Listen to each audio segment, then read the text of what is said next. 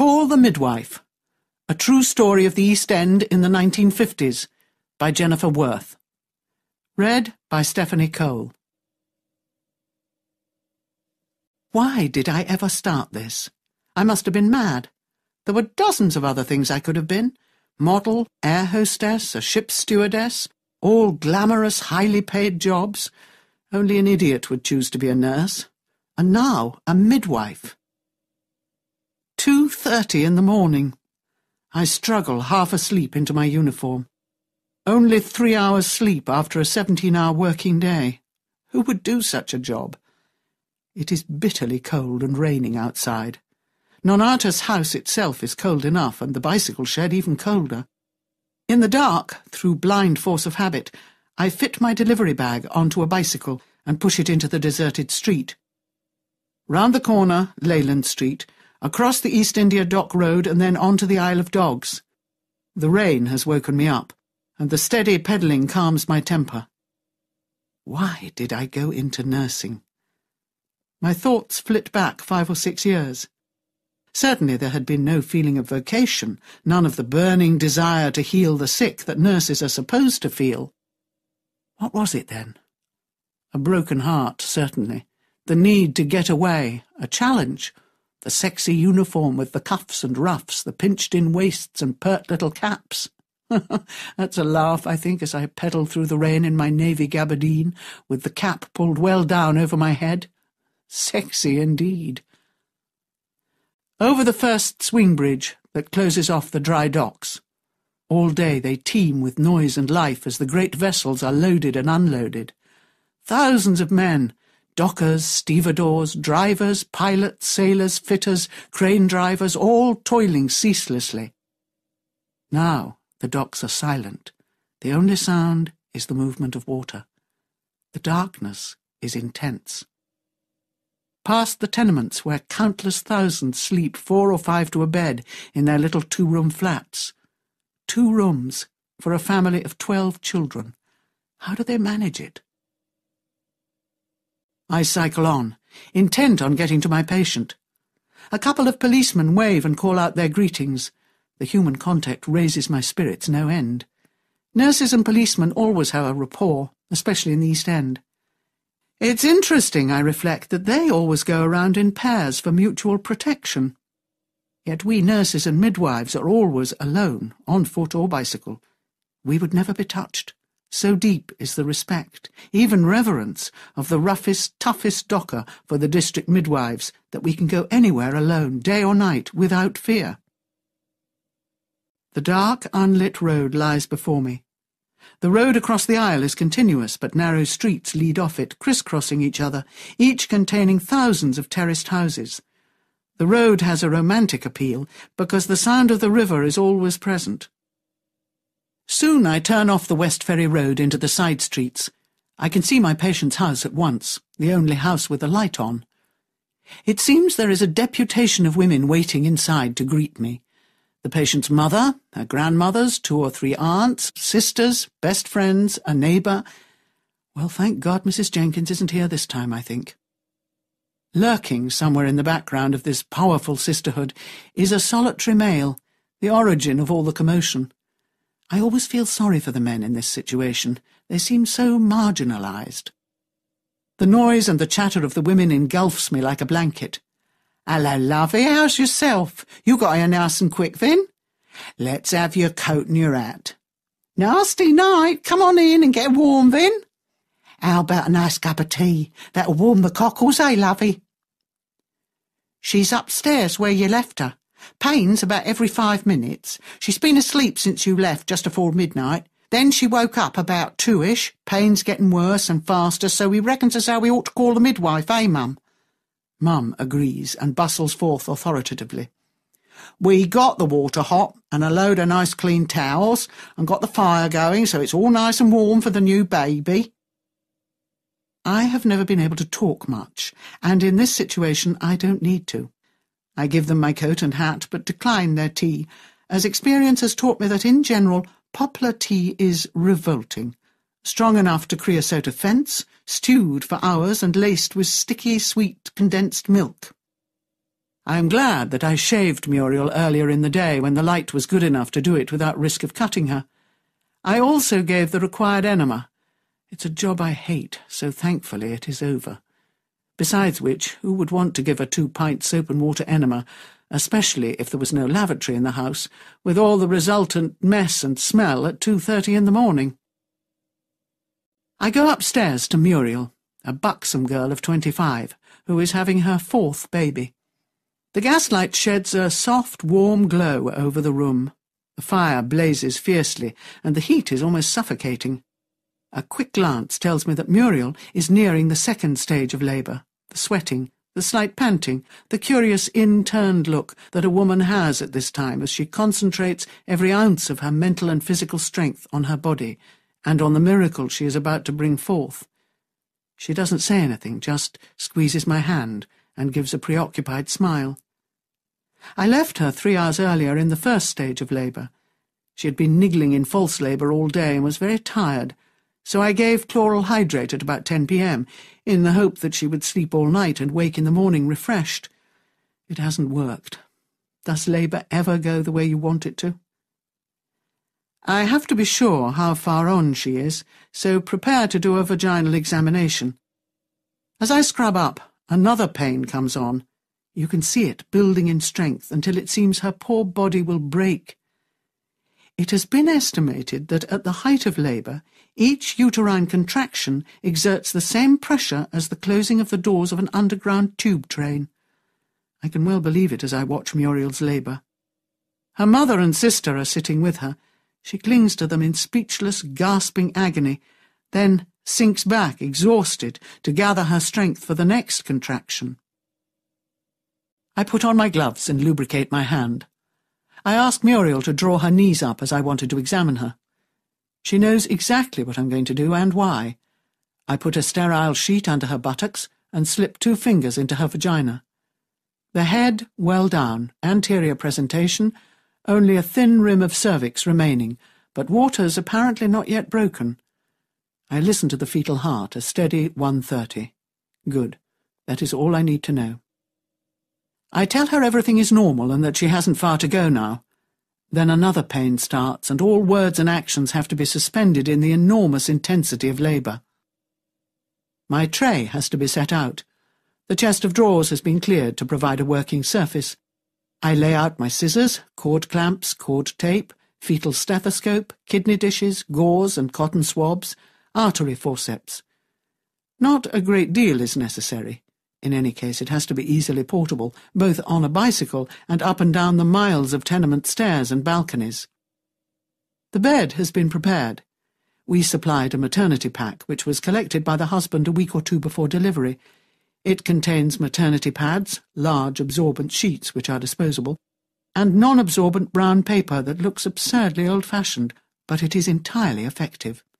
It covers the bed, all the absorbent pads and sheets can be laid on it, and after delivery everything can be bundled up into it and burned. The cot is ready. A good-sized washing bowl is available, and gallons of hot water are being boiled downstairs. There is no running hot water in the house, and I wonder how they used to manage when there was no water at all. But I hadn't time to sit and reflect. Often in a labour you can wait all night, but this one will not go that way. The increasing power and frequency of the pains, coupled with the fact that it is a fourth baby, indicate the second stage is not far away. The pains are coming every three minutes now. How much more can she bear? How much can any woman bear? Suddenly the sack bursts and water floods the bed. I like to see it that way. I get a bit apprehensive if the waters break early. After the contraction, the mother and I change the soaking sheets. Muriel can't get up at this stage, so we have to roll her. With the next contraction, I see the head.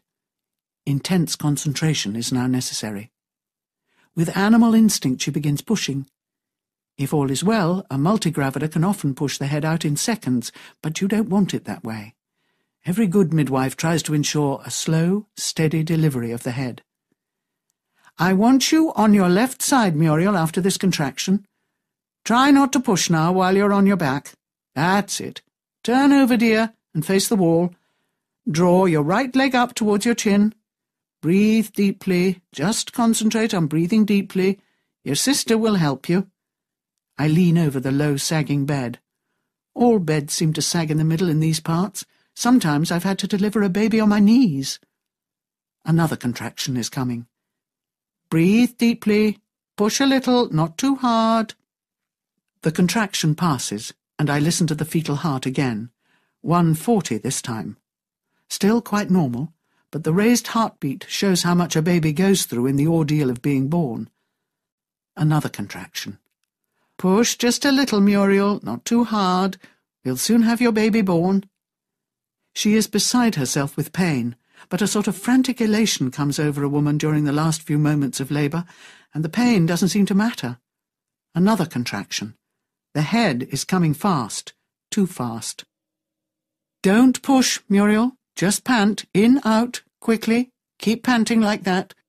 I'm holding the head back to prevent it bursting out and splitting the perineum. It is very important to ease the head out between contractions, and as I hold the head back, I realize I am sweating from the effort required, the concentration, the heat and intensity of the moment. The contraction passes, and I relax a little, listening to the fetal heart again, still normal. Delivery is imminent. I place the heel of my right hand behind the dilated anus and push forward firmly and steadily until the crown is clear of the vulva. With the next contraction, Muriel, the head will be born. Now, I don't want you to push at all. Just let the muscles of your stomach do the job. All you have to do is try to relax and just pant like mad. I steel myself for the next contraction, which comes with surprising speed. Muriel is panting continuously. I ease the perineum around the emerging crown, and the head is born. We all breathe a sigh of relief. Muriel is weak with the effort. Well done, Muriel. You are doing wonderfully. It won't be long now. The next pain, and we will know if it's a boy or a girl. The baby's face is blue and puckered, covered in mucus and blood. I check the heartbeat. Still normal. I observe the restitution of the head through one-eighth of a circle. The presenting shoulder can now be delivered from under the pubic arch. Another contraction. This is it, Muriel. You can push now. Hard. I ease the presenting shoulder out with a forward and upward sweep. The other shoulder and arm follow, and the baby's whole body slides out effortlessly. It's another little boy, cried the mother. Thanks be to God. Is he healthy, nurse? Muriel was in tears of joy. Oh, bless him.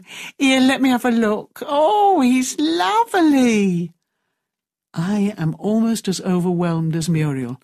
The relief of a safe delivery is so powerful. I clamp the baby's cord in two places and cut between. I hold him by the ankles, upside down, to ensure no mucus is inhaled. He breathes. The baby is now a separate being. I wrap him in the towels given to me and hand him to Muriel, who cradles him, coos over him, kisses him, calls him beautiful, lovely, an angel. Quite honestly, a baby covered in blood still slightly blue, eyes screwed up in the first few minutes after birth, is not an object of beauty, but the mother never sees him that way. To her he is all perfection. My job is not done, however. The placenta must be delivered, and it must be delivered whole, with no pieces torn off and left behind in the uterus. If there are, the woman will be in serious trouble. Infection, ongoing bleeding, perhaps even a massive hemorrhage, which can be fatal. It is perhaps the trickiest part of any delivery to get the placenta out whole and intact. The uterine muscles, having succeeded in the massive task of delivering the baby, often seem to want to take a holiday. Frequently, there are no further contractions for 10 to 15 minutes. This is nice for the mother, who only wants to lie back and cuddle her baby, but it can be an anxious time for the midwife. When contractions do start, they are frequently very weak, Successful delivery of the placenta is usually a question of careful timing, judgment, and most of all, experience. They say it takes seven years of practice to make a good midwife. I was only in my first year. alone, in the middle of the night, with this trusting woman and her family, and no telephone in the house. Please, God, don't let me make a mistake, I prayed. After clearing the worst of the mess from the bed, I lay Muriel on her back, on warm, dry maternity pads, and cover her with a blanket. Her pulse and blood pressure are normal, and the baby lies quietly in her arms. All I have to do is wait. I sit on a chair beside the bed with my hand on the fundus in order to feel and assess. Sometimes the third stage can take twenty to thirty minutes. I muse over the importance of patience and the possible disasters that can occur from a desire to hasten things. The fundus feels soft and broad, so the placenta is obviously still attached in the upper uterine segment. There are no contractions for a full ten minutes. The cord protrudes from the vagina, and it is my practice to clamp it just below the vulva, so I can see when the cord lengthens, a sign of the placenta separating and descending into the lower uterine segment. But nothing is happening. It goes through my mind that reports you hear of taxi drivers or bus conductors safely delivering a baby never mention this. Any bus driver can deliver a baby in an emergency, but who would have the faintest idea of how to manage the third stage? I imagine that most uninformed people would want to pull the cord, thinking this would help expel the placenta, but it can lead to sheer disaster. Muriel is cooing and kissing her baby while her mother tidies up. The fire crackles. I sit quietly waiting, pondering. Why aren't midwives the heroines of society that they should be? Why do they have such a low profile? They ought to be lauded to the skies by everyone. But they are not. The responsibility they carry is immeasurable. Their skill and knowledge are matchless, yet they are completely taken for granted and usually overlooked. All medical students in the 1950s were trained by midwives. They had classroom lectures from an obstetrician, certainly, but without clinical practice, lectures are meaningless. So in all teaching hospitals, medical students were attached to a teacher midwife and would go out with her in the district to learn the skill of practical midwifery. All GPs had been trained by a midwife, but these facts seem to be barely known. The fundus tightens and rises a little in the abdomen as a contraction grips the muscles. Perhaps this is it, I think. But no, doesn't feel right. Too soft after the contraction. Another wait. I reflect upon the incredible advance in midwifery practice over the century, the struggle that dedicated women have had to obtain a proper training and to train others. There has been recognized training for less than fifty years. In the nineteenth century, no poor woman could afford to pay the fee required by a doctor for the delivery of her baby, so she was forced to rely on the services of a self-taught midwife or handy woman. Nursing and midwifery were not considered a respectable occupation for any educated woman, so the illiterate filled the gap. The caricature figures of Sairey Gamp and Betsey Prig, ignorant, filthy, gin-swilling women created by Charles Dickens, may seem hilarious, but would not have been funny if you had to place your life in their hands. In the mid-19th century, maternal mortality amongst the poorest classes stood at around 35 to 40 percent, and infant mortality was around 60 percent. Florence Nightingale changed nursing forever. But she was not alone, and many groups of far-sighted and dedicated women devoted their lives to raising the standards of nursing, it was in the struggle to provide legislation for the proper training of midwives that they encountered the fiercest opposition. From about 1870 the battle raged. They were called an absurdity, time wasters, a curiosity, and an objectionable body of busybodies. They were accused of everything from perversion to greed for unlimited financial gain. For thirty years the battle continued, but in 1902 the first Midwives Act was passed and the Royal College of Midwives was born. Another contraction coming. The fundus rises under my hand and remains hard. At the same time, the forceps I had clamped to the cord move. I test them. Yes, another four to six inches of cord comes out easily. The placenta has separated. I ask Muriel to hand the baby to her mother. She knows what I'm going to do. I massage the fundus in my hand until it is hard and round and mobile. Then I grasp it firmly and push downwards and backwards into the pelvis. As I push, the placenta appears at the vulva, and I lift it out with my other hand. The membranes slide out, followed by a gush of fresh blood and some clotted blood. I feel weak with relief. It is accomplished. I put the kidney dish on the dresser to await my inspection, and sit beside Muriel for a further ten minutes massaging the fundus to ensure that it remains hard and round, which will expel residual blood clots. In later years, oxytocics would be routinely given after the birth of the baby, causing immediate and vigorous uterine contraction, so the placenta is expelled within three to five minutes of the baby's birth. Medical science marches on, but in the 1950s we had no such aids to delivery. All that remains is to clean up. While Mrs. Hawking is washing and changing her daughter, I examine the placenta. It seems complete and the membranes intact. Then I examine the baby, who appears healthy and normal. I bathe and dress him and reflect upon Muriel's joy and happiness, her relaxed, easy countenance. She looks tired, but no sign of stress or strain. There never is. There must be an inbuilt system of total forgetfulness in a woman, some chemical or hormone that immediately enters the memory part of the brain after delivery, so there is absolutely no recall of the agony that has gone before. If this were not so, no woman would ever have a second baby. When everything is shipshape, the proud father is permitted to enter. These days most fathers are with their wives throughout labour and attend the birth, but this is a recent fashion. Throughout history, as far as I know, it was unheard of. Certainly in the 1950s, everyone would have been profoundly shocked at such an idea. Childbirth was considered to be a woman's business.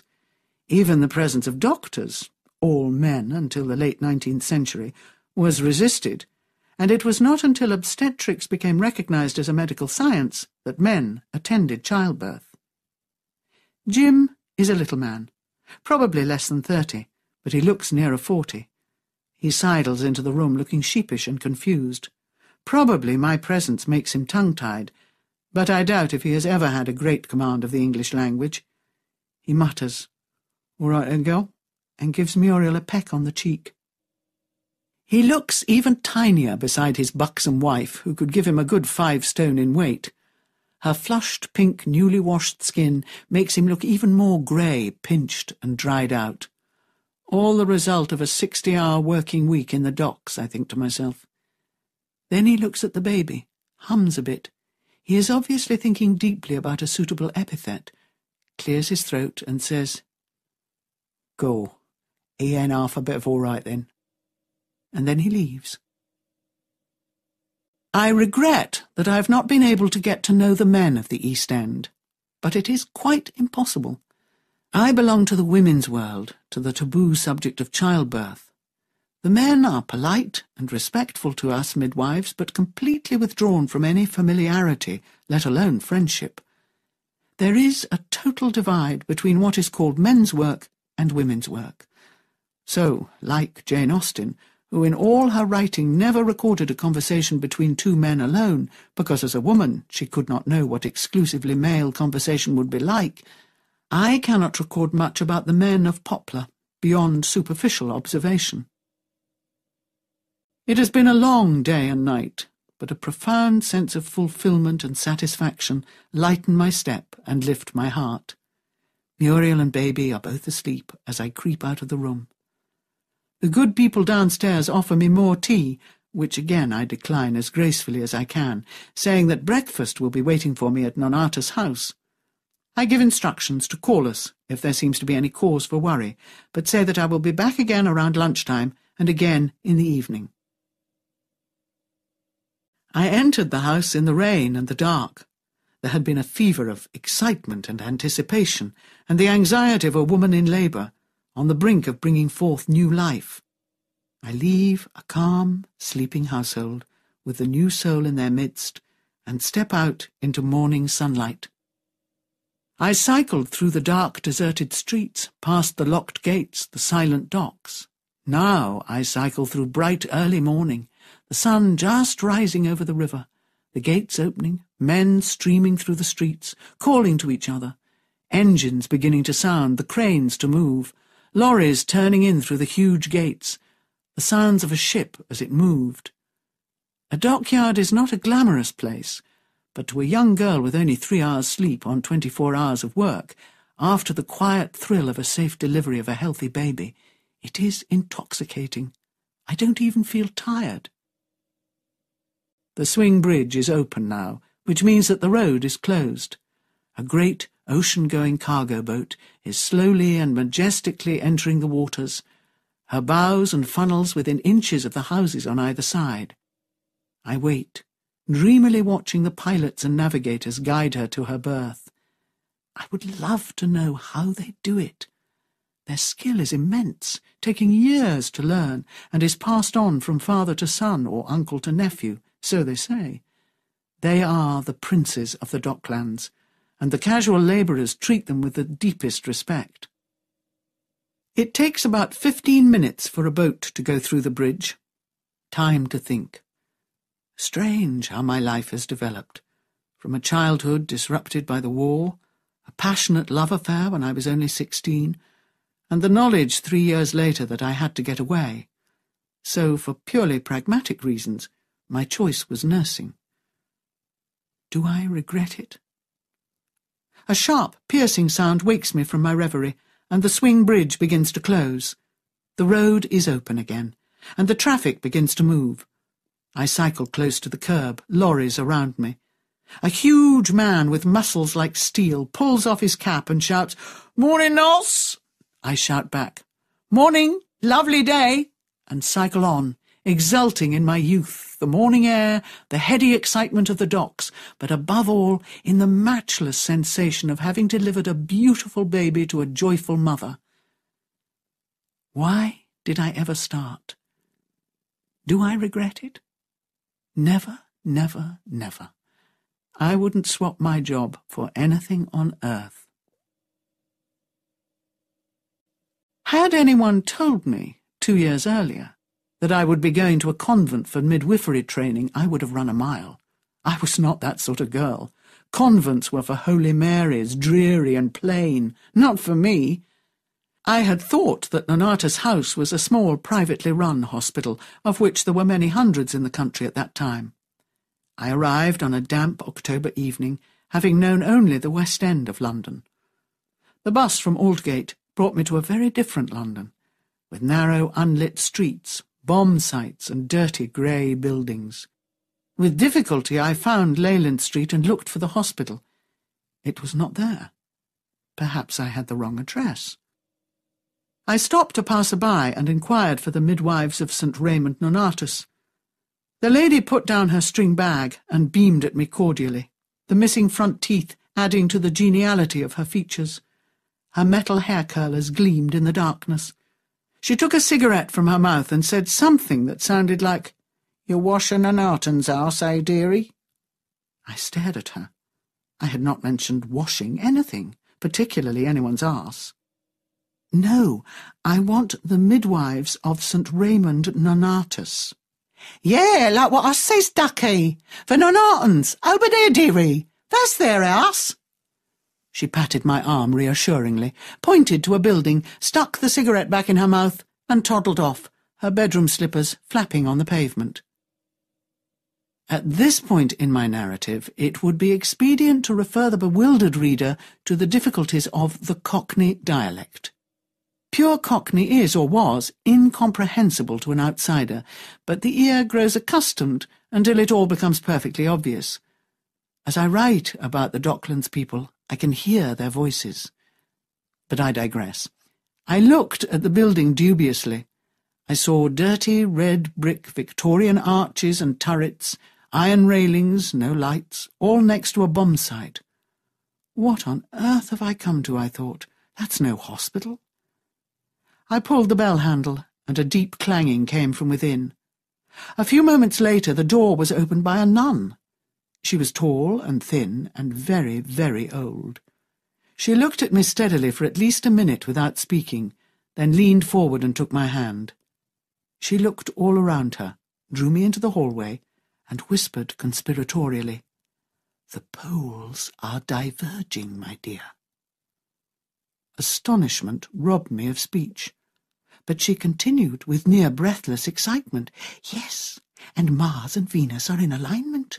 You know what that means, of course. I shook my head. Oh, my dear, the static forces, the convergence of the fluid with the solid, the descent of the hexagon as it passes through the ether. This is a unique time to be alive. So exciting! The little angels clap their wings.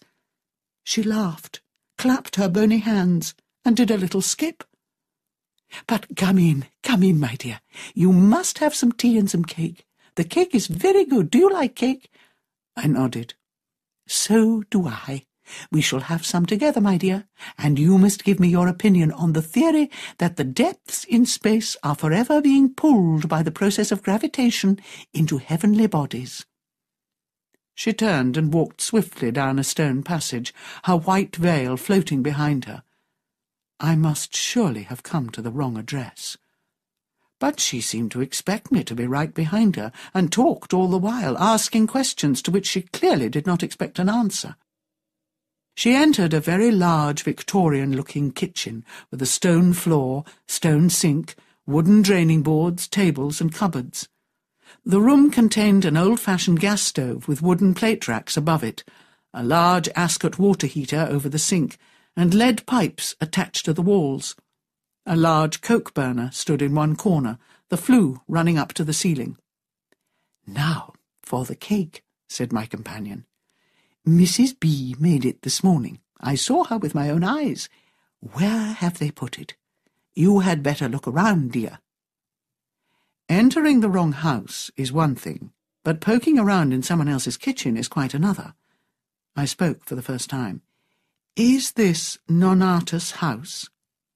The old lady raised her hands in a theatrical gesture, and in clear, ringing tones cried out, Not born, yet born in death born to greatness, born to lead and inspire. She raised her eyes to the ceiling and lowered her voice to a thrilling whisper. Born to be sanctified. Was she mad? I had yet to learn that St. Raymond Nonnatus is the patron saint of midwives, obstetricians, pregnant women, childbirth, and newborn babies. He was delivered by caesarean section, non natus is the Latin for not born, in Catalonia, Spain, in 1204. His mother, not surprisingly, died at his birth. He became a priest and died in 1240. I stared at her in dumb stupefaction, then repeated the question, Yes, but is this Nonnatus' house? Oh, my dear, I knew the moment I saw you that you would understand.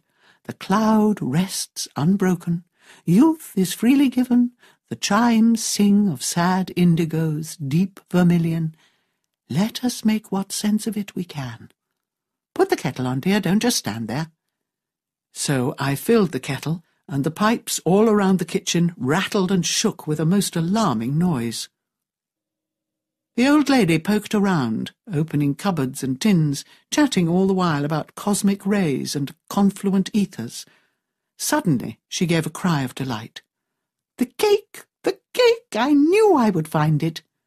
She turned to me and whispered, with a naughty gleam in her eye, They think they can hide things from Sister Monica Joan, but they are not smart enough, my dear. Plodding or swift, laughter or despair, none can hide all will be revealed. Get two plates and a knife, and don't hang around. Where's the tea? We sat down at the huge wooden table. I poured the tea, and Sister Monica Joan cut two large slices of cake. She ate with murmurs of ecstatic delight, and winked at me as she gobbled. The cake was excellent, and a fellowship of conspiracy was entered into as we agreed that another slice would be in order. They will never know, my dear. They will think that Fred has had it. She looked out of the window. There is a light in the sky. Do you think it is a planet exploding or an alien landing? I thought it was an aeroplane, but I opted for the exploding planet, then said, How about some more tea? Just what I was about to suggest. And what about another slice of cake? They won't be back before seven, you know.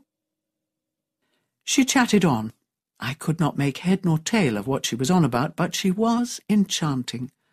The more I looked at her, the more I could see fragile beauty in her high cheekbones, her bright eyes, her wrinkled pale ivory skin, and the perfect balance of her head on her long, slender neck. The constant movement of her expressive hands, with their long fingers like a ballet of ten dancers, was hypnotic. I felt myself falling under a spell. We finished the cake with no trouble at all, having agreed that an empty tin would be less conspicuous than a small wedge of cake left on a plate. She winked mischievously and chuckled. That tiresome Sister Evangelina will be the first to notice. You should see her, my dear, when she gets cross. Oh, the hideous baggage! Her red face gets even redder, and her nose drips. Yes, it actually drips. She tossed her head haughtily. But what can it signify for me? The mystery of the evidence of consciousness is a house in a given time, a function and an event combined, and few are the elite, indeed, who can welcome such a realization. But hush! What is that? Make haste. She leapt up, scattering cake crumbs all over the table, the floor, and herself, grabbed the tin and hurried to the larder. Then she sat down again, assuming an exaggerated expression of innocence. Footsteps were heard on the stone floor of the hallway, and female voices. Three nuns entered the kitchen, talking about enemas, constipation, and varicose veins. I concluded that I must, against all expectations, be in the right place. One of them stopped and addressed me. You must be Nurse Lee. We were expecting you. Welcome to Nonnatus house. I am Sister Julienne, the sister in charge. Have you eaten? The face and the voice were so open and honest, and the question so artless, that I felt the cake sitting heavily in my stomach. I managed to murmur, Yes, thank you, and surreptitiously brushed a crumb off my skirt. Well, you will excuse us if we have a meal. We usually prepare our own supper because we all come in at different times. The sisters were bustling about, fetching things from the larder to the kitchen table. A cry came from behind the door, and a red-faced nun emerged carrying the cake tin. It's gone. The tin's empty. Where is Mrs. B.'s cake? She made it only this morning. This must be Sister Evangelina. Her face was getting redder as she glared around. No one spoke. Sister Monica Joan sat aloof beyond all reproach, her eyes closed. The cake was doing something nasty to my intestines, and I knew the enormity of my crime could not be concealed. My voice was husky as I whispered, I had a little. The red face and heavy figure advanced towards Sister Monica Joan. And she's had the rest of it. Look at her, covered in cake crumbs. Oh, the greedy thing, she can't keep her hands off anything. That cake was for all of us. You, you... Sister Evangelina was shaking with rage as she towered over Sister Monica Joan, who remained immobile, her eyes closed, as though she had not heard a word. She looked fragile and aristocratic. I could not bear it, and found my voice. No, you've got it wrong. Sister Monica Joan had a slice, and I had the rest. The three nuns stared at me in astonishment. I felt myself blush. Had I been a dog caught stealing the Sunday roast, I would have crept under the table with my tail between my legs. I could only mutter, I'm sorry. I was hungry. I won't do it again. Sister Evangelina snorted and banged the tin on the table. Sister Monica Joan, whose eyes were still closed, head turned away, moved for the first time. She took a handkerchief from her pocket and handed it to Sister Evangelina, holding it by a corner with thumb and forefinger, the other fingers arched fastidiously. Perhaps it is time for a little mopping up, dear, she said sweetly. Rage boiled even more fiercely. The redness of Sister Evangelina's features turned to purple, and moisture gathered round her nostrils. No, thank you, dear. I have one of my own, she spat through clenched teeth. Sister Monica Joan gave an affected little jump, brushed her face elegantly with a handkerchief, and murmured as though to herself, Methinks 'tis raining. I cannot abide the rain. I will retire. Pray excuse me, sisters. We will meet at Compline. She smiled graciously at the three sisters, then gave me the biggest, naughtiest wink I had ever seen in my life. Haughtily, she sailed out of the kitchen. I felt myself squirm with embarrassment. I just wanted to sink through the floor. Sister Julienne told me to take my case to the top floor, where I would find a room with my name on the door. I had expected a heavy silence and three pairs of eyes following me as I left the kitchen, but Sister Julienne started talking about an old lady she had just visited, whose cat appeared to be stuck up the chimney. They all laughed, and to my intense relief, the atmosphere lightened at once. In the hallway, I seriously wondered whether or not to cut and run. I could have just picked up my case and vanished into the darkness. It was tempting. In fact, I might have done so had the front door not opened and two laughing young girls appeared. Their faces were pink and freshened by the night air, their hair untidy from the wind. Rain glistened on their long gabardine raincoats. They were about my age and looked happy and full of life. Hello, said a deep, slow voice. You must be Jenny Lee. How nice. You'll like it here. There are not too many of us. I'm Cynthia, and this is Trixie. But Trixie had already disappeared towards the kitchen with the words, I'm famished. See you later. Cynthia's voice was astonishing, soft, low, and slightly husky. She also spoke extremely slowly and with just a touch of laughter in her tone. In another type of girl, it would have been the cultivated, sexy voice of allure. I'd met plenty of that type in four years of nursing, but Cynthia was not one of their number. Her voice was completely natural, and she could speak no other way. My discomfort and uncertainty left me, and we grinned at each other, friends already. I decided I would stay. Later that evening I was called to Sister Julienne's office. I went filled with dread, expecting a severe dressing down about the cake. Having endured four years of tyranny from hospital nursing hierarchies, I expected the worst. Sister Julienne was small and plump. She must have worked about fifteen or sixteen hours that day, but she looked as fresh as a daisy.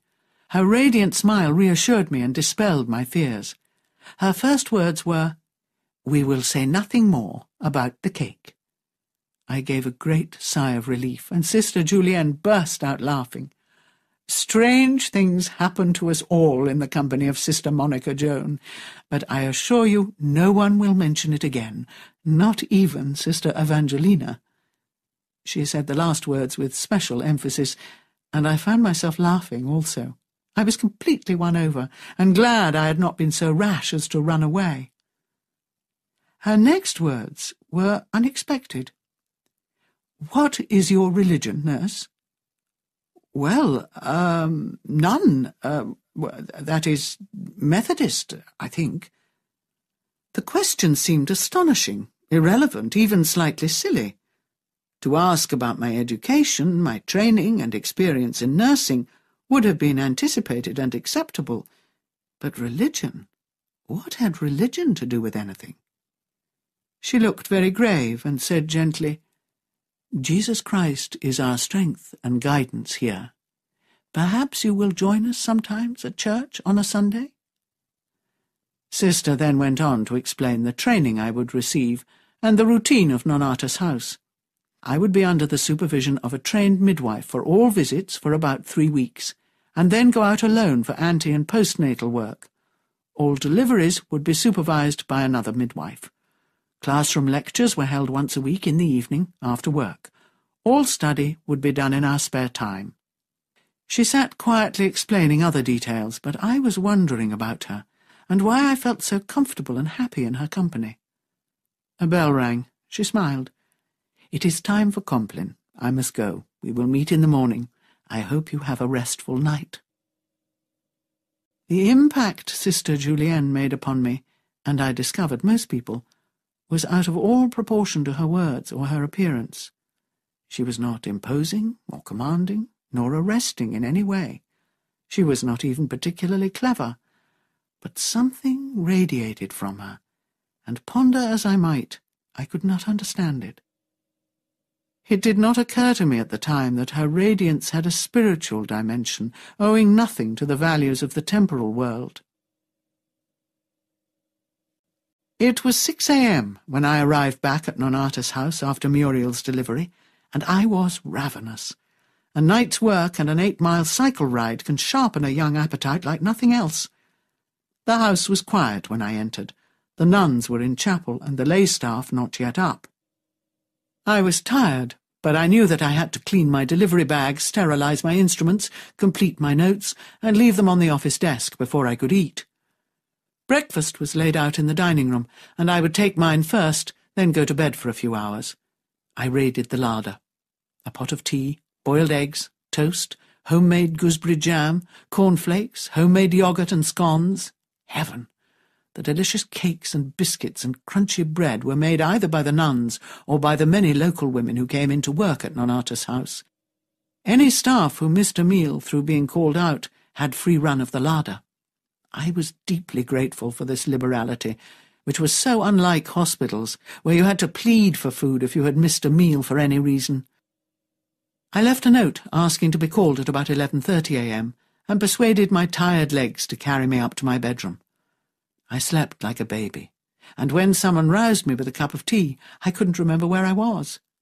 The tea reminded me.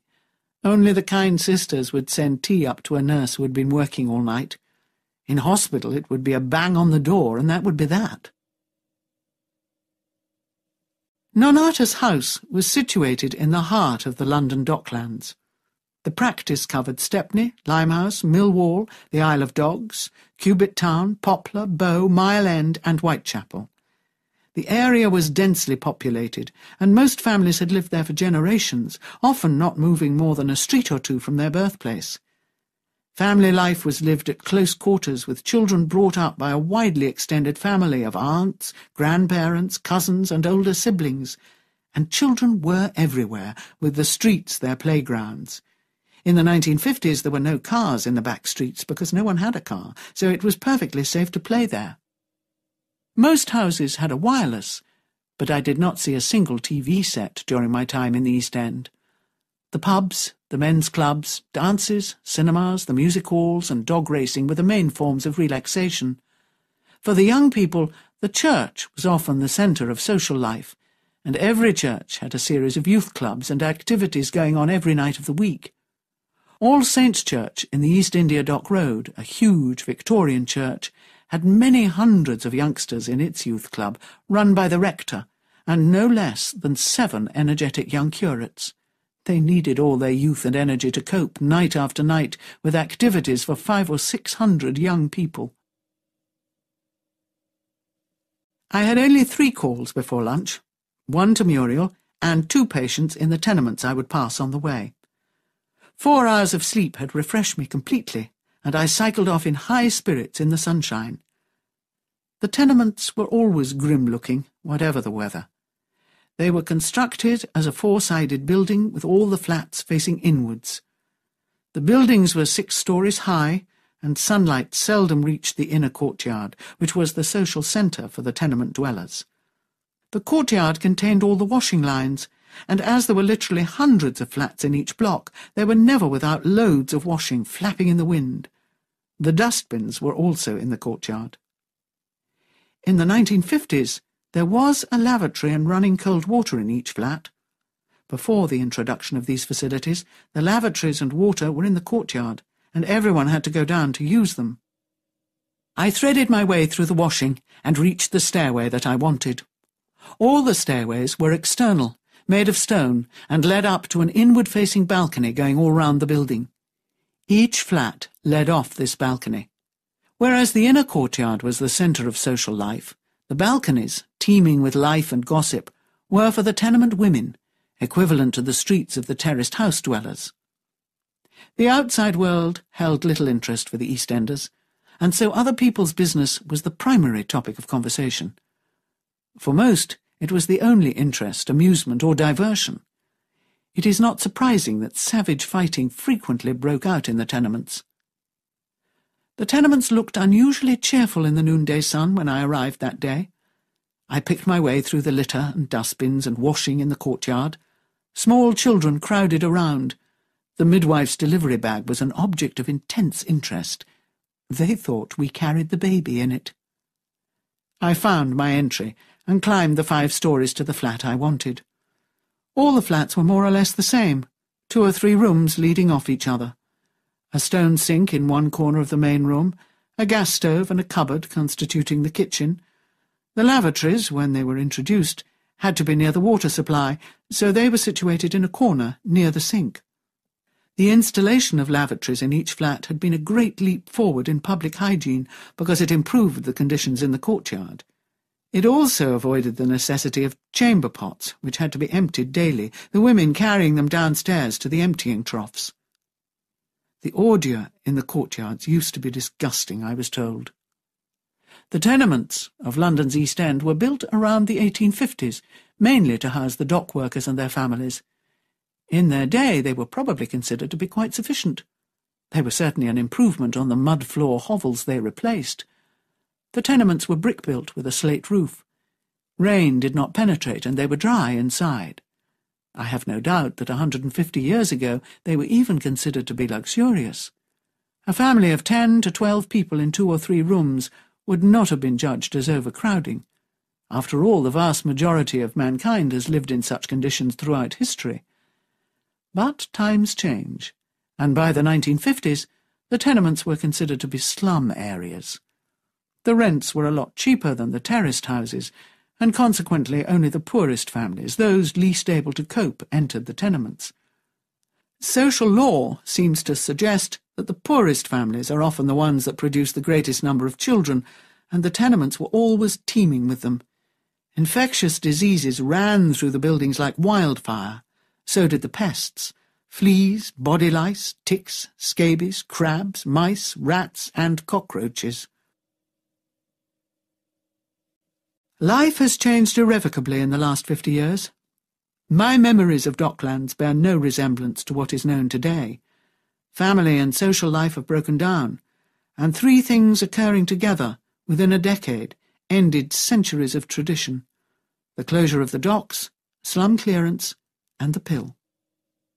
The closure of the docks occurred over about fifteen years, but by 1980 the merchant ships came and went no more.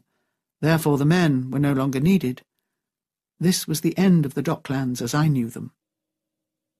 Slum clearance started in the late 1950s while I was still working in the area. No doubt the houses were grotty, but they were people's homes and much loved.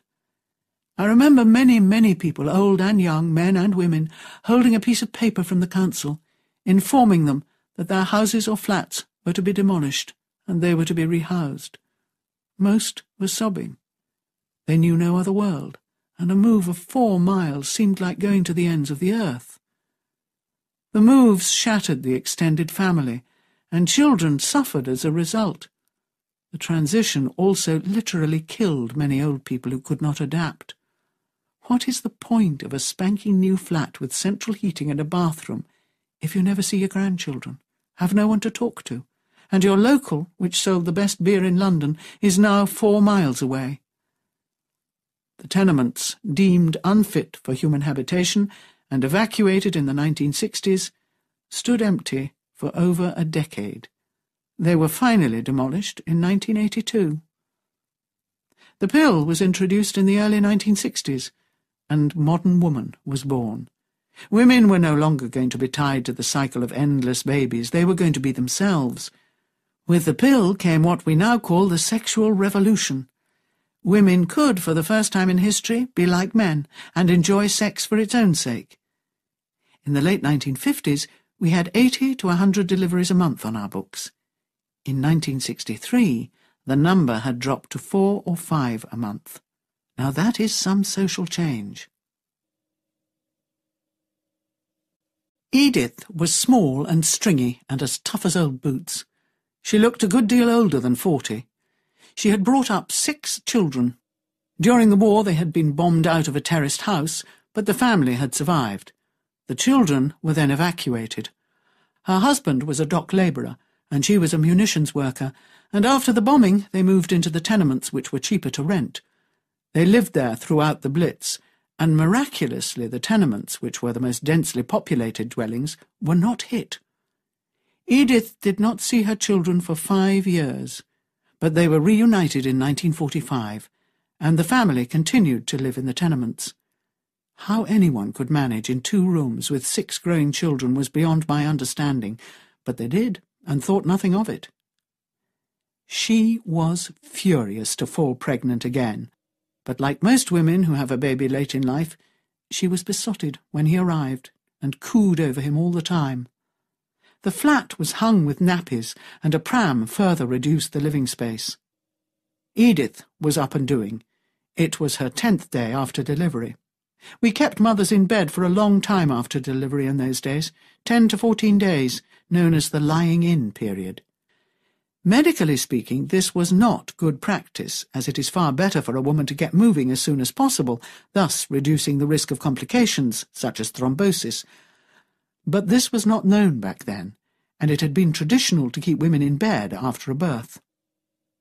The great advantage was that it gave the woman a proper and well-earned rest. Other people had to do all the household chores, and for a brief period she could lead a life of idleness. She needed to gather her strength, because once she was on her feet again, everything would devolve to her.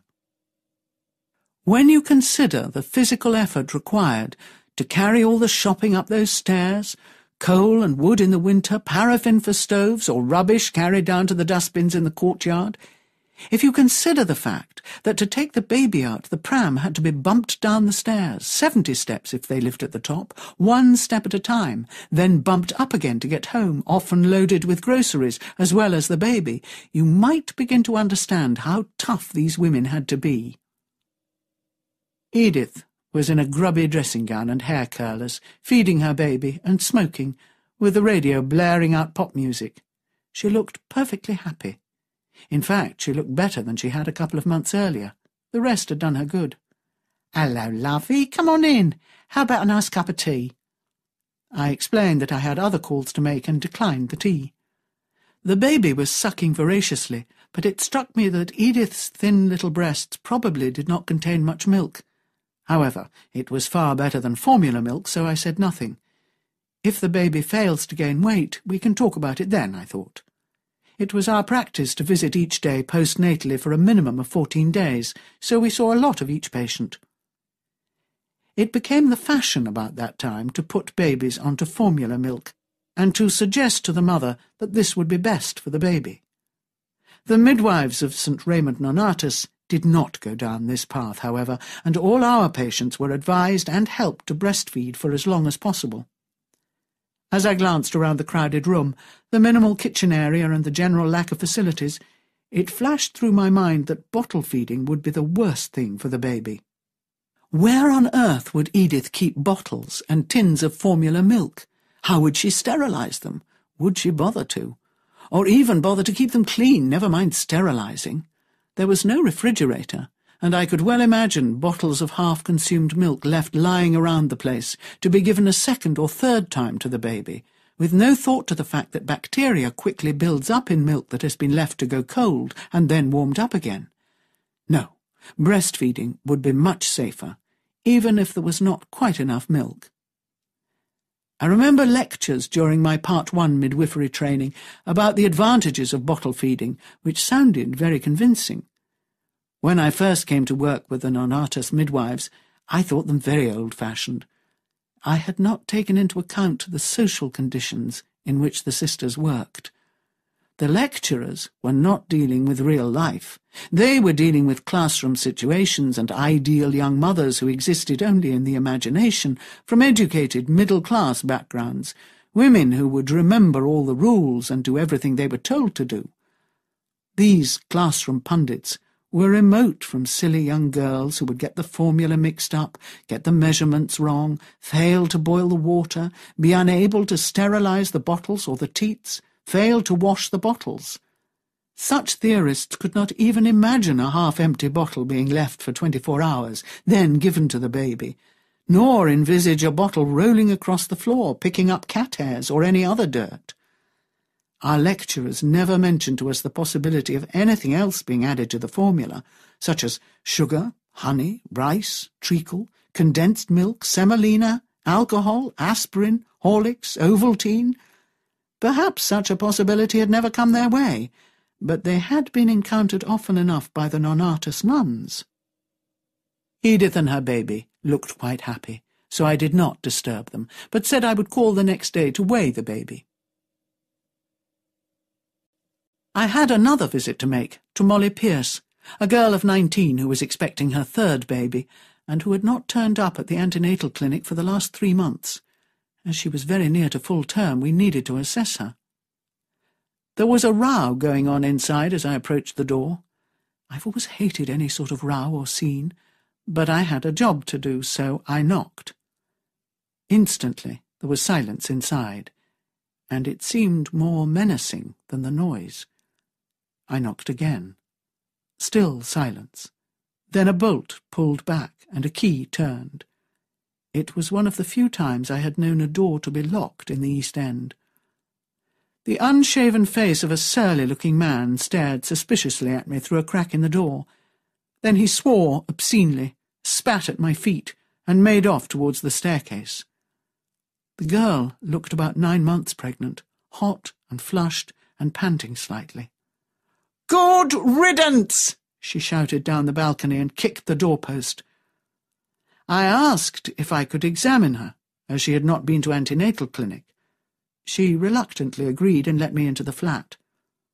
The stench inside was overpowering. It was a foul mixture of sweat, urine, feces, cigarettes, alcohol, paraffin, stale food, sour milk, and unwashed clothes. Obviously Molly was a real slattern. The vast majority of women that I met had a pride in themselves and their homes and worked desperately hard, but not Molly. She led me into the bedroom, which was dark. The bed was filthy, just a bare mattress and some grey army surplus blankets. A wooden cot stood in the corner. This is no place for a delivery, I thought. It had been assessed as adequate by a midwife some months earlier, but quite obviously the domestic conditions had deteriorated. I would have to report back to the sisters. As Molly lay down, I noticed a great black bruise on her chest. I inquired how it had happened. She snarled and tossed her head. Im, she said, and spat on the floor. I examined her. The baby's head was well down, and I could feel movement. The fetal heart was a steady 126 per minute. She and the baby seemed quite normal and healthy in spite of everything. It was only then that I noticed the children. I heard something in the corner of the dark bedroom and nearly jumped out of my skin. I thought it was a rat. I focused my eyes in that direction and saw two little faces peering from behind a chair. Molly said, It's all right. Tom, come here. Two little boys of about two or three years old came out from behind the chair. They were silent. Boys of that age usually rush around, making no end of noise, but not these two. Their silence was unnatural. They had big eyes full of fear, and they took a step or two forward, then clung to each other and retreated behind the chair again. That's all right, kids. It's only the nurse. She won't hurt you. Come here. They came out again, two dirty little boys, with snot and tear marks staining their faces. They were wearing only jumpers, a practice I had seen a lot in Poplar and found particularly repellent. A toddler was left naked from the waist down, especially little boys. I was told the women saved on washing this way. The child, before he was toilet trained, could then just urinate anywhere, and there would be no nappies or clothes to wash. Children would run around the tenement balconies and courtyards all day like this. Tom and his little brother crept out from the corner and ran to their mother. They seemed to be losing their fear. She put out an arm affectionately, and they cuddled up to her. Well, at least she's got some mothering instincts, I thought. I wondered how much time those little children spent behind the chair when their father was at home. But I was not a health visitor, nor a social worker, and there was no point in speculating. I resolved to report my observations to the sisters and told Molly we would come back later that week to ascertain that everything was available for a home delivery. I still had Muriel to visit, and it was with great relief that I left the foul atmosphere of that flat. The bright cold air outside and the cycle ride down to the Isle of Dogs refreshed my spirits, and I sped along. Hello, lovey. How's yourself? was the greeting shouted at me by several women, known and unknown to me. This was always the greeting called out from the pavement. Lovely, thanks. How's yourself? I always replied. It was difficult not to slip into the Cockney lingo. I don't believe it, I said to myself as I turned into Muriel Street. She can't be here already. Sure enough, Mrs. Jenkins was there with her stick and her string bag, her headscarf over her curlers, and the same old long mildew-encrusted coat that she wore summer and winter. She was talking to a woman in the street, hanging intently onto every word. She saw me slow down and came and grabbed my sleeve with her filthy long-nailed hands. How is she? And the little one? she rasped. I was impatient and pulled my arm away. Mrs. Jenkins turned up at every delivery. No matter how far the distance, how bad the weather, how early or late in the day, Mrs. Jenkins would always be seen hanging around the street. No one knew where she lived or how she got her information about where a baby had been born, but she always did. I was irritated and passed her without speaking.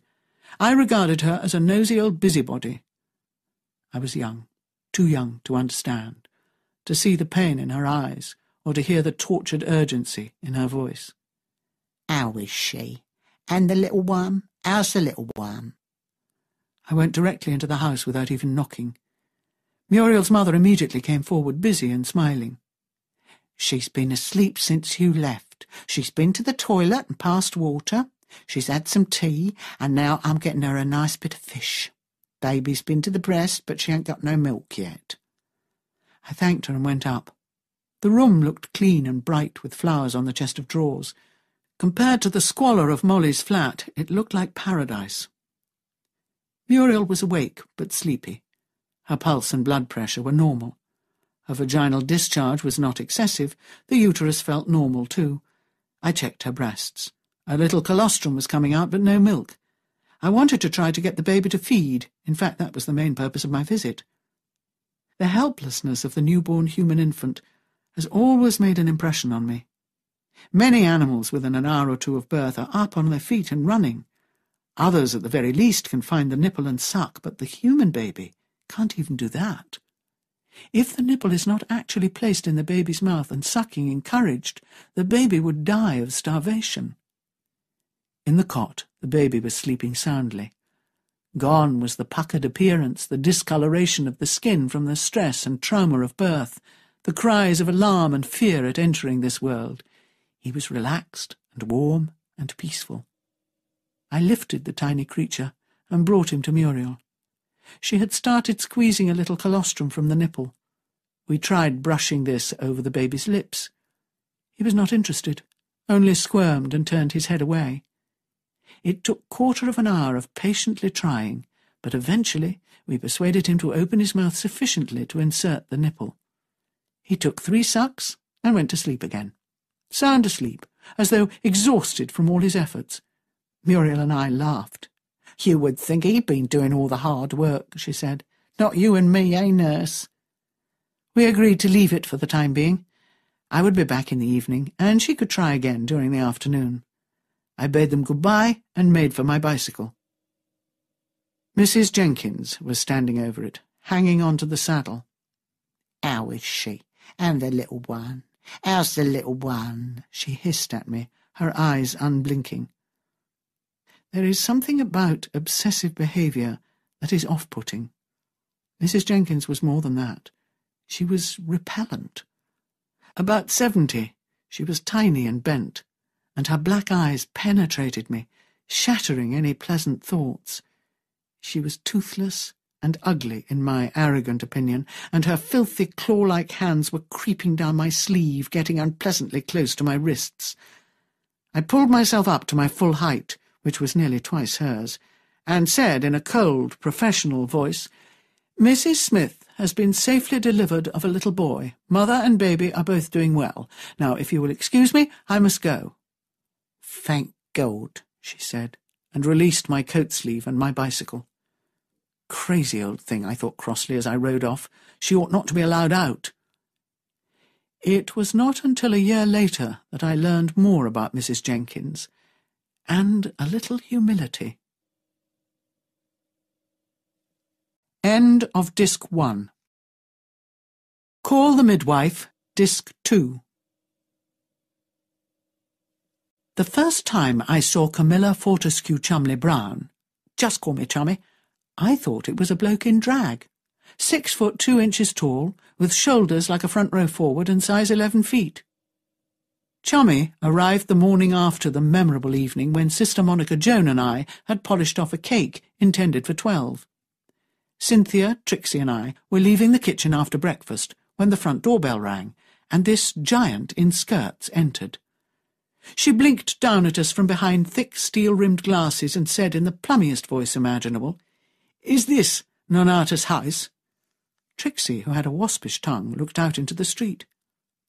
Is there anyone there? she called, and came back into the hallway, bumping into the stranger. Oh, sorry, I didn't notice you, she said, and made off for the clinical room. Cynthia greeted the woman with the same warmth and friendliness that had chased away my thoughts of bolting the night before. You must be Camilla. Oh, just call me Chummy. Oh, all right then, Chummy. Come in, and we'll find Sister Julienne. Chummy picked up her case, took two steps, and tripped over the doormat. Oh, lawks, clumsy me, she said, with a girlish giggle. She bent down to straighten the mat, and collided with the hall stand, knocking two coats and three hats onto the floor. Frightfully sorry. I'll soon get them. But Cynthia had already picked them up, fearing the worst. Thanks, old bean, said Chummy. Strangely enough, for all her massive size, her voice was soft and sweet. In fact, everything about Chummy was soft and sweet. Despite her appearance, she had the nature of a gentle, artless young girl, diffident and shy. The Fortescue Cholmondeley Browns were top-draw county types. Her great-great-grandfather had entered the Indian Civil Service in the 1820s, and the tradition had progressed through the generations. Her father was governor of Rajasthan, which we learnt from the collection of photographs on display in Chummy's room. She was the only girl amongst six brothers. All of them were tall, but unfortunately she was about an inch taller than the rest of the family. All the children had been educated in England, the boys going to Eton and Chummy to Roedean. They were placed in the care of guardians in this country, as the mother remained in India with her husband. Apparently Chummy had been at boarding school since she was six. She clung to her family photographs with touching fervour, and particularly loved one taken with her mother when she was fourteen. That was the holiday I had with Mater, she said proudly, completely unaware of the pathos of her remark. After Roedean came finishing school in Switzerland, then back to London to the Lucy Clayton Charm School to prepare her for presentation at court. Those were the days of debutantes, when the daughters of the best families had to be presented formally to the monarch at Buckingham Palace. Two photographs were proof of the event. In the first, an unmistakable chummy in a ridiculous lacy ball gown with ribbons and flowers stood amongst a group of pretty young girls similarly attired, her huge bony shoulders towering above their heads. The second photo was of her presentation to King George VI. Her great size and angular shape emphasized the petite charm of the Queen and the exquisite beauty of the two princesses, Elizabeth and Margaret. After that came a year at Cordon Bleu school. Chummy learned all the arts of the perfect hostess, but remained ungainly, awkward, oversized, and generally unsuited to hostessing in any society. So a course at the best needlework school in London was deemed to be the right thing for her. For two years, Chummy crocheted, embroidered, tatted, machined, and double-hemmed, all to no avail, while the other girls feather-stitched and chatted happily or sadly of their boyfriends and lovers, Chummy, liked by all but loved by none, remained silent, always the odd chum out. She never knew how it happened, but suddenly, unsought, she found her vocation. Nursing and God. Chummy was going to be a missionary. In a fever pitch of excitement, She enrolled at the Nightingale School of Nursing at St Thomas's Hospital in London. She was an instant success and won the Nightingale Prize three years in succession. She adored the work on the wards, feeling for the first time in her life confident and competent. Patients loved her, senior staff respected her, junior staff admired her. In spite of her great size, she was gentle, with an intuitive understanding of patients. Even her clumsiness, a hallmark of earlier years, left her.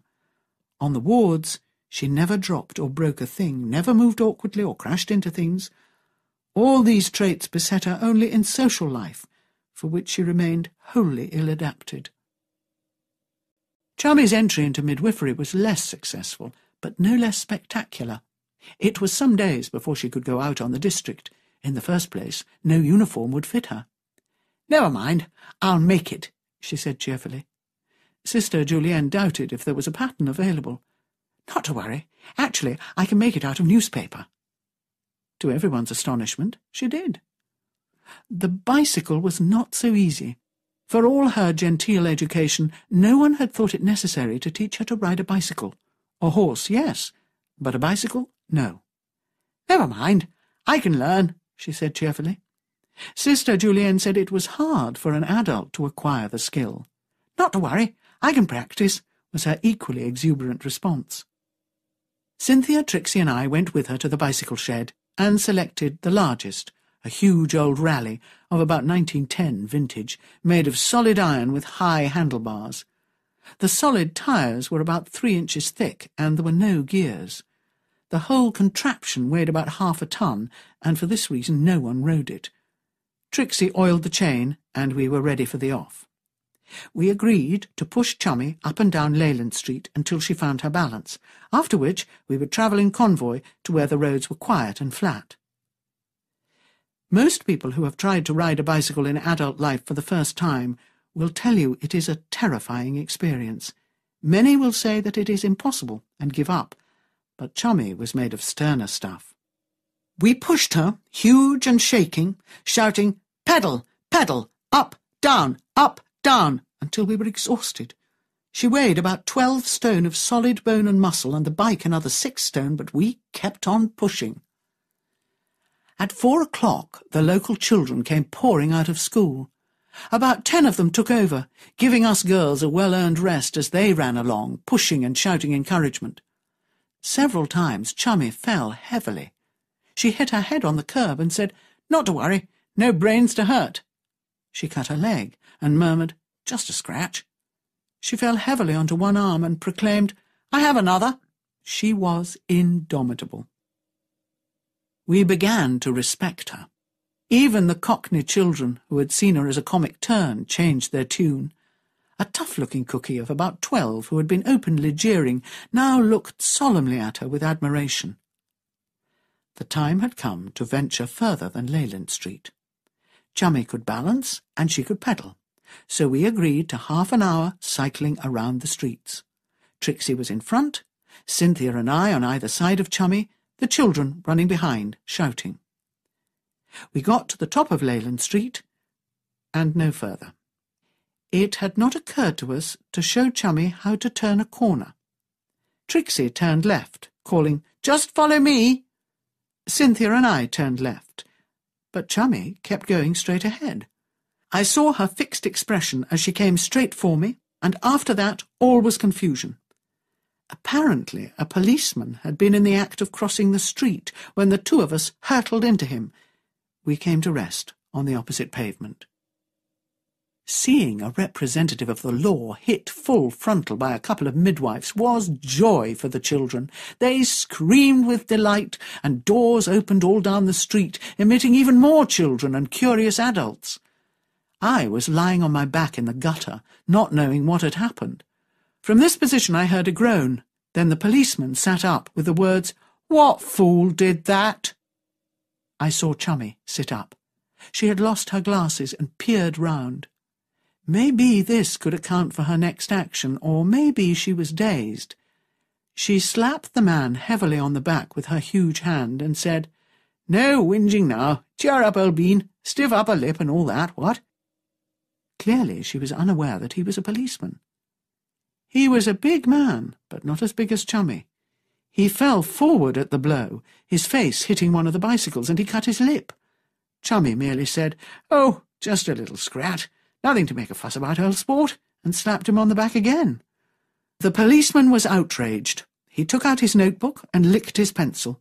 The children vanished. The street cleared. He looked at Chummy with menace. I'll take your name and address. Assaulting a policeman is a serious offence, I'll have you know. I swear it was Cynthia's sexy voice that got us off. Without her, we would have been up before the magistrate the next day. I never knew how she did it, and she was quite unconscious of her charm. She said little, but the man's anger quickly vanished. He picked up the bicycles and escorted us down the street to Nonnatus house. He left us with the words, Nice meeting you, young ladies. I hope we meet again sometime.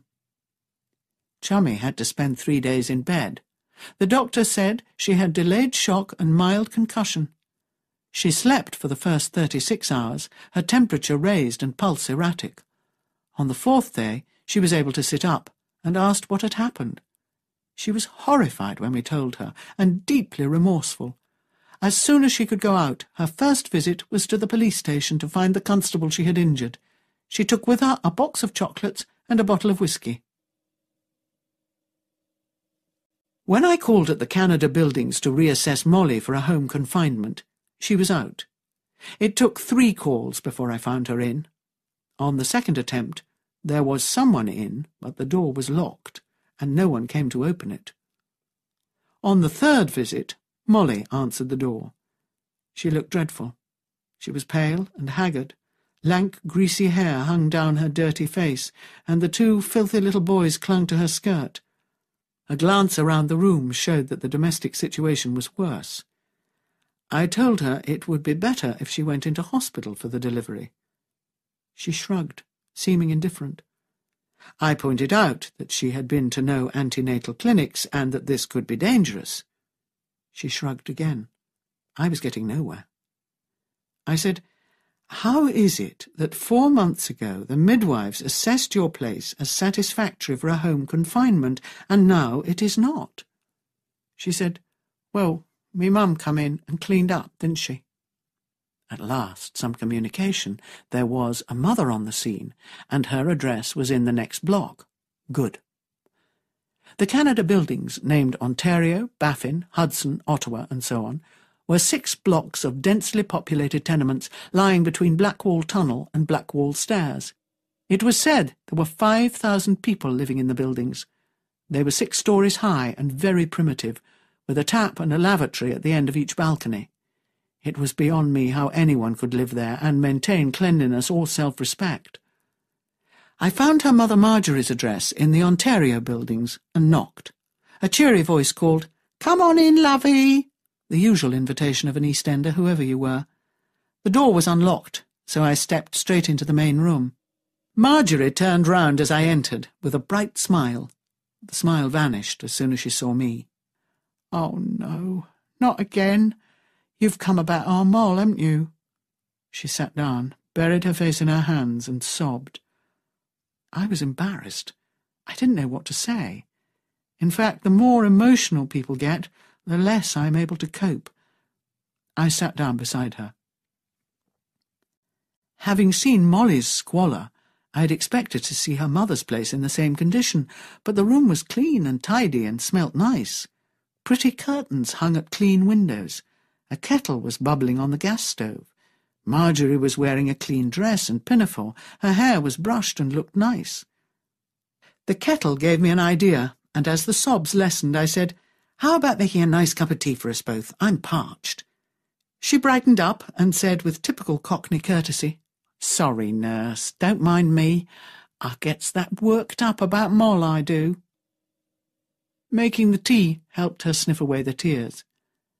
Over the next twenty minutes it all came out, her hopes and her heartache. Molly was the last of five children. She had never known her father, who had been killed at Arnhem during the war. The whole family had been evacuated to Gloucestershire. Marjorie said, I dunno if that upset her or what, but the others turned out all right, they did. The family returned to London. Molly seemed to adapt and was doing well at her new school. She was that bright, Marjorie said. Always top of the class. She could have been a secretary in an office up west, she could. Oh, it breaks my heart when I thinks on it. She sniffed and pulled out her handkerchief. She was about fourteen when she met that turd. His name's Richard, and I calls him Richard the Turd. When she was sixteen, she said she was going to marry her, Dick. I reckoned as how she was pregnant anyhow, so I says, That's the best thing you can do, my lovey. They married and took two rooms in Baffin Buildings. From the start, Molly never did any housework, but they seemed happy, and although Dick did not appear to be in any regular job, Marjorie hoped for the best for her daughter. Their first baby was born, and quite soon afterwards, Marjorie noticed bruises on her daughter's neck and arms, a cut above her eye, a limp on one occasion. Each time Molly said she had fallen down. Marjorie began to have her suspicions, but relations between her and Dick, never cordial, were breaking down. He hates me, she said, and won't never let me come near her or the boys. There's not nothing I can do. I dunno what's worse, knowing he hits me daughter or knowing he hits the kids. The best time was when he done six months inside. Then I knew they was safe. She started crying again, and I asked her if social services could do anything to help. No, she won't say a word against him. He's got such a hold on her. I felt deeply sorry for this poor woman and her silly daughter, but most of all I felt sorry for the little boys, and now a third child was coming. Marjorie burst into tears again. I'd do anything in the world for her and the kiddies, but the turd, he won't let me go near them. It was a tricky situation, and I reported back to the sisters. A hospital confinement was arranged, and I thought that would be the last we heard of Molly. It was not to be. About three weeks later, the midwives received a phone call from Poplar Hospital asking if we could arrange postnatal visits for Molly, who had discharged herself and the baby on the third day after delivery. This was almost unprecedented. In those days it was accepted by medical and lay people alike that a new mother should stay in bed for two weeks. Apparently, Molly had walked home carrying the baby, and this was considered very dangerous. Sister Bernadette went straight round to Baffin Buildings. She reported back that Molly was there, looking a good deal cleaner, but as sullen as ever. Dick was not at home. He was supposed to have been looking after the children whilst Molly was in hospital, but whether he had or not was anyone's guess. Marjorie had offered to take care of them, but Dick had refused, saying they were his kids, and he wasn't going to let that interfering old bag poke her nose into his family. There had been no food in the flat. Perhaps Molly had anticipated this, and that was why she'd discharged herself. On the way home with the baby, she had called in the cooked meat shop and begged a couple of meat pies on tick. As the butcher respected her mother, he let Molly have them. The two little boys, dressed only in filthy jumpers, were sitting on the floor, devouring the pies ravenously when Sister Bernadette arrived. Molly hardly spoke, Sister told us. She had submitted to her and the baby, a little girl, being examined, but remained morosely silent. Sister had said she was going to tell Marjorie that her daughter was home. Please yourself, was all the reply she got. Marjorie had had no idea of the turn of events and ran round to Baffin Building straight away. Unfortunately, Dick chose the same moment to return, and they met on the landing. He lunged at her drunkenly, and Marjorie ducked. Had he hit her, she would have fallen down the stone staircase. After that, all the poor woman dared do was leave food outside her daughter's door. Our custom was to visit twice a day for fourteen days after delivery. Molly and baby were satisfactory from a purely medical point of view, but the domestic situation was as bad as ever. Sometimes Dick was at home, sometimes not. Poor Marjorie was never allowed in. Over the next few days several nurses visited Molly, all reporting the same disquieting condition. One nurse said she was very nearly sick in the room and had to rush outside into the fresh air in order to control her stomach. On the eighth evening I called, and there was no reply to my knock. The door was locked, and as it was only 5 p.m. I continued my visits, intending to return later. It was about 8 p.m. when I got back to Baffin Buildings. I was tired, and it seemed a long climb up to the fifth floor. I knocked, and there was no reply again. I knocked again, louder. A door opened just down the balcony, and a woman appeared.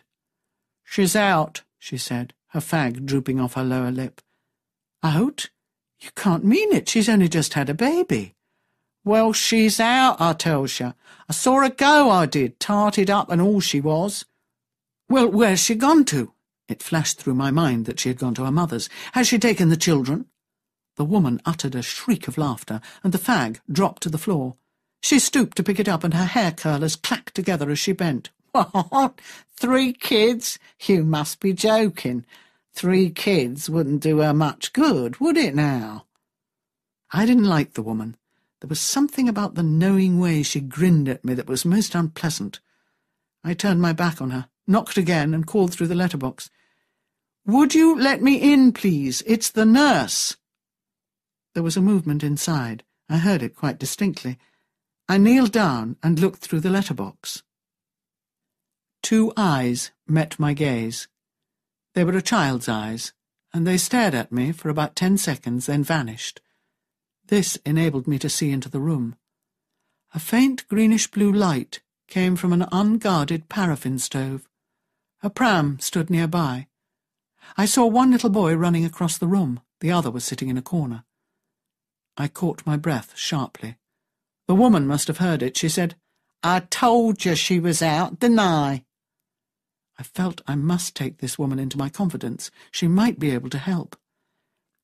We can't leave the three children alone with that paraffin heater. If one of them knocks it over, they'll be burnt to death. If Molly's out, where's the father? The woman drew closer. She clearly enjoyed being the bearer of bad news. He's a bad lot, that Dick he is. You mark my words. You don't want to have nothing to do with him. He's no good to her, and she's no better than she should be. Oh, it's a shame. I cut her short. That paraffin heater is a death trap. I'm going to inform the police. We've got to get in there. Her eyes gleamed. You gonna call the police, then? Gaw! She dashed off down the balcony and knocked on another door bearing the news. Tiredness had left me, and I sped down the stairs and ran to the nearest phone box. The police said they would come at once. Marjorie had to be informed, I decided, so my next call was Ontario Buildings. Poor woman. When I told her, she crumpled as though I had hit her. Oh, no, I can't bear any more, she moaned. I guessed as much. She's gone on the game, then. So innocent was I that I didn't know what she meant. What game? I said, thinking she meant darts or billiards or gambling in a local pub. Marjorie looked at me compassionately. Never you mind, Ducky. You don't need to know about that sort of thing. I must go and see after them kiddies. We went together. The police were already at the door, working on the lock. I had thought they would bring a locksmith, but no. Most policemen are expert at picking locks. Do they learn it in college, I wondered? A crowd had gathered on the balcony. No one wanted to miss a thing. Marjorie stepped forward, saying she was the grandmother, and when the door was opened she was the first to enter. The police and I followed. The room was suffocatingly hot, and the stench putrid. The children were not to be seen, apart from the baby, who was blissfully asleep. She looked surprisingly well cared for, clean and well fed. The rest of the room was indescribable. It was full of flies, and a heap of excrement and dirty nappies in a corner was crawling with maggots. Marjorie went into the bedroom, gently calling the boys' names. They were behind the chair. She took them in her arms, tears streaming down her face. Never mind, my lovies. Nana's got you. At that moment there was a commotion outside, and Dick appeared in the doorway. Obviously he had not known that the police were in his flat. As soon as he saw them he turned to run, but his path was barred by the onlookers. They had let him in, but they were not going to let him out again. Perhaps there were scores to be settled between Dick and his neighbours. He was told by the police that he would be cautioned about the neglect of three children under the age of five. He swore, spat, and said, What's wrong with them? Kids are all right? Nothing wrong, far as I can see. It's a very good thing for you that there is nothing wrong. Leaving them alone with a paraffin heater alight and unguarded would have caused a fire if one of the children had knocked it over. Dick started to whine. That's not my fault. I didn't put the heater on. The missus did. I didn't know she'd gone out and left it. The lazy slut. I'll give her what for when I sees her. The policeman said, Where is your wife? How should I know? Marjorie shouted at him. You villain! You know where she is, and you made her go, didn't you, you swine? Dick was all innocence. What's the old cow on about now? Marjorie was about to scream a reply, but the policeman stopped her. You can settle your differences when we have gone. We have put it on record that you have been cautioned about leaving your children unattended and in a dangerous situation. If it occurs again, you will be charged. Dick was all wheedling charm. Oh, you can take it from me. This will never occur again, officer. I apologise and will see it never happens again. The police prepared to leave. Dick said, pointing to Marjorie, And you can take her with you and all. She gave an anguished cry and held the two little boys closer to her. She appealed to the policeman. I can't leave 'em here. Can't you see? I can't leave 'em like this. Dick said in a soothing, cheery voice. Don't you worry, old lady. I can look after me kids. There's nothing to worry about. Then to the policeman. You can leave 'em safe with me. You got my word for it. Neither of the policemen were taken in for a moment by this display of paternal devotion, but they had no power to do anything but caution him. One of them turned to Marjorie. You can only stay here if you are invited and you certainly cannot take the children away without the father's consent. Dick was triumphant. You heard? You've got to have the father's consent, and I'm the father, and I don't consent, see? Now get out!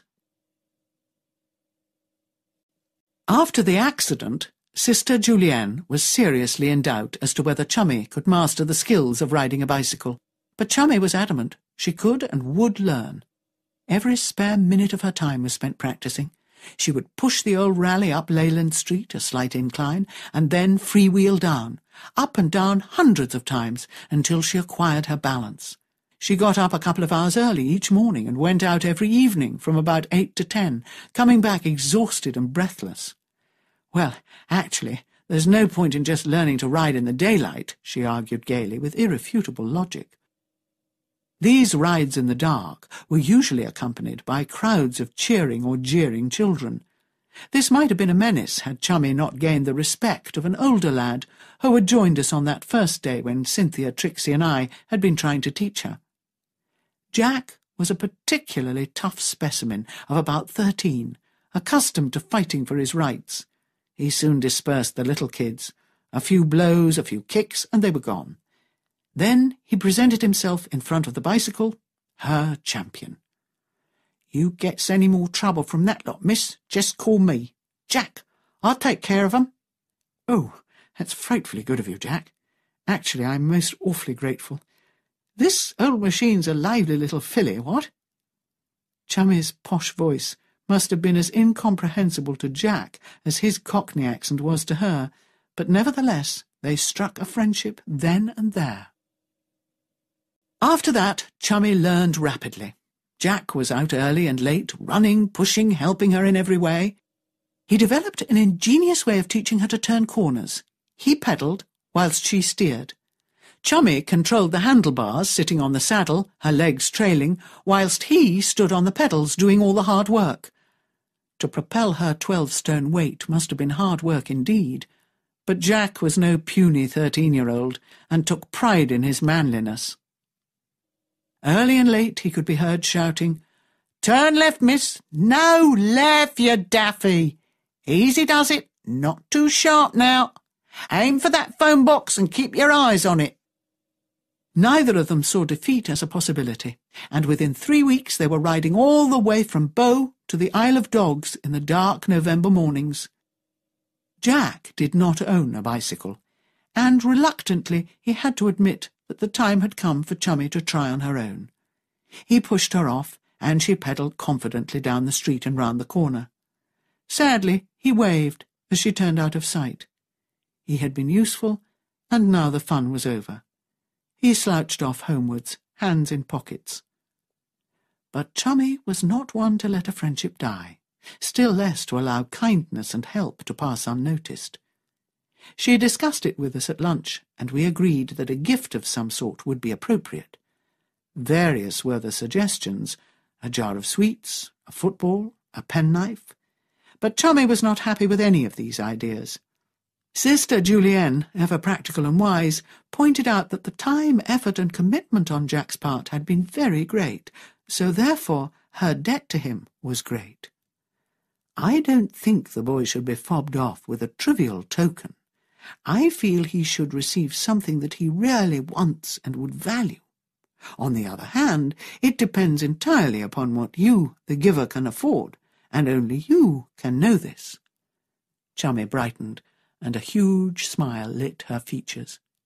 Actually, I know what Jack wants more than anything else. A bicycle. And I'm pretty sure Peter would buy one for him if I explained the circumstances, what? He's a sporting old stick, and always coughs up for a good cause. I'll write to him tonight.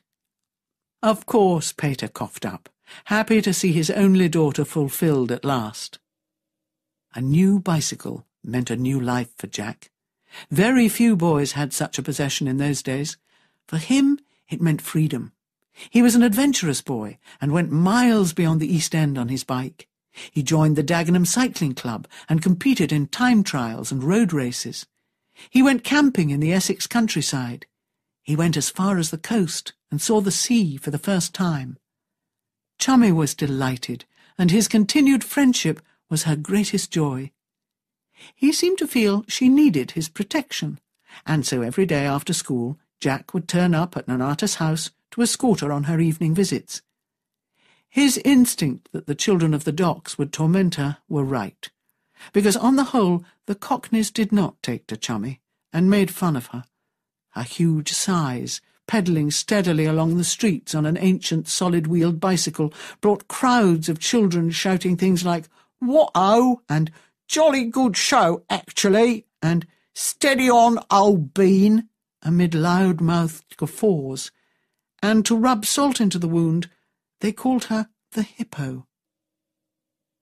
Poor Chummy treated it with good humour, but we all knew how deeply it hurt her. But when tough, pugnacious, streetwise Jack was with her, the children kept their distance. We all saw him on different occasions, standing in the street or the tenement courtyards, holding two bicycles, his lower jaw thrust forward, his stocky legs slightly apart, coolly looking around him, confident that a look was all that was needed to protect Miss. Twenty-five years later, a shy young girl called Lady Diana Spencer became engaged to marry Prince Charles, heir to the throne. I saw several film clips of her arriving at various engagements. Each time, when the car stopped, the front near side door would open and her bodyguard would step out and open the rear door for Lady Diana. Then he would stand, jaw thrust forward, legs slightly apart, and look coolly around him at the crowds. A mature Jack, still practising the skills he had acquired in childhood, looking after his lady. Betty Smith's baby was due in early February but she dashed happily around all December, preparing Christmas for her husband and six children, her parents and in-laws, grandparents on both sides, brothers, sisters and their children, uncles and aunts, and a very ancient great-grandmother. Dave was a wharf manager in the West India docks. He was in his thirties, clever and competent, knew his job inside out, and earned a good wage. In consequence, the family was able to live in one of the large Victorian houses just off Commercial Road. Betty loved her big, roomy house, and had always been glad to have the family descend on her for Christmas. The children loved it, with about twenty-five little cousins coming from all over Poplar, Stepney, Bow and Canning Town, they were going to have a high old time. But this year things were to be rather different. My Christmas was also very different. We were having lunch around the big table on Christmas Day when the telephone rang. Everyone groaned. We had hoped for a day of rest. The nurse who answered it came back to say that Dave Smith was reporting that his wife seemed to be in labour. The groan turned into a gasp of anxiety. Sister Bernadette jumped up. I'll go and talk to him. She came back a few minutes later and said, It sounds as though it is labour. At thirty-four weeks this is unfortunate.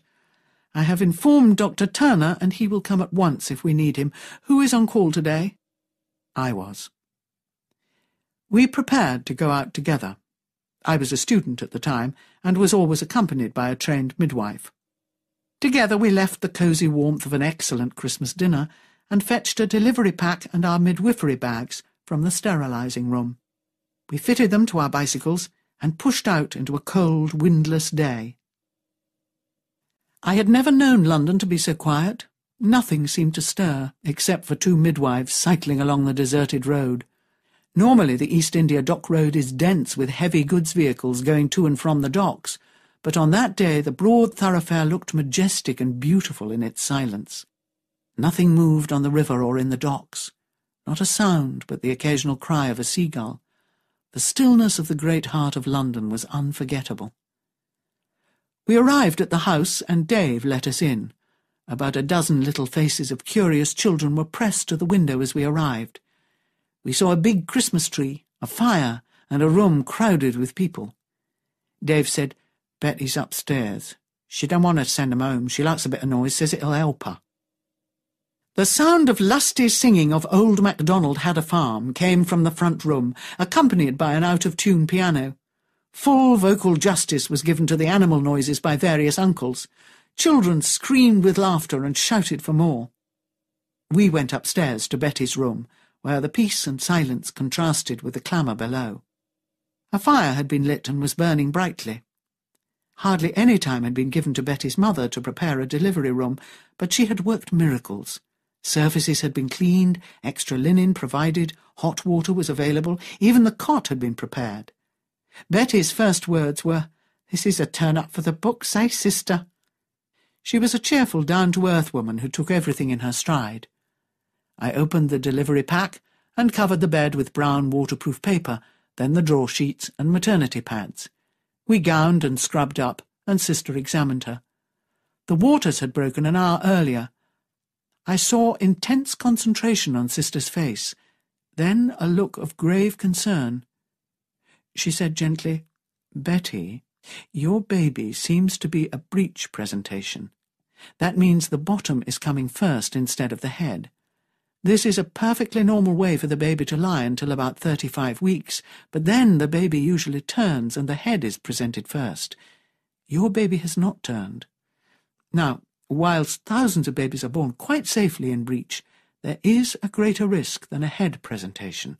Perhaps you should consider a hospital delivery. Betty's reaction was immediate and dogmatic.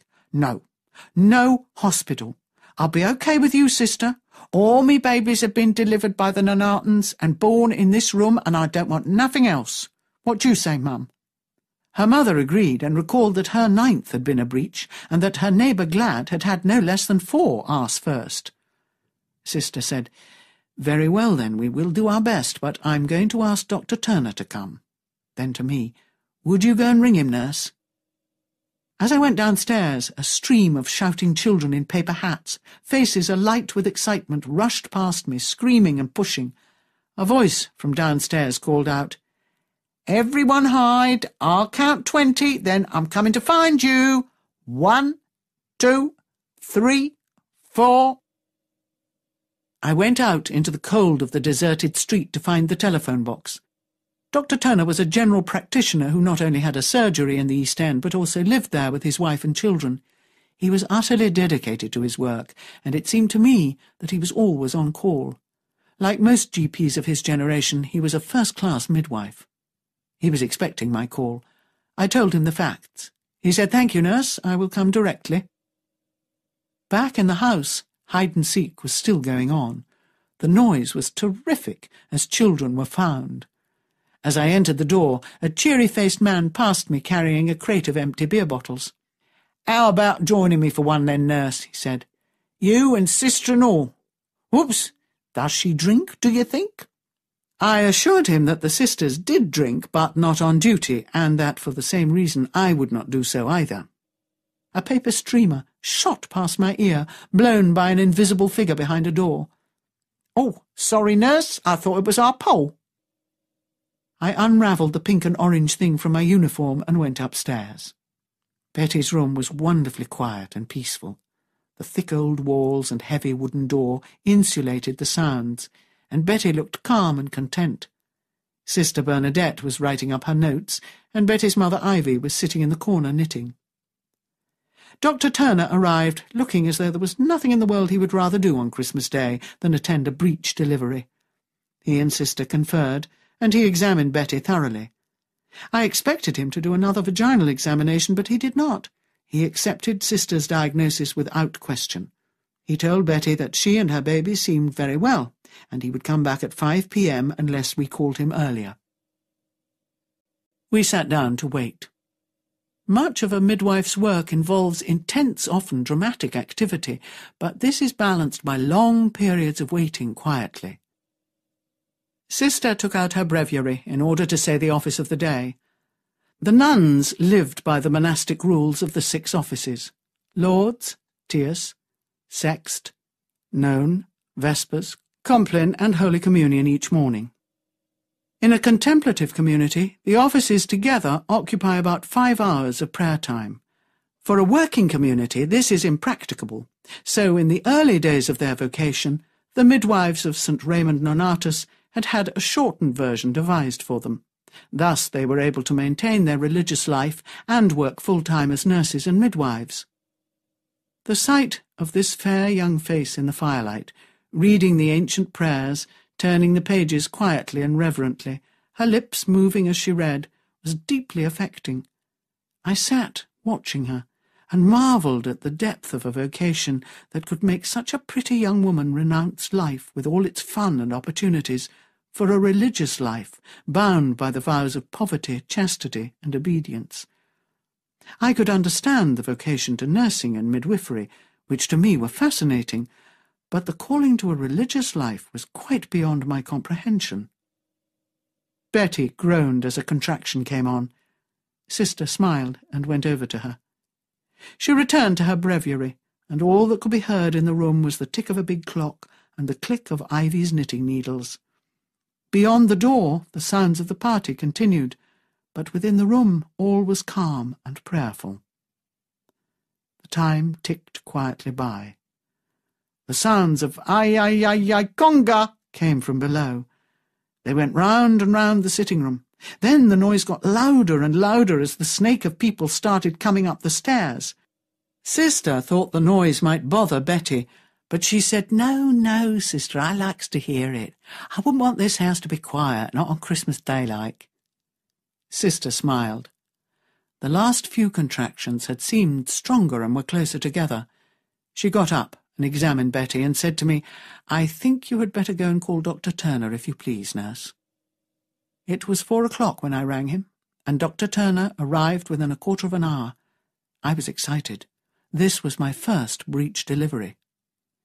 Betty was beginning to feel the urge to push. Sister Bernadette said, You must try very hard not to push at first, dear. Breathe deeply and try to relax, but not to push. We gowned, masked, and scrubbed up again. Doctor looked at Sister Bernadette and said, You take this delivery, sister. I'll be here if you need me. He obviously had complete confidence in her. She nodded and told Betty she wanted her to remain on her back with her buttocks over the end of the bed, and she asked me and Ivy to hold a leg each.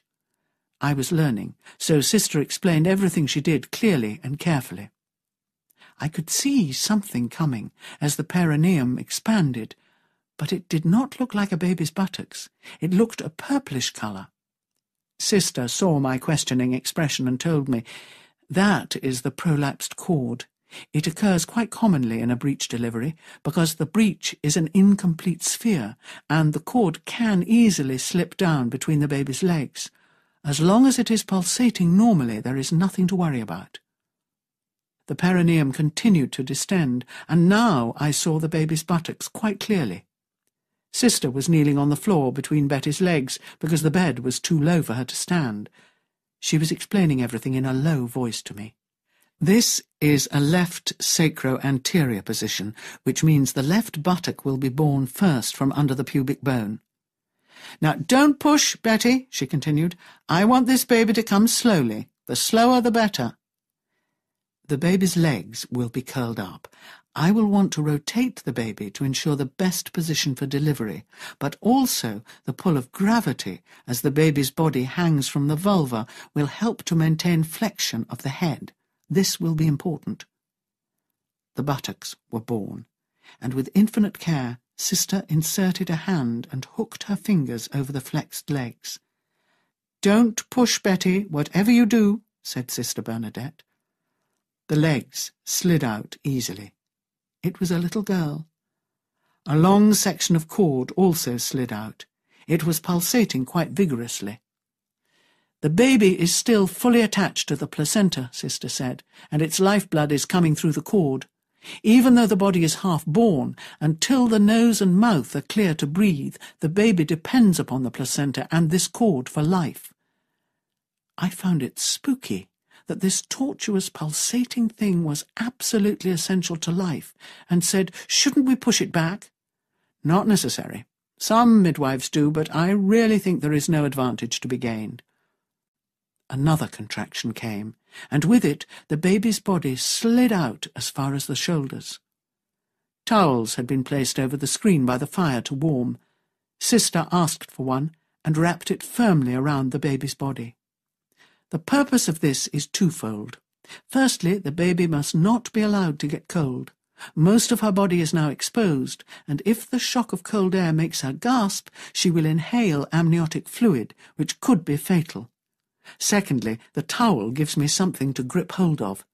The baby is slippery, and I have to turn her another one-quarter circle, so the occiput will be under the pubic bone. I will do this as I deliver the shoulders. With the next contraction, the left anterior shoulder impinged upon the pelvic floor, and Sister delivered it by hooking a finger under the arm and at the same time rotating the body a little clockwise.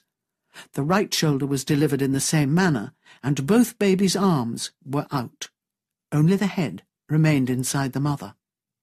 You have a little girl, Sister said to Betty, but from the size of her limbs I don't think she is six weeks premature.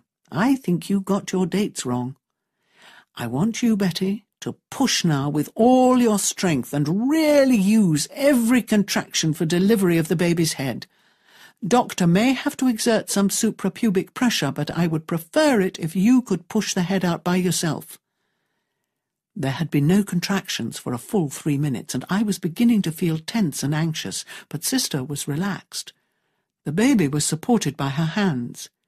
Then she let go completely, so it was hanging quite unsupported. I gasped in horror. This is the correct thing to do, Sister explained. The weight of the baby's body will gently pull the head down a little, and it will increase the flexion of the head, which is what I want. About thirty seconds like this will be enough. It will not hurt the baby.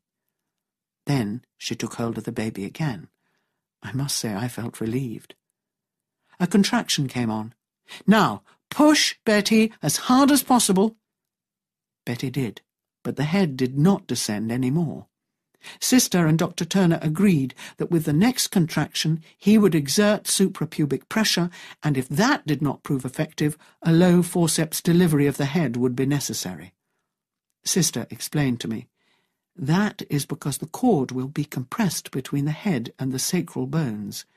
The baby is all right at the moment, but if it goes on for too long, that is more than a few minutes, there is a definite risk of asphyxia.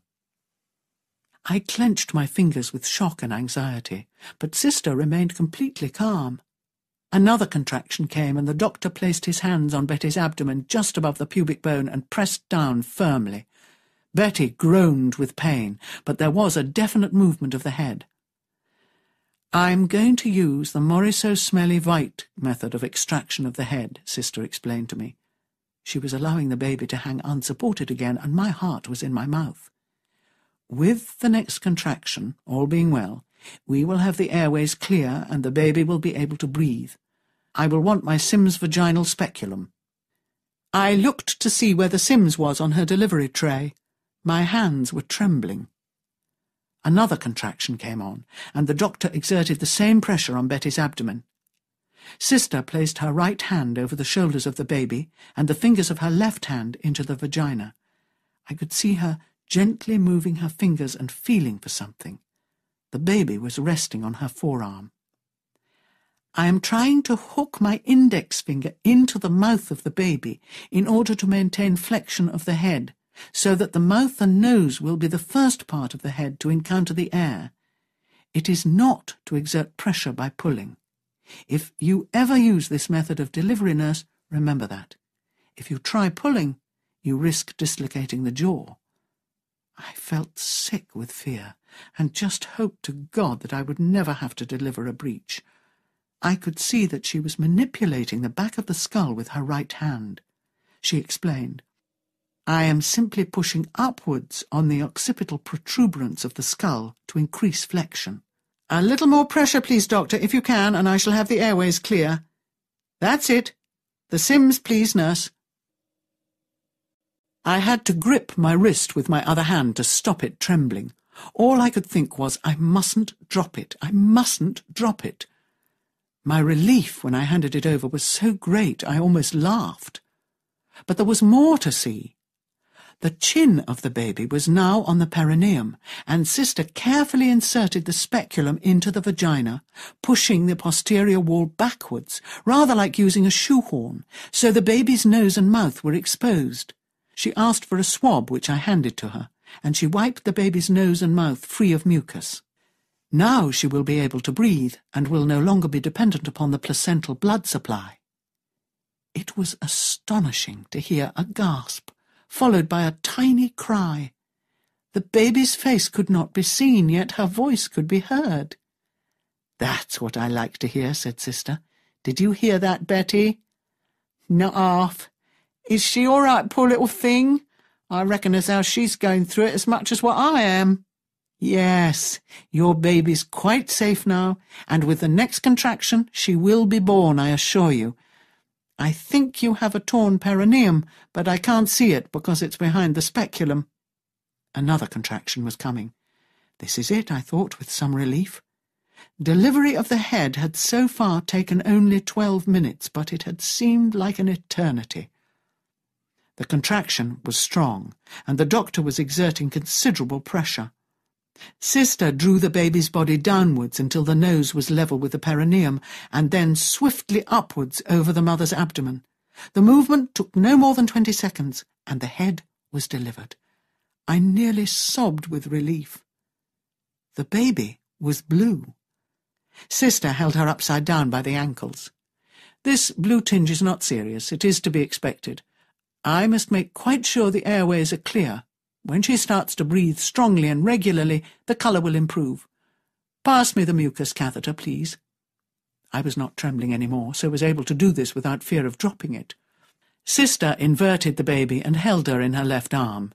She then inserted the catheter into the baby's mouth and sucked very gently at the other end to draw any fluid or mucus away. One could hear a bubbling sound as fluid entered the catheter. She then cleared each nostril in the same way. The baby gave two or three big gasps and coughed, then cried. In fact, she let out a tremendous scream. Her colour rapidly changed to pink.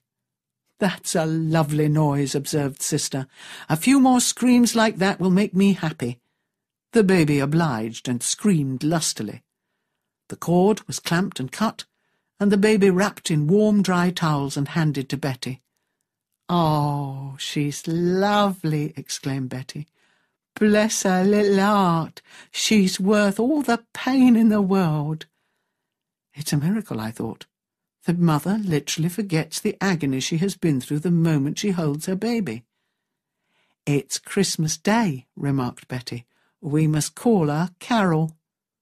That's a lovely name, said Sister.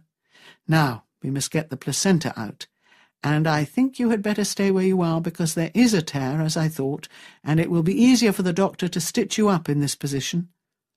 Doctor was drawing up a syringe and said to Sister, I'm going to give the ergometrine now to promote the expulsion of the placenta. She nodded. I did not ask why. It was not normal practice to give ergometrine in those days, unless there was undue delay of the third stage or severe bleeding or an incomplete placenta. As I noted earlier, oxytocic drugs may be given routinely today immediately after delivery of the baby. Within a couple of minutes a contraction came on and the placenta plopped out into the kidney dish held by the sister. Right, I'll hand over to you, Doctor, she said. You can take my place now. This was easier said than done, though. Sister tried to get up, but couldn't. She gave a gasp of pain. My legs! I can't feel them. I've got pins and needles. Not surprising, poor thing. She had been kneeling on the floor for over half an hour in the same position, concentrating wholly on the work she was doing. I can't move. You'll have to help me. My legs have completely gone to sleep. The gallant doctor put his arms round her and pulled. She must have been a dead weight because he made no impression. Ivy and I joined in, pushing and pulling. We were all laughing. Eventually, we hoisted Sister to her feet and got her moving her legs until she was able to stand without help. The doctor scrubbed up again. He asked me to hold his torch so he had a direct light on the tear. He anaesthetized the area with a local. It's not too bad, Betty. I'll soon have you stitched up and it will have healed within a couple of weeks. I want to examine you internally, though, to make sure that the cervix is not torn also, because this can sometimes happen in a breech delivery. He inserted two fingers into the vagina and felt all round. He explained to me, The breech is smaller in diameter than the head. Therefore, the cervix may be sufficiently dilated to allow the passage of the breech, but not relatively open enough to allow the free passage of the head. This will obviously be one of the occasions when the cervix may tear. If that occurs, the mother will have to be transferred to hospital because I do not have the facilities here to repair a cervix. However, he continued in a confident voice, you are lucky, Betty. There is nothing torn inside. I just have to put a few stitches on the outside. He selected his catgut and needle. He pulled the muscle together with forceps, and with a few circular movements of the wrist had made a neat repair. It only took a few minutes. Meantime, Sister had been examining the baby. She weighs five and a half pounds, Betty. Your little Carol is certainly not six weeks premature. You must have been a month out with your dates. You must keep a better record next time. Next time? exclaimed Betty. That's a good un. There won't be a next time. One breech delivery's enough for me. The baby was out of danger and the mother comfortable, and so Sister Bernadette and the doctor prepared to leave. I was left to clear up, bath the baby, and write up the notes. On her way downstairs, Sister had to shout through the crowd in order to tell Dave that he had a little daughter. We in the delivery room heard the shouts of congratulations and the strains of For he's a jolly good fellow. Who's a jolly good fella? said Betty. Dave? Well, I like the sauce. She cuddled her baby happily and laughed. It was seven o'clock by the time I had packed up and was ready to leave, but Dave wouldn't let me go. Come on, nurse, it's Christmas Day. You gotta wet the baby's head. I accepted a Guinness and a mince pie. I didn't really want to hang around. The delivery had been a beautiful Christmas experience, but the party was not my scene. I had loved hearing it in the background, but to be in the midst of all those buxom, hiccuping aunts with their paper hats and red-faced, sweating uncles was more than I could take at that moment. I just wanted to be alone. Out in the street, after the excessive warmth of the delivery room, the cold cut me like a knife. It was a cloudless night, and the stars shone brightly. A heavy frost had descended in all its beauty, covering the black stones of the pavements, the walls, the houses, even my bicycle. I shivered and decided I must pedal very hard to keep warm. Only a mile or two away from Nonnatus house, a sudden impulse made me turn right into West Ferry Road and onto the Isle of Dogs. To go all the way round the Isle before rejoining the East India Dock Road is a seven or eight mile ride, and I can't tell you what prompted me to do it. No one was about. The ships in port were silent. The splash of the water was the only sound as I cycled over the West Ferry Bridge. On the Isle there were no lights, apart from the starlight, and the Christmas tree lights in the windows of houses. The great majestic Thames was on my right, closely guarding all its secrets. I cycled more slowly, as though afraid to break the spell. As I turned westwards, a low moon started to rise, and a silver path shone across the river from Greenwich to my feet. I had to stop my bicycle. It looked as though I could have walked on silvered feet from the north to the south bank of the Thames. Large families may be the norm, but this is ridiculous, I mused as I ran through my day list. The twenty-fourth baby? There must be some mistake. My suspicions were confirmed when I got out the surgery notes. Only forty-two years old. It was impossible. I'm glad someone else can make mistakes as well as me, I thought. Mrs. Conchita Warren is an unusual name, I thought, as I cycled towards Limehouse to make an antenatal visit. Most local women were Doris, Winnie, Ethel, pronounced F, or Gertie. But Conchita? What was a Conchita doing in the grey streets of Limehouse? I turned off the main road into the little streets and located the house. It was one of the better, larger houses, on three floors, and with a basement leading into a garden. That would mean seven rooms in all. Promising. I knocked on the door, but no one came. There seemed to be a good deal of noise inside, so I knocked harder. No reply. Nothing for it but to walk in. The narrow hallway was almost impassable. Two ladders and three large coach prams lined the wall. In one, a baby of about eight months slept serenely. The second was full of washing.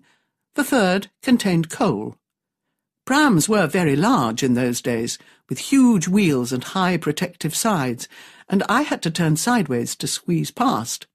Washing flapped overhead, and I pushed it aside. The stairway to the first floor was straight ahead and also festooned with washing. The sickly smell of soap, dank washing, baby's excreta, milk, all combined with cooking smells, was nauseating to me. The noise was coming from the basement, yet I could see no steps down. I entered the first room off the hallway.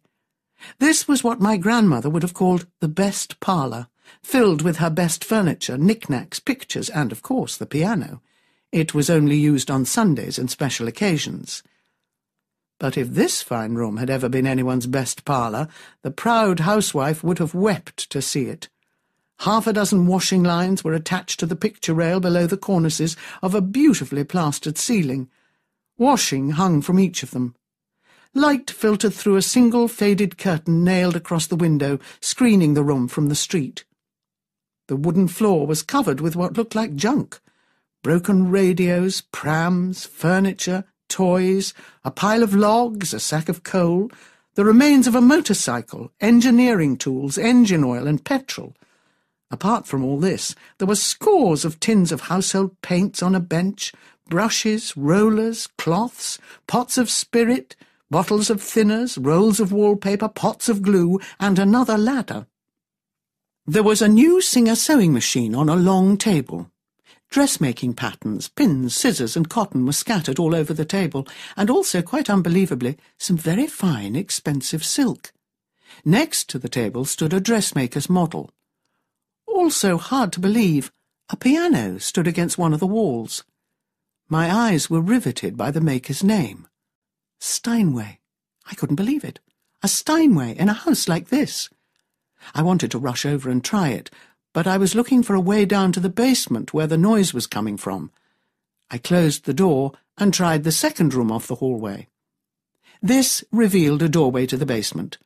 I descended the stairs, calling out, Hello, loudly. No reply. The door was ajar at the bottom, and there was nothing for it but to walk in. Immediately there was a dead silence, and I was conscious of about a dozen pairs of eyes looking at me. Most of them were the wide, innocent eyes of children, but amidst them were the coal-black eyes of a handsome woman with black hair hanging in heavy waves past her shoulders. Her skin was beautiful, pale but slightly tawny. Her shapely arms were wet from the washing tub, and soap clung to her fingers. Although obviously engaged in the endless household chore of washing, she did not look slovenly. Her figure was large, but not over-large. Her breasts were well supported, her hips were large but not flabby. Her flowered apron covered her plain dress, and the crimson band which held back the dark hair accentuated the exquisite contrast between skin and hair.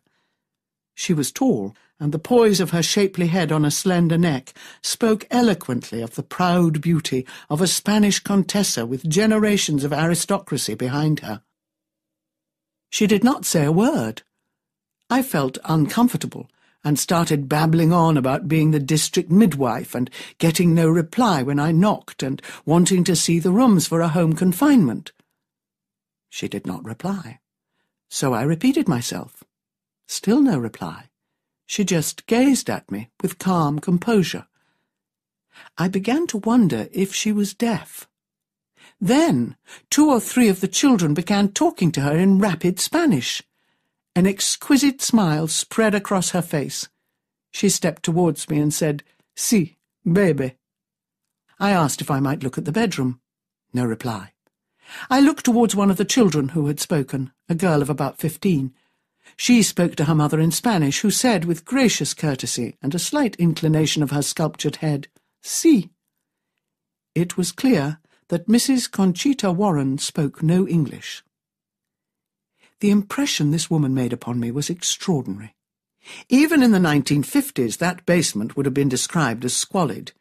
It contained a stone sink, washing, a boiler bubbling away, a mangle, clothes and nappies hanging all over the place, a large table covered with pots and plates and bits of food, a gas stove covered with dirty saucepans and frying pans, and a mixture of unpleasant smells. Yet this proud and beautiful woman was completely in control and commanded respect. The girl showed me upstairs to the first floor. The front bedroom was perfectly adequate.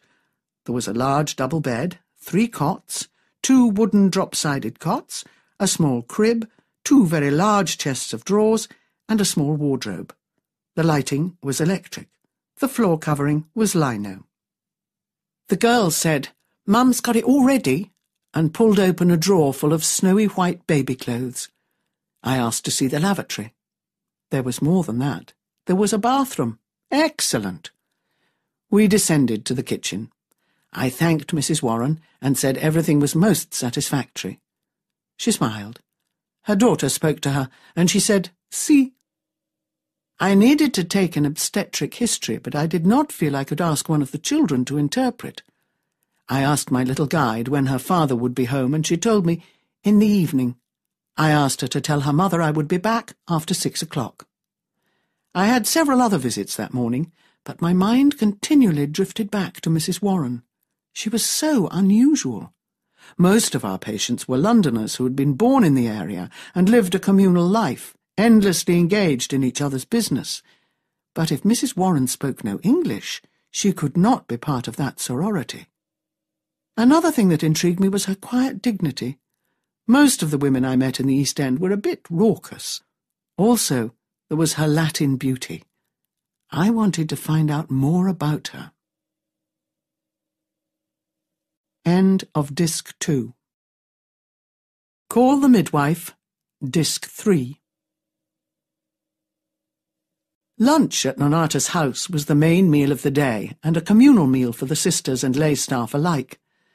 I always looked forward to it because I was always hungry. Twelve to fifteen of us sat down each day at the table. After grace, I introduced the subject of Mrs. Conchita Warren. She was well known by the sisters, although not a lot of contact had been made because of her lack of English. Apparently she had lived in the East End most of her life. How was it, then, that she didn't speak the language? The sisters did not know. It was suggested that perhaps she had no inclination to learn the language, or perhaps she just wasn't very bright. How did she come to be in London at all? I asked. Apparently Mr. Warren was born into the life of the docks and destined for the work of his father and uncles, but something had made him rebel, and he went off to fight in the Spanish Civil War. He came home with a beautiful Spanish peasant girl of about eleven or twelve, he returned to his mother's house with the girl, and they lived together. What his relatives or neighbours thought of this shocking occurrence can only be conjectured, but his mother stuck by him, and he was not one to be intimidated by a pack of gossiping neighbours. Anyway, they could hardly send the girl back, because he had forgotten where she came from, and she didn't seem to know. Quite apart from this, he loved her. When it was possible, he married her.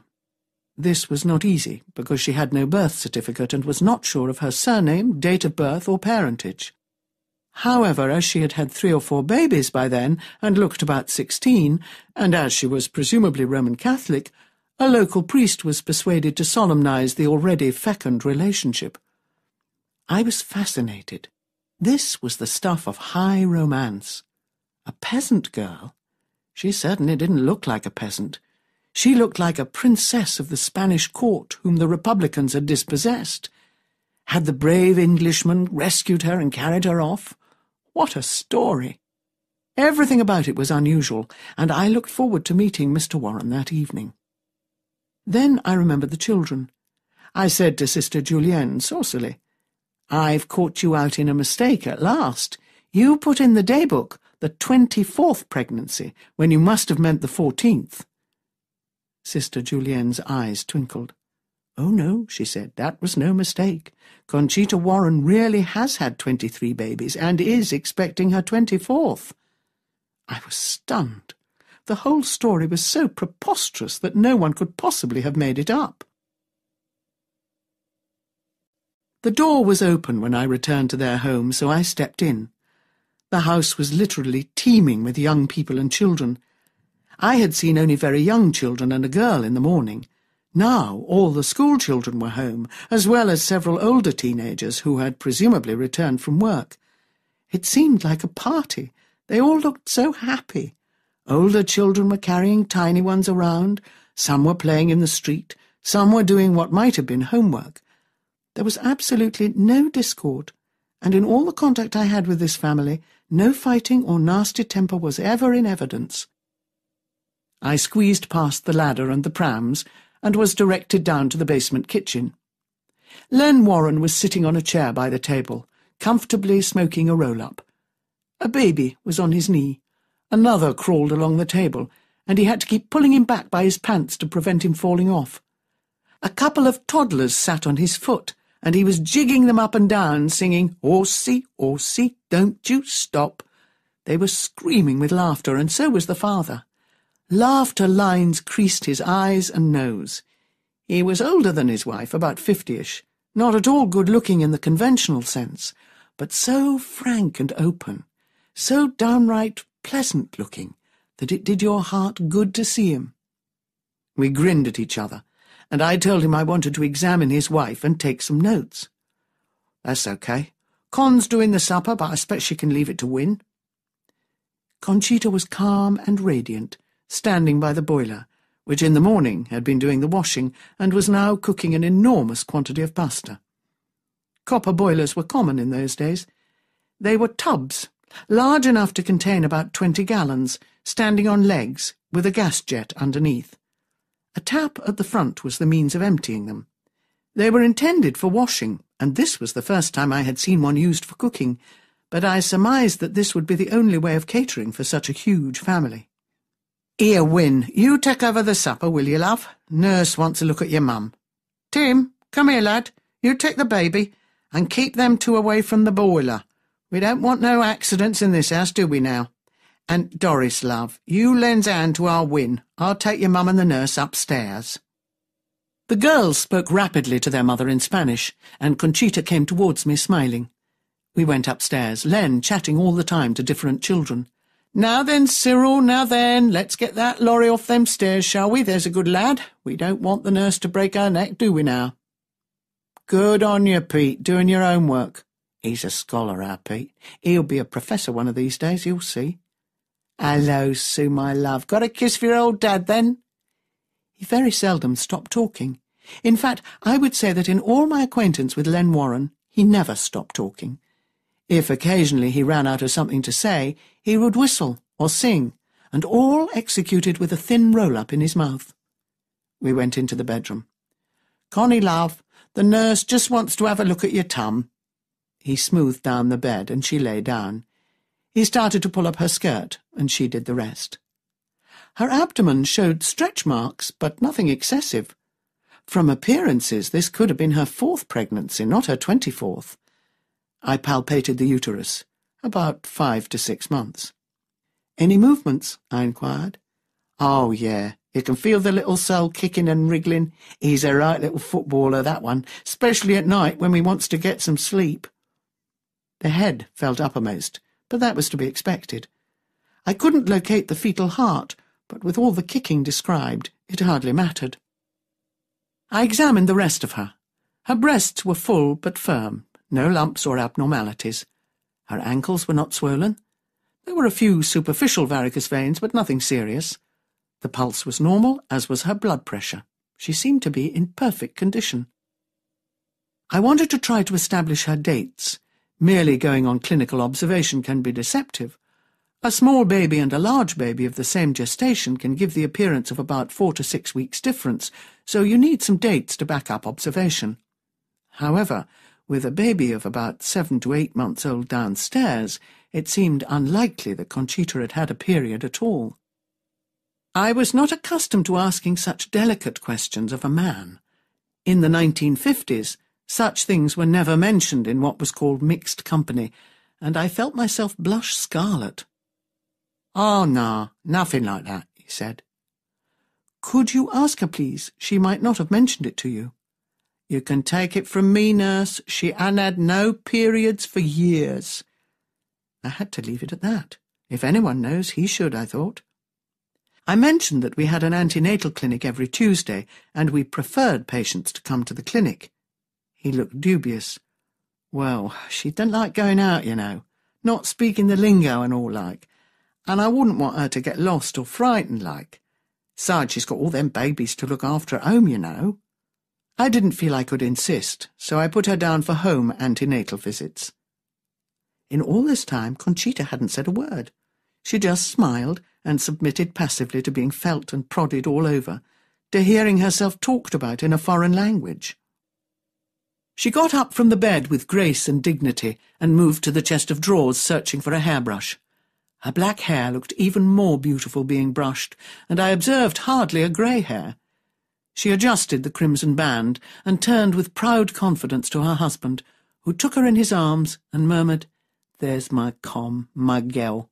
Oh, you looks lovely, my treasure.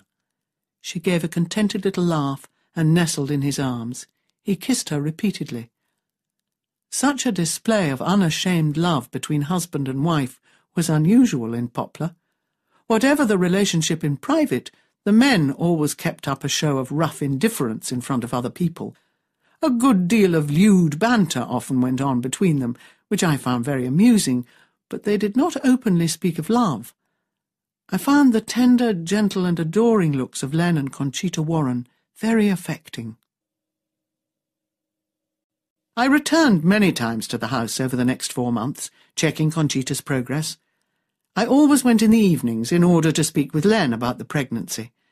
Anyway, I liked his company, liked listening to him talk, and enjoyed the atmosphere of this happy family. Len was a painter and decorator. He must have been a good one because 90% of his jobs were up west. All the knobs houses was how he described his work. Three or four of his elder sons worked with their father in the business, and apparently he was never short of work. With low running costs, there must have been quite a bit of money coming into the household. Len worked from home, from his shed in the backyard, where he also kept his barrow. Workmen in those days didn't have vans. They had barrows, usually made of wood and often homemade. Len's was made out of the chassis of an old pram, with an elongated wooden construction fitted to the highly sprung base. It was perfect. The springs made for lightness of movement, and the huge, well-oiled wheels made it easy to push. When going out to a new job, Len and his sons would load up the barrow and push it to the address. They may have had to push for ten miles or more, but that was all part of the job. In that respect, a painter and decorator was lucky, because a job usually lasted a week or so, and they could leave their stuff at the house and go home by tube as far as Aldgate. Plumbers, plasterers, and such like were less fortunate, their jobs usually only lasted a day, so they had to push the tools to the job and then push them home in the evening. In those days, you would see workmen laboriously pushing their barrows all over London, which held up the traffic considerably. but drivers were used to it and just accepted it as part of the London scene. Len and Conchita's children were beautiful. Many of them had raven black hair and huge black eyes like their mother. The older girls were stunners and could easily have been models. They all talked in a curious mixture of Cockney and Spanish when together. With their mother, they spoke only Spanish. With their father, or any other English person, pure Cockney. I was very impressed by this bilingual facility. I wasn't able to get to know any of them very well, principally because their father never stopped talking. The only girl I did have contact with was Lizzie, who was about twenty and a very skilled dressmaker. I have always loved clothes, and became a regular client of hers. In the last month of Conchita's pregnancy, I visited weekly. One evening, Len suggested I had a bit of supper with them. I was delighted. It smelled good, and as usual, I was hungry. I was not at all squeamish about eating food cooked in the boiler that had been used in the morning for washing the baby's nappies, so I accepted with pleasure. Len said, I reckon as how the nurse would like a plate, like. You get her one, will you, Liz, love? Liz piled some pasta onto a plate for me and gave me a fork. It was only then that Conchita revealed her peasant origins. All the rest of the family ate from the same dish. Two large, shallow bowls were filled with pasta and placed on the table. Each member of the family had a fork and ate from the communal bowl. I alone had a separate plate. I had seen this once before when I was living in Paris, and had spent a weekend with an Italian peasant family who had moved to the Paris area to find work. The time came for Conchita's confinement. There were no dates to go by, and therefore no certainty when she was due, but the baby's head was well down, and she looked near the end of term. I'll be glad when we gets this baby out. She's getting tired. I won't go to work no more. The lads can do the job. I'll stop here and look after Con and the kids. This he did, to my amazement. In those days, no self-respecting East Ender would demean himself by doing what he would call women work. Most men would not lift a dirty plate or mug from the table, but Len did everything. Conchita lay in bed late in the mornings, or sat in a comfortable chair in the kitchen. Sometimes she played with the little ones, but Len was always watching, and if they got too boisterous, he firmly took them away and amused them elsewhere. Sally, the girl of fifteen, who had left school but not yet gone out to work, was there to help him. Nonetheless, Len could do everything. Change nappies, feed toddlers, clear up messes, shopping, cooking, and the endless washing and ironing and all this was accompanied by singing or whistling and unfailing good humour. Incidentally, he was the only man I have ever met who could roll a fag with one hand and feed a baby with the other. Conchita's twenty-fourth baby was born at night. A phone call came through at about 11 p.m. that the waters had broken. As fast as I could, I pedalled along to Limehouse, because I guessed it would be a quick labour. I was not wrong. I found everything in perfect readiness. Conchita was lying on clean sheets with the brown paper and a rubber sheet under her. The room was warm. The baby's crib and baby clothes were all waiting. Hot water was boiling in the kitchen. Len was sitting beside her, massaging her stomach, her thighs, her back, and her breasts. He had a cold flannel with which to wipe her face and neck, and with every contraction he took her in his arms and held her tight. He murmured encouraging noises. There, smart girl. There's my lass. Won't be long now.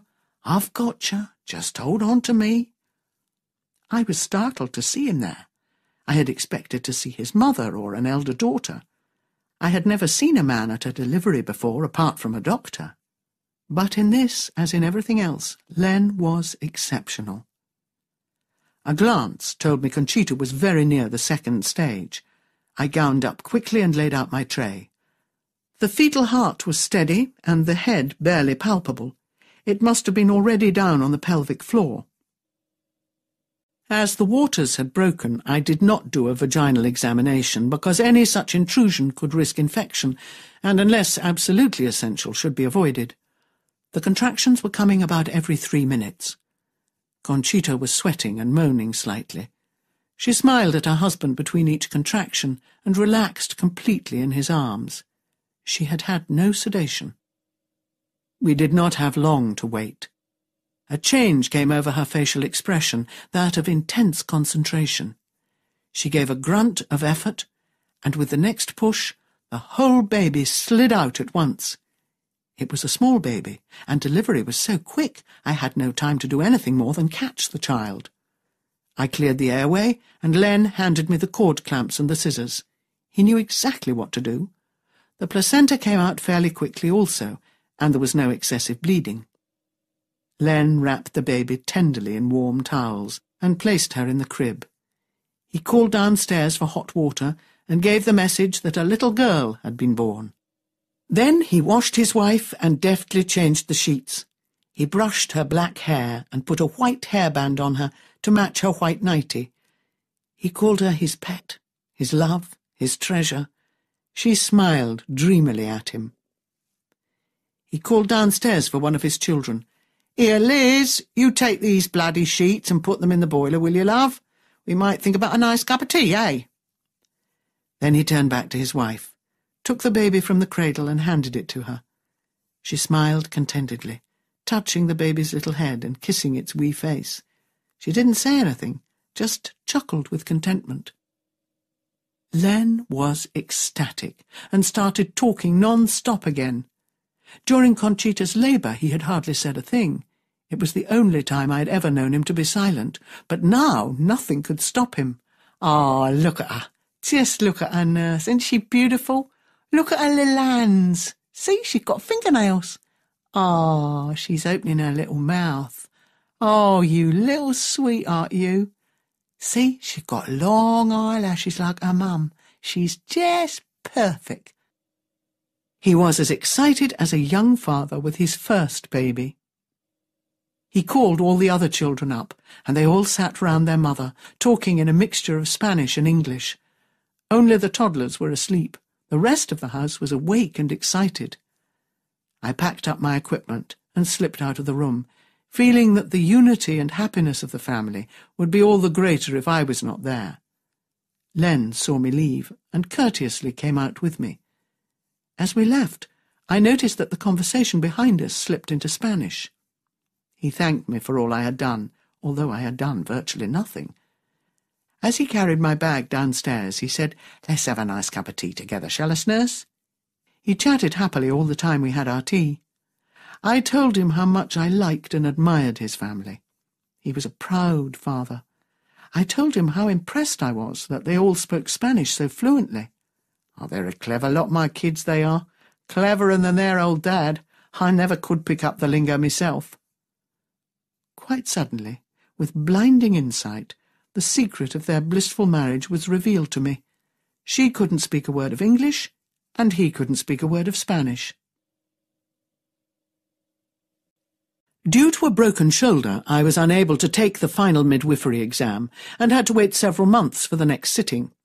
Sister Julienne suggested I might join the general district practice for added experience. Whilst I was eager to undertake the nursing, I was not keen to work with Sister Evangelina, who was in charge of general district nursing. I found her ponderous and humorless, and she did not at all approve of me. She was constantly finding fault, untidiness, daydreaming, wool-gathering, she called it, boisterousness, singing in the clinical room, forgetfulness, the list was endless. I could do nothing right for Sister Evangelina. We worked together for several months, and whilst I never grew close to her, I certainly grew to understand her better, and to realize that all nuns, by the very fact of their monastic profession, are exceptional people. No ordinary woman could live such a life. There must inevitably be something, or many things, that are outstanding about a nun. To me, Sister Evangelina looked about forty-five, an unimaginable age when you are twenty-three. But nuns always look years younger than they really are, and she had in fact been a nurse in the First World War, so must have been over sixty. The first morning did not start well, with Sister Evangelina commenting on my dawdling and wool-gathering as usual, and didn't I realise we had twenty-three insulin injections, four sterile dressings, two leg ulcers, and three post-operative hernias, as well as two catheterizations, two bed baths, and three enemas to get through before lunch. All the midwives had gone, and we were the last to leave that morning. The bicycle shed was nearly empty. Sister Evangelina's favourite bicycle had been taken inadvertently by someone else. Her nose grew red, her eyes bulged, and she muttered under her breath about how she didn't like this one, and that old Triumph was too small, and the Sunbeam was too high, and she supposed she would have to make do with the Raleigh. Respectfully, I pulled the Raleigh out for her, fixed the black bag on the back, and watched the tyres sag as her large, heavy body clambered onto it. I think I realized then that she was not in her forties. Her square, bulky frame had no agility, and it was only by sheer determination and willpower that she got herself pedalling at all. Once out on the road, her mood seemed to lighten, and she turned to me with something that resembled a smile. Along the street, numerous voices called out, Morning, Sister Evie!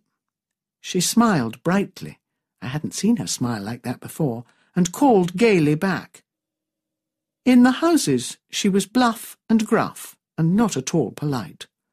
Now then, Mr. Thomas, have you got your sample ready? Don't keep me waiting. I've got to test it, and I haven't got all day to hang around waiting for you. Right. Hold still for the injection. Hold still, I said. Now, I'm off. If you start eating sweets, they'll kill you. Not that I would care, and I dare say your missus would be glad to see the back of you, but the dog would miss you. I was shocked. This was no way to talk to patients, according to the nursing textbooks. But the old man and his missus roared with laughter, and he said, If I goes first, I'll keep a place warm for you. Eh, Sister Evie? And we can share the toasting fork. I thought she would be furious at such effrontery, but she stomped downstairs in good humour with, Out of my way, boy, to a child we met in the passage. Her good humour and her rough badinage with all the patients continued throughout the morning. I ceased to be startled, because I realized that this was what the patients liked about her. She approached them all without a trace of sentimentality or condescension. The older Docklanders were accustomed to middle-class do-gooders who deigned to act graciously to inferiors. But Sister Evangelina had no patronizing airs and graces. She was incapable of them. She was unswervingly honest, and reacted to every person and every situation without guile or affectation. As the months passed, I began to understand why Sister Evangelina was so popular. It was because she was one of them. She was not a Cockney, but had been born into a very poor working-class family from Reading. She never told me this, she hardly ever spoke to me, but from remarks made to the patients it became perfectly clear. For example, these young housewives don't know they're born. What, a lavatory in every flat? Remember the old middens, do you, Dad, and the newspaper on the seat, and queuing up in the frost when you're bursting? This was usually followed by laughter and some coarse lavatorial humour, ending up with the old chestnut about the chap who fell in a midden and came up with a gold watch. Lavatory humour was not considered vulgar or in bad taste because the natural bodily functions were a conspicuous event. There was no privacy. A dozen or more families shared one midden, which had only half a door, the upper and lower portions being missing, so everyone knew who was in it, could hear everything, and above all could smell everything. She's a stinker was not a moral observation, but a statement of fact. Sister Evangelina shared this robust humour. Before an enema. Now then, Dad, we're going to put a squib up your ass. Shake your insides about a bit. Got the jerry ready, Mother, and the clothes pegs to clip on our noses? Laughter would continue about how he hadn't been for a fortnight, and there must be a turd inside as big as an elephant's, and no one was the slightest bit embarrassed, least of all the patient. No, indeed, Sister Evangelina was not humourless. The only trouble was that at Nonnatus House her humour was different from everyone else's. She was surrounded by middle-class values, and the safety valve of humour, which was common to all the nuns, was perpetually closed to her. She simply couldn't understand their jokes, so she appeared solemn and heavily serious. It was only with her patients in the docklands that she could truly be herself.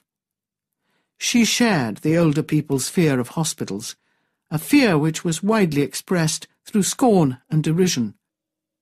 Most hospitals in England, even in the 1950s, were converted workhouses, so the buildings alone had an aura of degradation and death for people who had lived all their lives with the terror of being sent to the workhouse. Sister Evangelina did nothing to dispel this fear of hospitals. She would say things like, You don't want to go into hospital to be messed about by a lot of students, or They only make out they treat the poor for the benefit of the rich, both statements implying that the hospital liked to experiment on their poor patients. She proclaimed, from experience, that women who went into hospital with complications after a backstreet abortion were deliberately given a rough time. That Sister Evangelina was unswervingly honest spoke to the truth of her statement.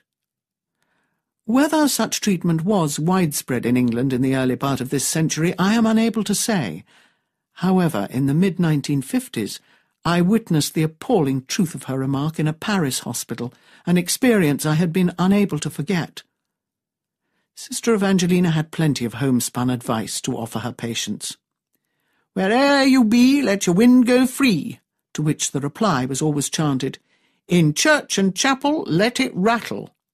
Once an old man followed this by, Oops, sorry, sister, no disrespect, and she replied, None taken, I'm sure the rector does it and all.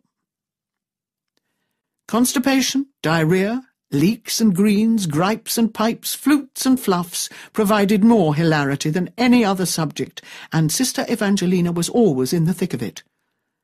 After recovering from my initial shock, I realized that it was not considered to be vulgar or obscene. If the King of France had been able to defecate daily before his entire court, so could the Cockneys. On the other hand, Sexual obscenities and blasphemy were strictly taboo in respectable Poplar families, and sexual morality was expected and enforced. But I digress. Sister Evangelina interested me greatly because of her background. The slums of Reading in the 19th century, and the fact that she had raised herself from abject poverty and semi-literacy to become a trained nurse and midwife. It would have been hard enough for a young man, but for a girl to break free from ignorance and poverty and become accepted in a middle-class profession was exceptional.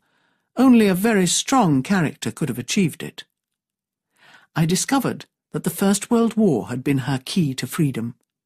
She was sixteen when war broke out and had been working in the Huntley and Palmer's biscuit factory in Reading since the age of eleven. In 1914, posters appeared all over the town calling on people to join the war effort, she hated Huntley and Palmer's, and with youthful optimism decided that a munitions factory could only be an improvement. She had to leave home as the factory was seven miles away, too far to walk when working hours were from 6 a.m. to 8 p.m. Accommodation was provided for the girls and women in dormitories that slept seventy females on narrow iron bedsteads with horsehair mattresses. The young Evie had never slept in a bed by herself before, and thought this really must be an example of superior living. A uniform and shoes were provided for the workers, and as she had only worn rags and no shoes before, this was also a real luxury. Food from the factory kitchens, though plain, was better than anything she had ever had. At the factory bench, where she stood all day putting nuts into military machinery, a girl talked about her sister, who was a nurse, and told stories about the young men who were wounded and dying. Something stirred in Evie's soul, and she knew she must become a nurse. She found out where the girl's sister worked and applied to the matron. She was only sixteen, but was accepted as a VAD, which really meant, for a girl of her class, a skivvy in the hospital wards. She didn't mind, it was the sort of menial work she had been doing all her life, with no promise of anything else. But this time the horizons were broader and clearer. She watched the trained nurses with admiration and decided that however long it took, she would be one of them. Sister Evangelina and her aging Poplar patients spoke frequently about the First World War and shared memories and experiences. It was from these conversations, overheard during a bed bath or a surgical dressing, that I was able to piece together her history. She spoke only once about her soldier patients. She said, They were so young, so very young. A whole generation of young men died, leaving a whole generation of young women to weep. I looked across the bed at her and saw tears gathering in her eyes. She sniffed loudly and stamped her foot, then continued bandaging up the dressing somewhat roughly, with, There you are, Dad, that's it. We'll see you in three days. Keep 'em open, and stomped off. Mrs. Jenkins was never welcome, never wanted, and often feared. For years she had been tramping all over the Docklands in her obsession with newborn babies. She always seemed to know when and where a home confinement would take place, and nine times out of ten, at any time of the day or night, often in atrocious weather, would be found in the street outside the house. Her inquiries about "How's a baby? How's a little one?" were invariably the same. On being told the baby was alive and healthy, she seemed satisfied and shuffled away. She was a tiny woman, as thin as a rake, with bird-like features, and a long pointed nose between hollow sunken cheeks. Her skin was a yellowish grey, criss-crossed with a thousand wrinkles, and she appeared to have no lips, because they were drawn in over her toothless gums, and she chewed and sucked them all the time. A faded black hat, greasy and shapeless, was pulled down low over her head, from which tufts of wispy grey hair escaped. Summer and winter, she wore the same long grey coat of indeterminate age, from beneath which protruded enormous feet. Where she lived, no one knew. The clergy had no idea. She didn't go to church, which was unusual among older women.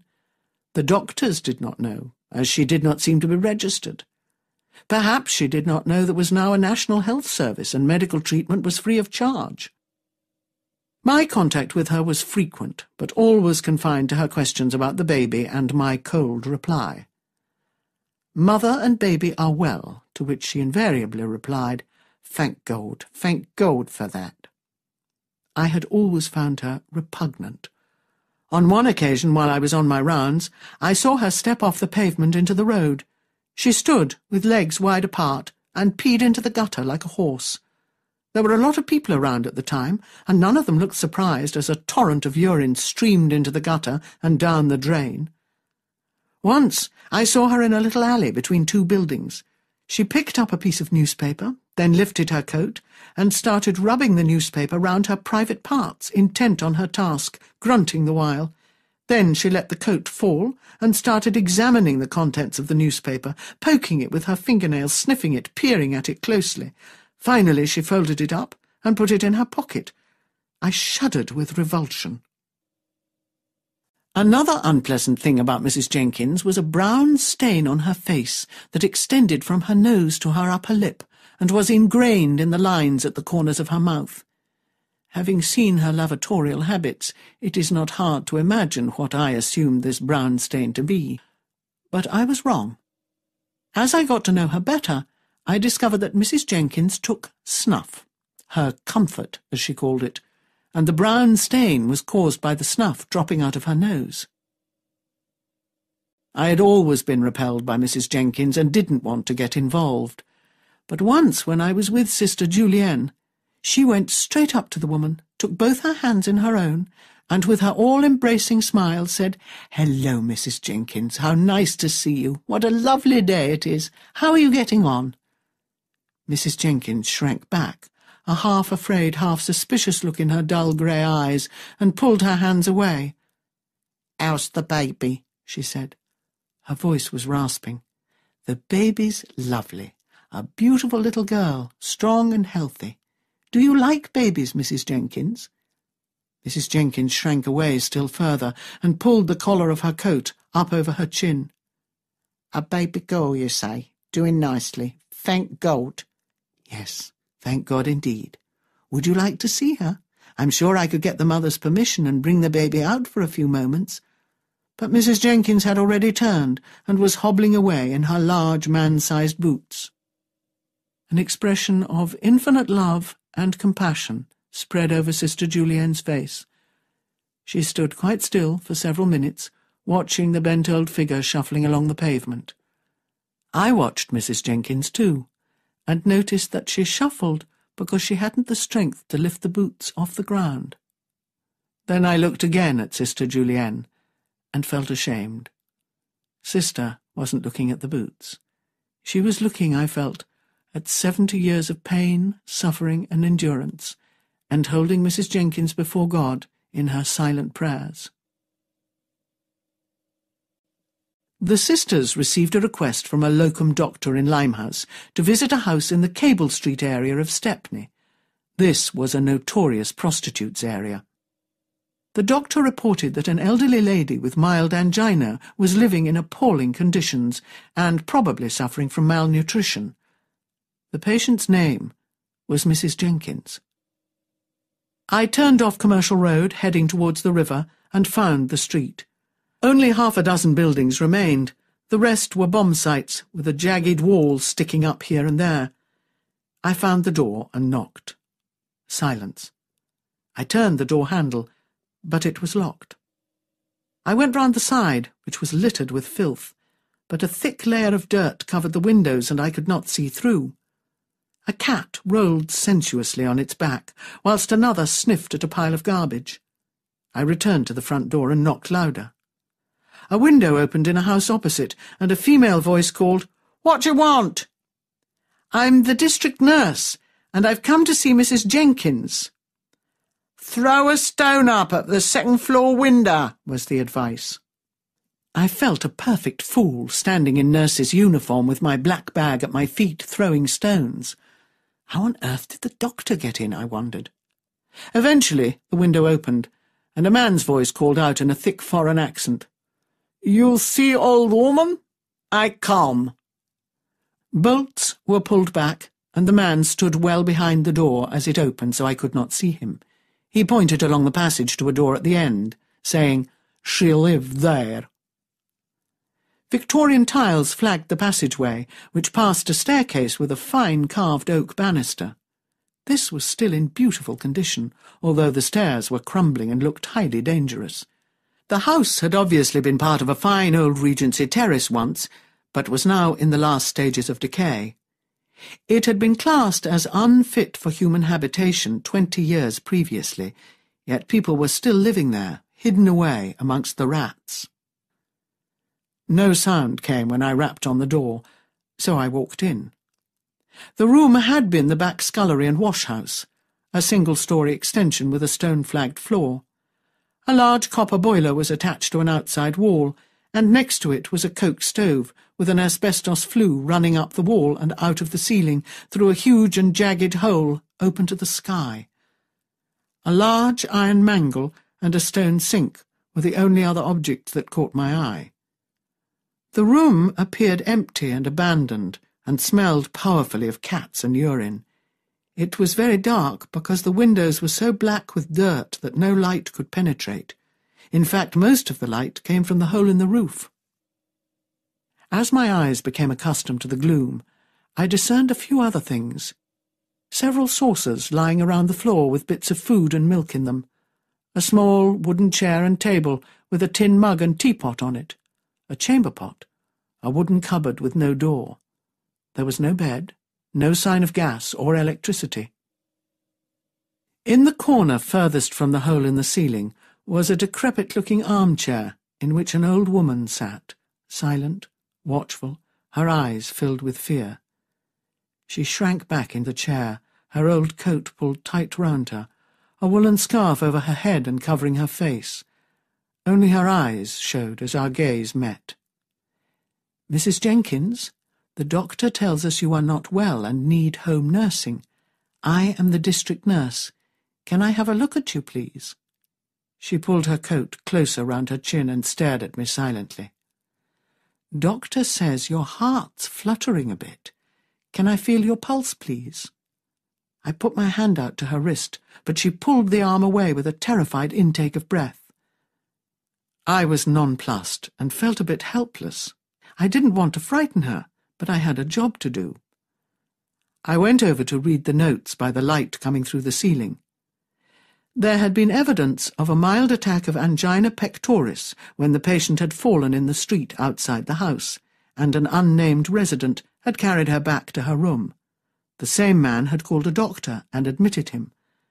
The woman had obviously been in pain, but this seemed to pass fairly quickly. The doctor had been unable to examine the patient due to her violent resistance, but as her pulse was fairly steady and her breathing had improved rapidly, the doctor had advised a nursing visit twice a day to monitor the situation and suggested that the social services department might improve the woman's living conditions. Amyl nitrate had been prescribed in the event of another attack. Rest, warmth, and good food were advised.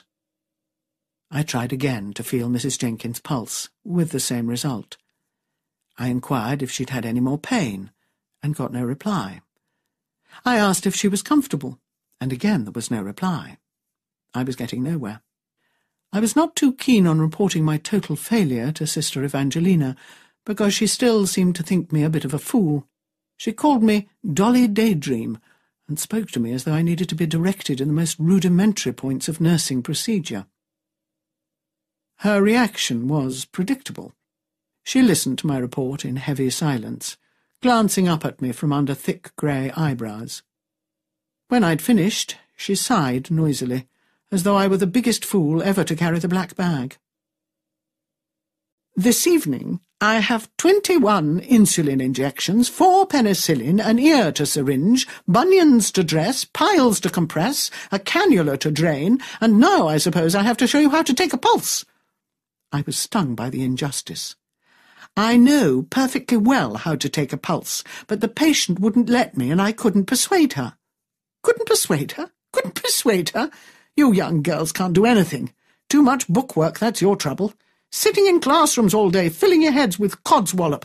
Then you can't do a simple thing like taking a pulse. She gave a contemptuous snort. Well then, Miss can't take a pulse. I suppose I will have to go with you. We reached the house without a word, and knocked. Again no reply. I told Sister about the man on the second floor.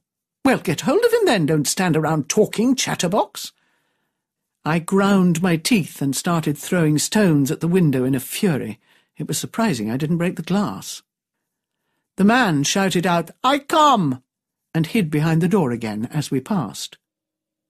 In the dim light of Mrs. Jenkins' room, a cat came towards us, mewing. The wind made a curious sound as it hit the hole in the roof. Mrs. Jenkins was huddled in her chair just as I had left her. Sister Evangelina called her name. No reply. I was beginning to feel justified. She would see that I had not been exaggerating. Sister walked over to the armchair. She spoke gently. Come on, Mother. This won't do. Doctor says there's something up with your ticker. Don't you believe a word of it. Your heart is as good as mine, but we've got to have a look at you. No one's going to hurt you. The bundle of clothes in the chair didn't move. Sister leaned forward to feel her pulse. The arm was pulled away. I was delighted. Let's see how Sister Know-all copes, I thought. It's cold in here. Haven't you got a fire? No reply. It's dark, too. What about a light for us? No reply. When did you first feel bad? Again, total silence. I was feeling very smug. Sister Evangelina appeared as incapable of examining the patient as I had. What would happen next?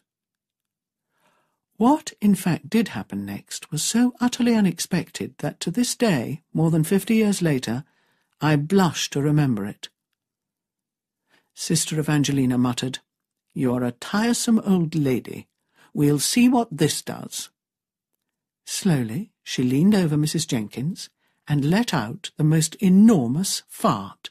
It rumbled on and on, and just as I thought it had stopped, it started all over again in a higher key. I had never been so shocked in all my life. Mrs. Jenkins sat upright in her chair. Sister Evangelina called out, Which way did it go, nurse? Don't let it get out. It's over there by the door. Catch it. Now it's by the window. Get hold of it, quick. A throaty chuckle came from the armchair. Goh, that's better, said Sister Evangelina happily. Nothing like a good fart to clear the system makes you feel ten years younger, eh, Mother Jenkins? The bundle of clothes shook, and the throaty chuckle developed into a real belly laugh. Mrs. Jenkins laughed until the tears ran down her face. Quick, under the chair! The cat's got it. Get it off him quick, he'll be sick. Sister Evangelina sat down beside her, and the two old ladies rocked with laughter about farts and bums and turds and stinks, swapping stories, true or false, I couldn't tell. I was deeply shocked. I retreated to a corner and watched them. They looked like two old hags from a Bruegel painting, sharing lewd laughter with the happiness of children. I was completely out of the joke, and had time to ponder many things not least of which was how on earth Sister Evangelina had been able to produce such a spectacular fart at that precise moment. Could she command one at will? Was Sister Evangelina gifted, or had she acquired the skill through hours of practice? My mind dwelled with pleasure on the possibility. Was it her party piece? I wondered how it would go down at the convent on festive occasions. Would the Reverend Mother and her sisters in Christ be amused by such a singular talent? The two old girls were so innocently happy that my initial reaction of disapproval seemed to be churlish and mean-spirited. What was wrong with it anyway? All children laugh endlessly about bottoms and farts. The works of Chaucer, Rabelais, and Fielding are full of lavatorial humour. There was no doubt about it. Sister Evangelina's action had been brilliant, a masterstroke. To say that a fart cleared the air may seem a contradiction in terms, but life is full of contradictions. From that moment on, Mrs. Jenkins lost her fear of us. We were able to examine her, to treat her, to communicate with her. And I was able to learn her tragic history. Rosie? That you, Rosie? The old lady lifted her head and called out as the front door banged. Footsteps were heard in the passage, but Rosie did not enter the room. Things were happening fast to improve Mrs. Jenkins' living conditions. The social services had been called and some cleaning had been carried out. The old armchair had been removed because it was full of fleas, and another donated. A bed had also been provided, but had never been slept in. Mrs. Jenkins was so accustomed to sleeping in an armchair she could not be persuaded to try the bed, so the cat slept on it. Sister Evangelina commented wryly that the new government must have more money than sense to provide social services for cats. The most remarkable change was the repair of the hole in the roof, which Sister Evangelina achieved through single-handed combat with the landlord. She put the fear of God into him. The result was a heavy tarpaulin weighted down with bricks. Mrs. Jenkins was delighted and grinned and giggled with Sister Evie as they shared a cup of tea and a piece of Mrs. B.'s homemade cake that Sister Evie invariably brought with her. A tarpaulin to mend a hole in the roof may seem inadequate, but there was no chance of getting anything more durable. The building was condemned. The fact that it was still lived in was due to the acute housing shortage caused by the bombing of London in the war. People were glad to live anywhere they could find.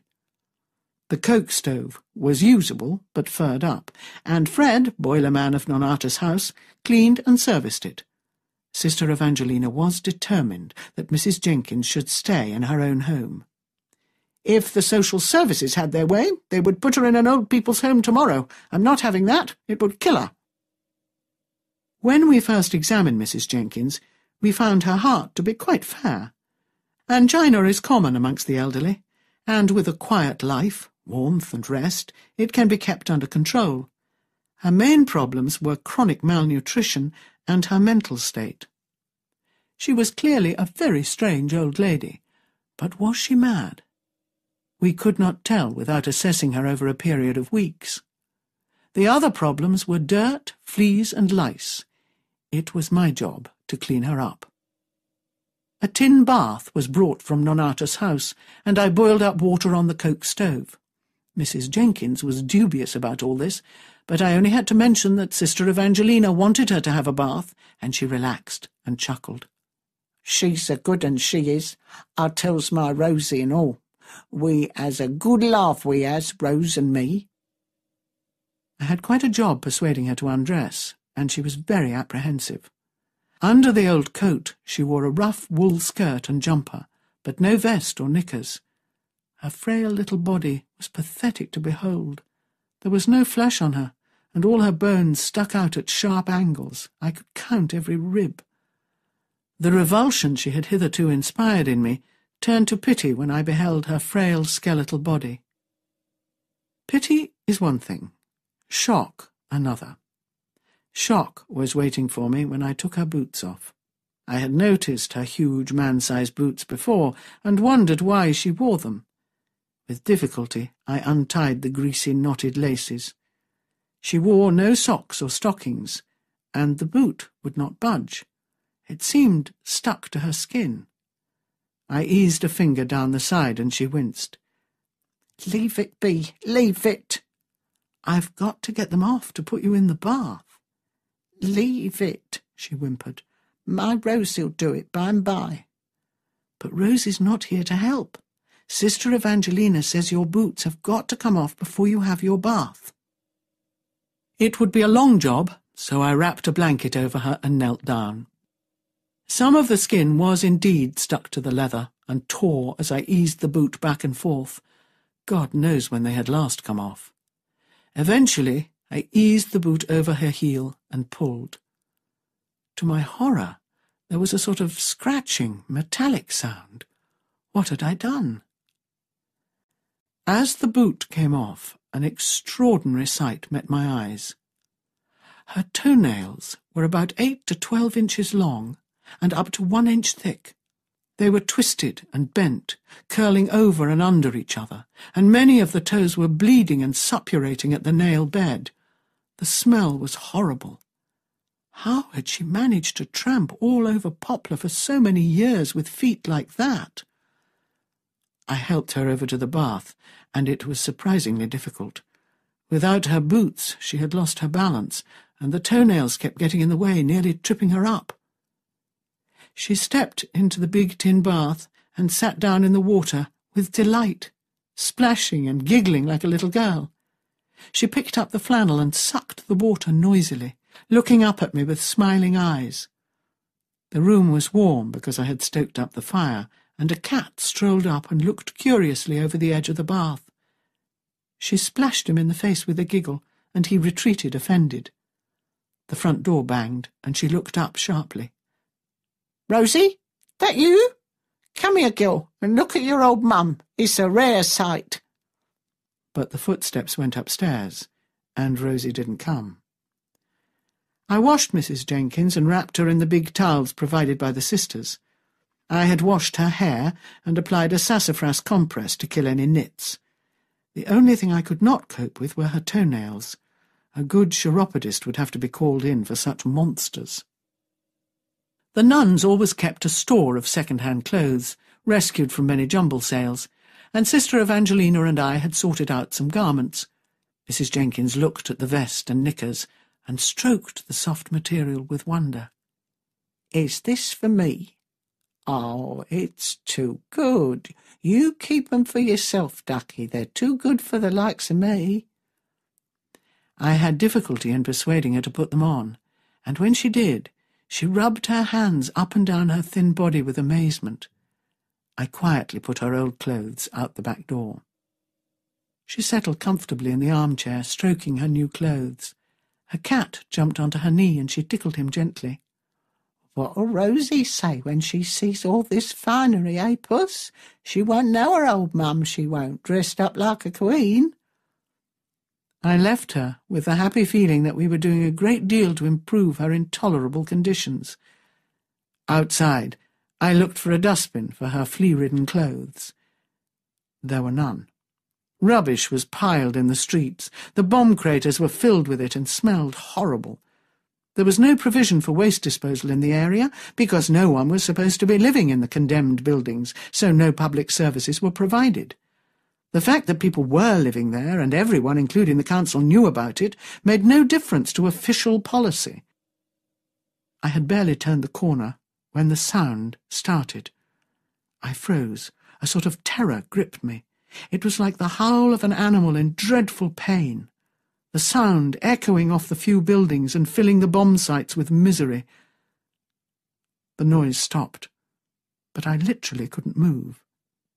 Then it started again, and the window in the house opposite opened. The woman who had told me to throw stones leaned out. It's that mad old hag. You're looking after her. Tell her to shut up or I'll come and kill her, I will. You tell her from me. The window banged shut. Mad old hag? Mrs. Jenkins? It couldn't be. She couldn't be making that anguished noise. I'd left her contented and happy only a few minutes ago. The noise stopped, and trembling, I went back into the house and down the passage. Rosie? That you, Rosie? I opened the door. Mrs. Jenkins was sitting just as I had left her, with a cat on her knee. She looked up brightly. If you see Rosie, tell her I'm coming. Tell her not to lose heart. Tell her I'm coming, and the little ones and all. I'll scrub and scrub all day, and they'll let me come this time, they will. You tell my Rosie. I was bewildered. She couldn't have made that howling noise. It was impossible. Sister Evangelina took the morning report. I told her that Mrs. Jenkins seemed to enjoy her bath. I reported on the toenails. I reported that her mental condition seemed fairly stable. She loved her new clothes, was chatting companionably to the cats, and was not at all withdrawn and defensive. I hesitated, but finally I told her of the ghastly cry I had heard from the street.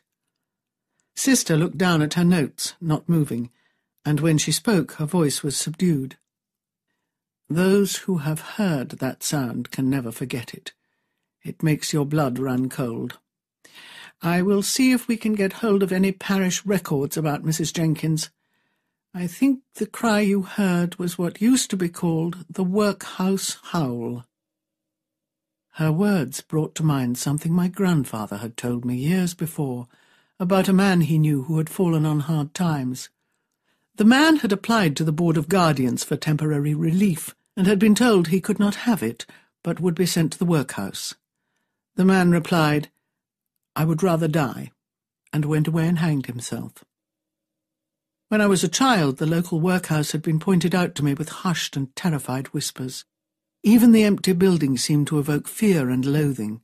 People would not go down the road in which it stood, or would pass on the other side with faces averted. The dread even affected me, a little child who knew nothing then about the history of the workhouses. The Poor Law Act of 1834 started the workhouse system. The Act was repealed in 1929, but the system lingered on for several decades because there was nowhere else for the inmates to go, and long-term residents had lost the capacity to make any decisions or look after themselves in the outside world. It was intended as a humane and charitable act, because hitherto the destitute could be hounded from place to place, never finding shelter, and could lawfully be beaten to death by their pursuers. To the chronically poor of the 1830s, the workhouse system must have seemed like heaven, a shelter each night, a bed to sleep in, clothing, food, and in return, work to pay for your keep. The system must have seemed like an act of pure Christian goodness and charity, but like so many good intentions, it quickly turned sour. The council supplied Sister Evangelina with the old records of the Board of Guardians of Poplar Workhouse. Mrs. Jenkins had been a pauper inmate from 1916 to 1935. Enough to drive anyone mad, Sister Evie commented. She had been admitted as a widow with five children, unable to support herself. She was described as an able-bodied adult.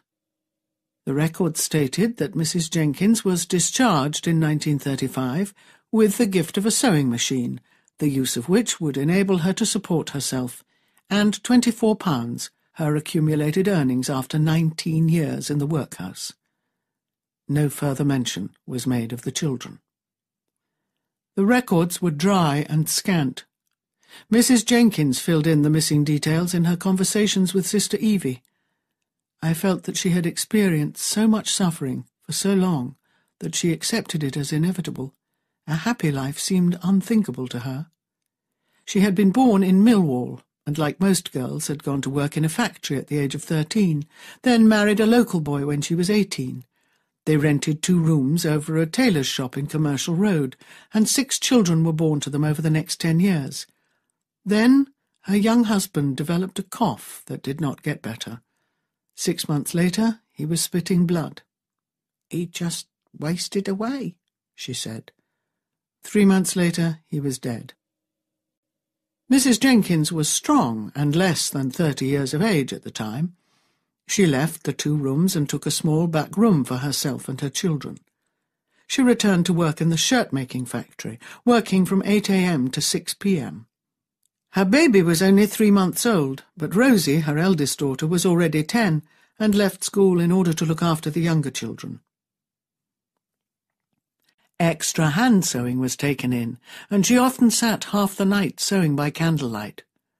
Rosie learnt to sew too, and became a good needlewoman, often sitting up with her mother into the night hours. These silent hours of female labour brought in a little extra money, enough to feed the family after the rent was paid. Then catastrophe struck. The machinery of the factory was completely unguarded, and the sleeve of Mrs. Jenkins' dress caught in a wheel, dragging her right arm towards the cutting blades. Her arm was badly injured. She lost a lot of blood, and tendons were severed before the machine was stopped. She was lucky not to lose her arm. She showed us the six-inch scar. The lacerations were never stitched because she could not afford to pay a doctor, and the scar, though healed, was wide, deep red, and irregular. Her arm was slightly withered because the tendons had not been sutured. It was surprising that she could use her hand at all. She looked at the scar without emotion. This is what done for us, she said. The family moved out of the back room and found shelter in a basement with no window. It was close to the river's edge, and at high tide, when the water level rose, moisture seeped through the brickwork and ran down the walls.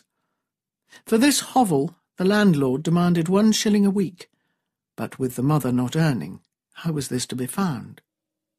She went out begging, but was driven off the streets by the police, who saw her as an undesirable vagrant she pawned her coat, and with the money bought matches, then went out into the streets as a match seller. The profits from her sales brought in a little money, but not enough to pay the rent as well as feed the children. Bit by bit, she pawned everything they had, the furniture, pots, saucepans, the plates and mugs, clothes, linen. Last to go was the bed in which they all slept. She constructed a platform out of orange boxes to raise them off the damp floor, and on this the family slept. Finally, the blankets had to be pawned, and mother and children clung to each other for warmth at night. She asked the Board of Guardians for outdoor relief, but the chairman said she was obviously lazy and work-shy, and when she told them of the accident in the factory and showed them her right arm, she was told not to be impertinent the gentlemen debated amongst themselves, and offered to take two of her children off her hands. She refused, and returned to the basement. With no light, no heat, constant damp and mildew, and virtually no food, the children became sickly. The family struggled on for six months. The mother sold her hair. She sold her teeth. But it was never enough. When the baby died, no money could be spared for burial, so she sealed him in an orange box weighed down with stones and slipped him into the river. That furtive journey in the middle of the night with her dead baby was the moment when she knew that the inevitable had come. She and the children would have to go to the workhouse. Mrs. Jenkins and her children left the basement with three weeks' rent owing. The landlord had threatened to put the whip to her back if she did not pay the following day, so they left during the night. Neither she nor the children had shoes. Their clothes were just rags. Dirty, hungry, and shivering, they stood in the unlit street, ringing the great bell outside the workhouse. The door was opened by a thin, grey man who demanded, What do you want? Shelter and food for the little ones? You'll have to come to the reception room. You can sleep there till morning, unless, of course, you're casuals and go to the casuals centre. There's no food until morning. No, we are not casuals, she said wearily. They were the only people in the reception room that night. The sleeping platform, a raised wooden construction, was covered with fresh straw and looked inviting. They cuddled up in the sweet-smelling hay, and the children fell asleep at once. Only the mother lay awake, her heart breaking. She knew it would be the last time she would be allowed to sleep with her children. Morning, and the mistress entered. She took their names and told them to follow her to the wash-house, where they were stripped and made to wash all over with cold water. Workhouse uniforms were provided of coarse grey serge. There were a variety of odd shoes. Then their heads were shaved. Mrs. Jenkins did not have to be shaved because she had no hair, having sold it some weeks previously. They were taken to the master's office for segregation. Everyone dreaded this moment, including the master and mistress, and four strong pauper inmates were brought in to take the children away. The master looked at the little ones. Ages? he demanded. Two, four, and five, Mrs. Jenkins whispered. Take them to the children's ward. And the older boy? What age is he? Nine. He'll go to the boys' ward. The girl? he demanded, pointing at Rosie. Ten. Take her to the girls' ward, he ordered. Rough hands were laid on the children. The children were dragged away screaming, and Mrs. Jenkins was pushed into the women's quarters. Great doors were shut behind her, and keys were turned. She heard the sounds of screaming children and doors banging. Then she heard no more. End of Disc 3 Call the Midwife, Disc 4 Segregation, which seemed so utterly inhuman, was the first rule of all workhouses and rigorously applied. Husbands and wives were separated, parents and children, brothers and sisters. Usually they never saw each other again. If Mrs. Jenkins was odd, it was not surprising. Life in the workhouse was terrible. All inmates were locked into their quarters, which consisted of a day room, a sleeping room, and an airing yard. They were confined to the dormitory from 8 p.m. to 6 a.m., and there was a channel running down the centre into which they relieved themselves at night. The day room was their dining room, where they sat at long benches to eat. All windows were above eye level, so no one could see out. The airing yard was an enclosed gravel square from which no door or gate issued. It was, effectively, a prison. Misery and monotony blurred days into weeks and weeks into months. The women worked all day, mostly rough work, in the laundry, washing for the entire workhouse, scrubbing, cooking poor-quality food for all the inmates, heavy sewing, such as sacks and sails, and, strangest of all, picking oakum. This was old rope, usually tarred, which had to be untwisted and unpicked into strands, which were then used for caulking the seams of wooden ships. The rope, especially if caked in oil or tar or salt, could be as hard as steel, and unpicking it tore the hands and left the fingers raw and bleeding. Yet the working hours were less terrible than the hours of rest. Mrs. Jenkins found herself among about one hundred other women of all ages, including the sick and infirm. Many appeared to be mad or demented. There was nowhere to sit down, except on benches in the day-room or the airing yard. In order to rest themselves, the women sat back to back on a bench, each supporting the other. There was nothing to do, nothing to look at or listen to, no books, nothing with which to exercise the mind. Many of the women just walked round and round in circles.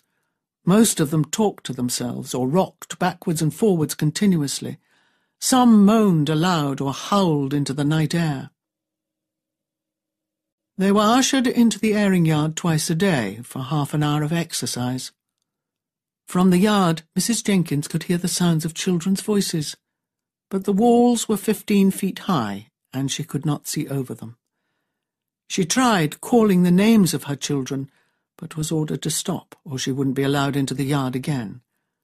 So she just stood by the wall where she thought the sounds came from, whispering their names, and straining her ears to catch the sound of a voice she would know to be her child's own. I didn't know what I'd done wrong to be in there, and I didn't know what they'd done with the little ones. When the spring came, Mrs. Jenkins was informed that her youngest child, a boy aged three, had died. She asked why, and was told that he had always been sickly and that no one had expected him to live. She asked if she might attend the funeral, and was told he had already been buried. Mrs. Jenkins never saw any of her children again. Over the next four years, one by one, they all died. The mother was merely informed of each death. She was given no cause. She did not attend any of the funerals. The last to die was a girl of fourteen. Her name was Rosie. At the church hall, the antenatal clinic had been set up. It was midwinter, and the coke stove was burning fiercely. There were seven piles of notes with about ten folders in each pile, I glanced at the top of the first pile and saw the name Brenda, a woman of forty-six with rickets. She would be admitted to hospital for a caesarean, but we were looking after her antenatally. I took her for examination and check-up. My heart went out to little Brenda. For centuries it was not known what caused rickets. The child was thought to be puny or even just lazy, as rachitic children always stand and walk very late. The bones are shortened and bend under pressure. The spine is deformed, and the rib cage is barreled and frequently twisted in shape. The head is large and square-shaped, with a jutting lower jaw. Frequently the teeth drop out. As if these deformities were not enough, rachitic children always had a lower immunity to infection. The condition was common throughout northern Europe, and no one knew what caused it, until in the 1930s it was found to be due to a lack of vitamin D in the diet, causing deficiency of calcium in the bone. Such a simple reason for so much suffering. Vitamin D is found abundantly in milk, meat, eggs, and especially in meat fat and fish oils. You would think most children would have had an adequate diet of these items, but not poor children from deprived backgrounds. Vitamin D can also be made spontaneously in the body by the effect of ultraviolet rays on the skin, but the sun was not for poor children in industrial cities, where the density of buildings virtually blocked out the natural light, and where children had to work long hours in factories and workshops or workhouses. So these children grew up crippled. Brenda beamed at me, alight with eager anticipation. She knew she would have to have a caesarean section, but that did not bother her. She was going to have a baby, and this time it would live. That was all that mattered to her, and she was intensely grateful to the sisters, the hospital, the doctors, but above all to the National Health Service and the wonderful people who had arranged that everything should be free. Brenda's obstetric history was tragic. She had married young and in the 1930s had had four pregnancies. Every baby had died. The tragedy for a woman with rickets is that along with all the other bones, the pelvis is also deformed, and the baby therefore cannot be delivered, or only with great difficulty. Brenda had had four long, obstructed labours, and each time the baby had died. She was lucky not to have died herself. It will never be known how many women died of exhaustion in the agony of obstructed labour. The poor were expendable, and their numbers not counted. Where was it I had read in some ancient manual for the instruction of women attending the lying-in? If a woman is in labour for more than ten or twelve days, you should seek a doctor's aid. Ten or twelve days of obstructed labour in the hands of what in those days would have been an untrained woman. I had to thank God that obstetric practice had moved on. Yet even in my training days, the most up-to-date textbooks taught that a woman with a rachitic pelvis should have a trial labour of 8 to 12 hours to test the endurance of both mother and fetus. Brenda had been subjected to four such trial labours in the 1930s. Why on earth, after the first, it had not been agreed that she should have a caesarean section for the delivery of subsequent babies, I could not imagine. Possibly she could not afford to pay for it, because before 1948 all medical treatment had to be paid for. Brenda's husband, had been killed on active service in 1940, so she had not had any more pregnancies. However, at the age of 43, she had married again, and now she was pregnant once more. Her joy at the prospect of a living baby seemed to fill the antenatal clinic and throw everything else into shadow. She called out, Hello, sis, how's yourself? to everyone in sight, and to queries about her health she responded, I'm wonderful, never been better, on top of the world all the time. I followed her over to the couch, and it stabbed my heart to see her little bow legs struggling to carry her. I had to arrange two stools and a chair before she could climb onto the couch, but she managed it with awkward movements. She was panting and beaming in triumph when she got up. It seemed that every difficulty in life was a challenge to her, and every one successfully overcome was an occasion for rejoicing. She was not, by any stretch of the imagination, a good-looking woman, but I was not at all surprised that she had found a second husband who, I had no doubt, loved her.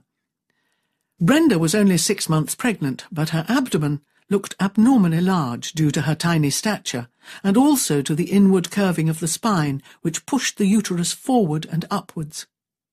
We saw her every week for the next six weeks, and she struggled on with increasing difficulty, using two sticks to help her get about. Her happiness never left her, and she never complained. At thirty-seven weeks, she was admitted to the London hospital for bed rest, and a caesarean section was successfully carried out at 39 weeks.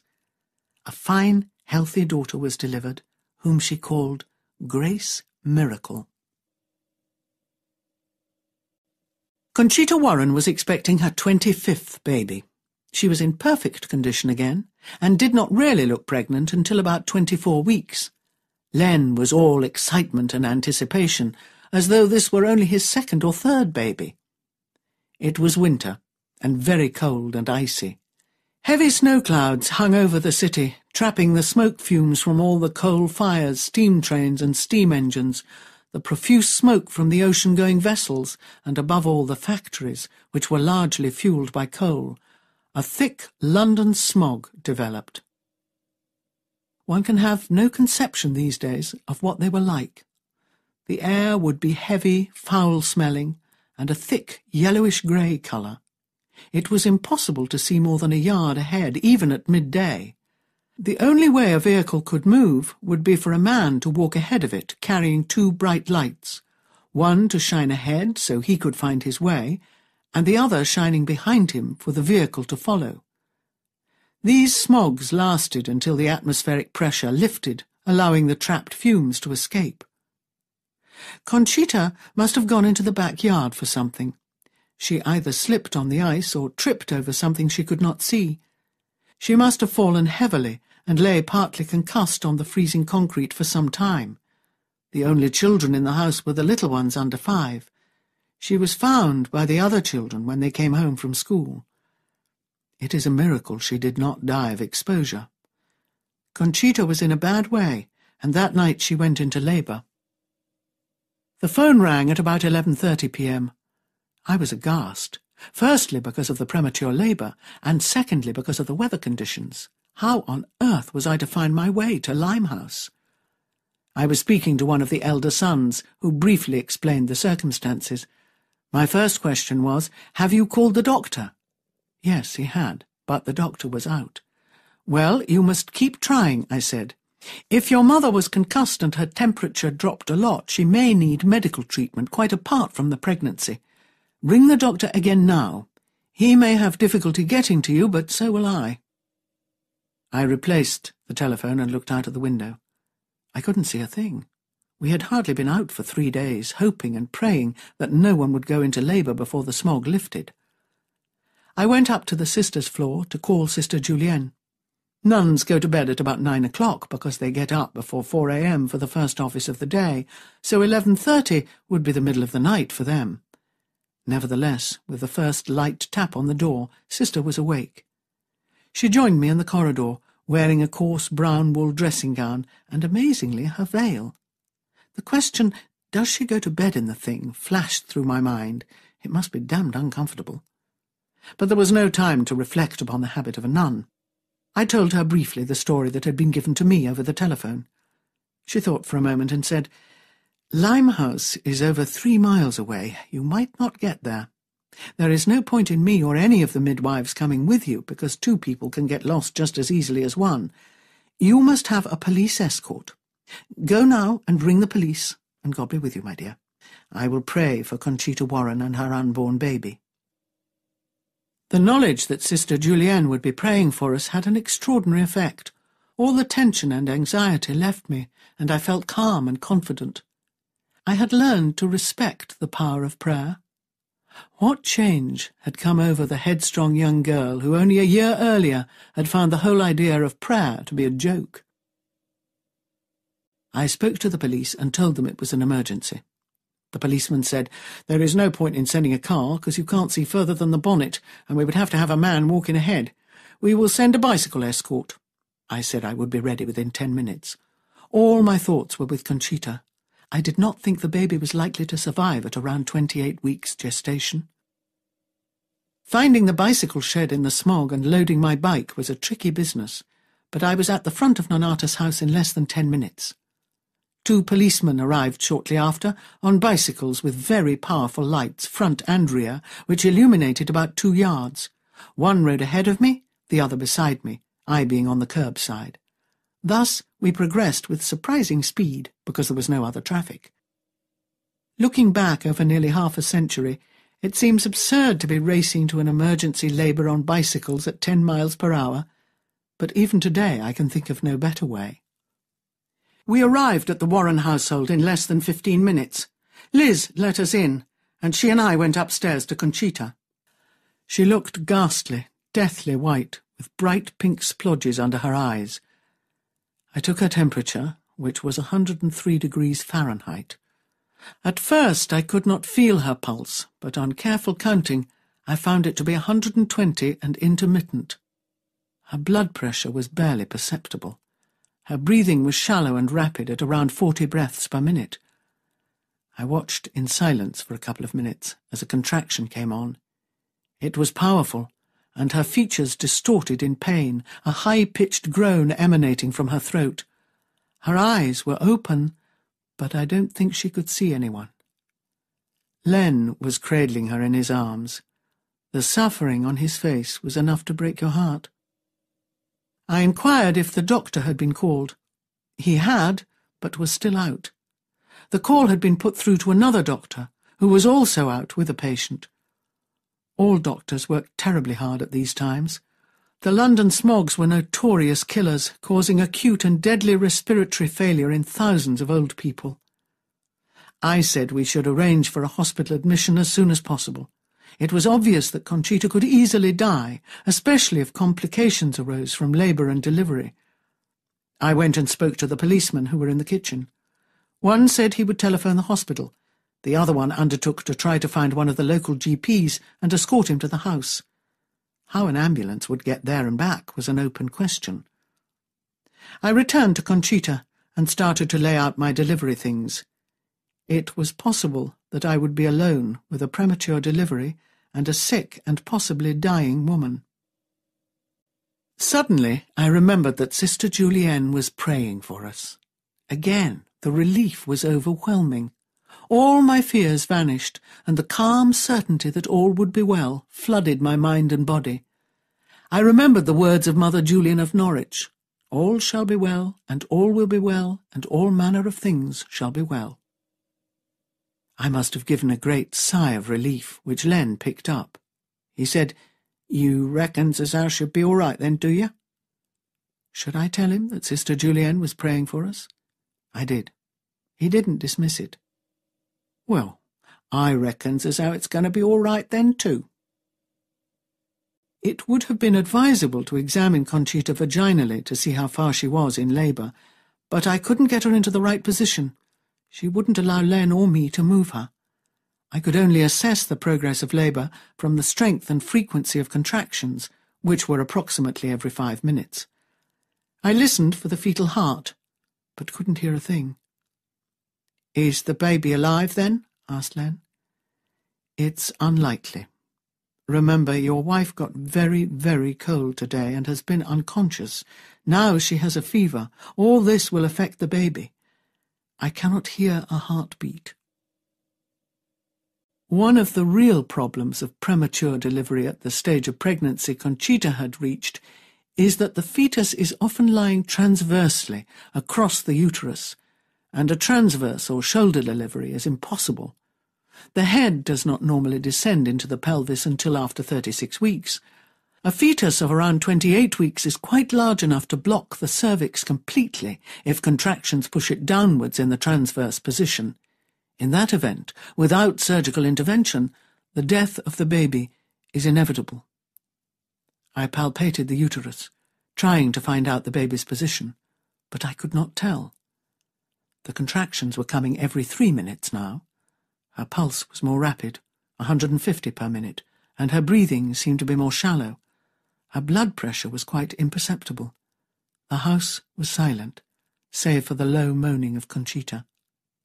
Inevitably, the contractions became stronger, and it was then that Conchita began to scream. I have never in my life before or since heard such terrifying sounds. They came from the depths of her suffering body with a force and power that I would have thought impossible, given her fevered, debilitated state. She screamed on and on, wild terror in her unseeing eyes. She clung to her husband, tore at him, until his face and chest and arms were bleeding. He tried to hold her to comfort her, but she was beyond comfort. I felt helpless. I did not dare to give her an analgesic to quieten her, because her pulse and blood pressure were so abnormal. Any drugs would probably kill her. I thought that if it was a transverse presentation, she would die, unless an ambulance were to arrive quickly. I could not get near her.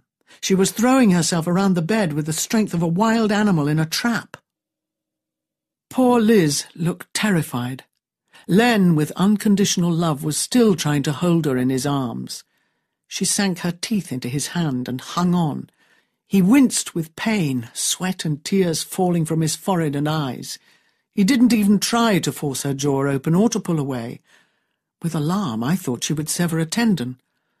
Eventually she loosed the hand and flung herself to the other side of the bed. Then she gave a terrible cry, and a massive push, and water, blood, fetus, placenta, everything was delivered onto the bed sheets at once. She fell back, exhausted. I could feel no pulse at all. Her breathing seemed to have stopped. But I could feel a flutter of a heartbeat, so I listened with my stethoscope. It was faint and irregular, but it was there. The fetus was blue and looked quite dead. I snatched a kidney dish, scooped everything into it, and dumped it on the dresser. Now, we must quickly get her warm, I said, cleaned up and comfortable if she is to stand a chance. Liz, clean warm sheets, a couple of hot water bottles. I will check the placenta in a minute to see if it is complete. If we can get her to drink something hot, it will help. Hot water and honey would do, a teaspoon of brandy in it would be even better. The main thing is to treat the shock, and let us all hope and pray that the bleeding won't get worse. Len went out to pacify the terrified family gathered around the door. Liz and I started to clean the dirty sheets and linen from under Conchita. Len returned with clean sheets and hot water bottles, and Liz and I started to make the inert body comfortable. Len must have gone over to the dresser. Liz and I had our backs to it, busy with Conchita. We heard a gasp. It's alive! The baby's alive! It's moving! I rushed over to the dresser and looked at the gory mess in the kidney dish. It moved. The blood actually moved. My heart stood still. Then I saw the tiny creature in the pool of blood, and its leg moved. Oh, dear God! I could have drowned it. I lifted the tiny body with one hand and tilted it upside down. It seemed to weigh nothing. I've held a newborn puppy of about the same size. My head raced. We must clamp and cut the cord quickly. Then we must get him warm. I felt desperately guilty. The cord should have been clamped five minutes earlier. If he dies now, it will be my fault, I thought. I had discarded this tiny living soul to drown in a dish of blood. I should have looked more closely. But wallowing in self-reproach gets us nowhere. I clamped and cut the cord. Len had warmed a small towel and we wrapped him in the cloth. He moved his head and arms. All three of us were stunned by the life in the baby. None of us had seen a human child quite so tiny. A baby that is two months premature usually weighs about four pounds and seems tiny enough. This baby was about one and a half pounds and looked like a tiny doll. His arms and legs were much smaller than my little finger, yet a minuscule nail completed each digit. His head was smaller than a ping-pong ball, and his rib cage looked like fish bones. He had tiny ears, and his nostrils were the size of a pinhead. I had never imagined that a baby of around twenty-eight weeks could be so lovely. I felt I ought to suck the mucus from his throat, but was terrified of hurting him. Anyway, the catheter was far too large, so I just held him nearly upside down with one hand and gently rubbed his back with one finger. I had no experience of caring for a premature baby and did not know what to do. All my instincts told me that he must be kept warm and quiet, preferably in the dark, and with frequent feeding. Where could we put him? Just then, Conchita, who was lying quietly, spoke. Nino, menino, donde está menino? Baby. My baby. Where is my baby? We looked at each other. We gotta give him to her. Liz, you tell her he's very little and we've got to be very careful with him. Liz spoke to her mother, who smiled slightly and sighed with weariness. Len took the baby from me and sat down beside his wife. He held the baby in one hand so the child lay within her gaze. Her eyes had become vacant and unfocused, and I don't think she saw or understood at first. Liz spoke to her again. El niño es muy pequeño. The baby is very small. Conchita struggled to adjust her vision to the minute scrap held in Len's hand. You could almost see the struggle and effort it cost her. Gradually she became aware, and with a sharp intake of breath put out a shaking hand to touch the child. She smiled and murmured, Mi niño, mi querido niño my baby, my darling baby, and drifted off to sleep, her hand resting on Len's hand and the baby. Just then, the flying squad arrived. An obstetric flying squad was provided by most big London hospitals as an emergency backup for domiciliary midwifery. The service must have saved thousands of lives because before the 1940s, when no service existed, a midwife could find herself entirely alone with any obstetric emergency, a malpresentation, hemorrhage, cord prolapse, or placenta previa. It was the proud boast of the flying squad of the London hospital that it could reach any obstetric emergency in 20 minutes. But that was reckoning without a London smog, hence the delay of nearly three hours. However, a registrar, a houseman, and a nurse from the obstetrics department had been sent by the hospital. Everything happens at once, so they say, and within minutes a GP arrived on foot. God bless him, I thought. He looked exhausted. He'd been working all day and all night, yet he had the professionalism and the courtesy to apologize for being late. With so much medical know-how in the house, it was necessary to have a case conference to decide the best course of action for mother and baby. We went down to the kitchen for this, and I asked Len to accompany me. Liz was left with her mother and the baby. I gave my case history and handed over the recorded notes. All doctors were agreed that mother and baby must be transferred to hospital at once. Len was alarmed. Does she have to go? She won't like it. She's never been away from home before, she hasn't. She'll be lost and frightened. I knows as how she would. We can look after her. I'll stop at home, and the girls can muck in and all till she's better. The doctors looked at one another and sighed. Fear of hospital was commonplace. They agreed that as Conchita was now safely delivered, if no postnatal complications arose, she probably could be treated at home. A course of antibiotics would clear the infection that was causing the fever. The head injury, causing concussion and delirium, would heal with rest and quiet. However, the baby was another matter. He hadn't been weighed, but my guess of between one and a half and two pounds was accepted. They all said twenty-eight weeks was barely viable, and that a living baby of that gestation must have hospital treatment with the latest technological equipment and 24-hour expert nursing. They suggested that he should be transferred at once to Great Ormond Street Hospital for sick children. Len looked dubious, but when they told him that without such care the baby would die, he readily agreed. We all went upstairs to the bedroom. Conchita was sleeping, the tiny baby lying on her chest. One hand was protectively over it, the other lay limp by her side. She was smiling, and her breathing, although shallow, was regular and less rapid. I felt her pulse. It was slightly stronger and regular, but still rapid. I counted 120 per minute, which, though abnormal, was an improvement. Liz was cleaning up quietly and efficiently, and the whole scene was peaceful. The baby looked even smaller now that the entire hand of the mother covered it. Only its head was visible. It did not really look as if it were alive, although its colour did not suggest death. The registrar wanted to examine Conchita. I told him that I had not yet examined the placenta, as I had not had time between delivery and the arrival of the ambulance. We examined it together. It was very ragged. Not hopeful, he muttered. And it all came out at once, you tell me? I must have a look at her. He pulled back the bedclothes to examine her abdomen and see the vaginal discharge. Conchita seemed quite unconscious and didn't move as he palpated the uterus. Some blood rushed out. Another pad, he said, and to the houseman, draw me up half a cc of ergometrine for injection. He sank the needle deep into her gluteus muscle, but she didn't move. He covered her and said to Len, I think part of the placenta has been left behind. The next five minutes will tell if the injection is going to be effective. He then took Conchita's blood pressure.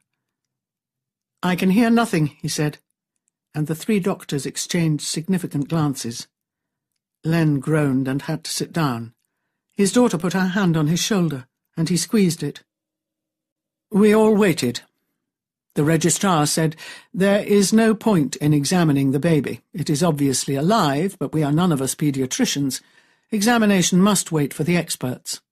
He asked for the telephone, to ring Great Ormond Street Hospital, but there was no telephone in the house.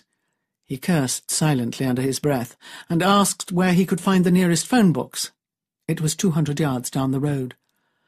The long-suffering houseman was dispatched out into the freezing fog and icy roads with a pocket full of pennies gleaned from us all to ring the hospital and make the necessary arrangements.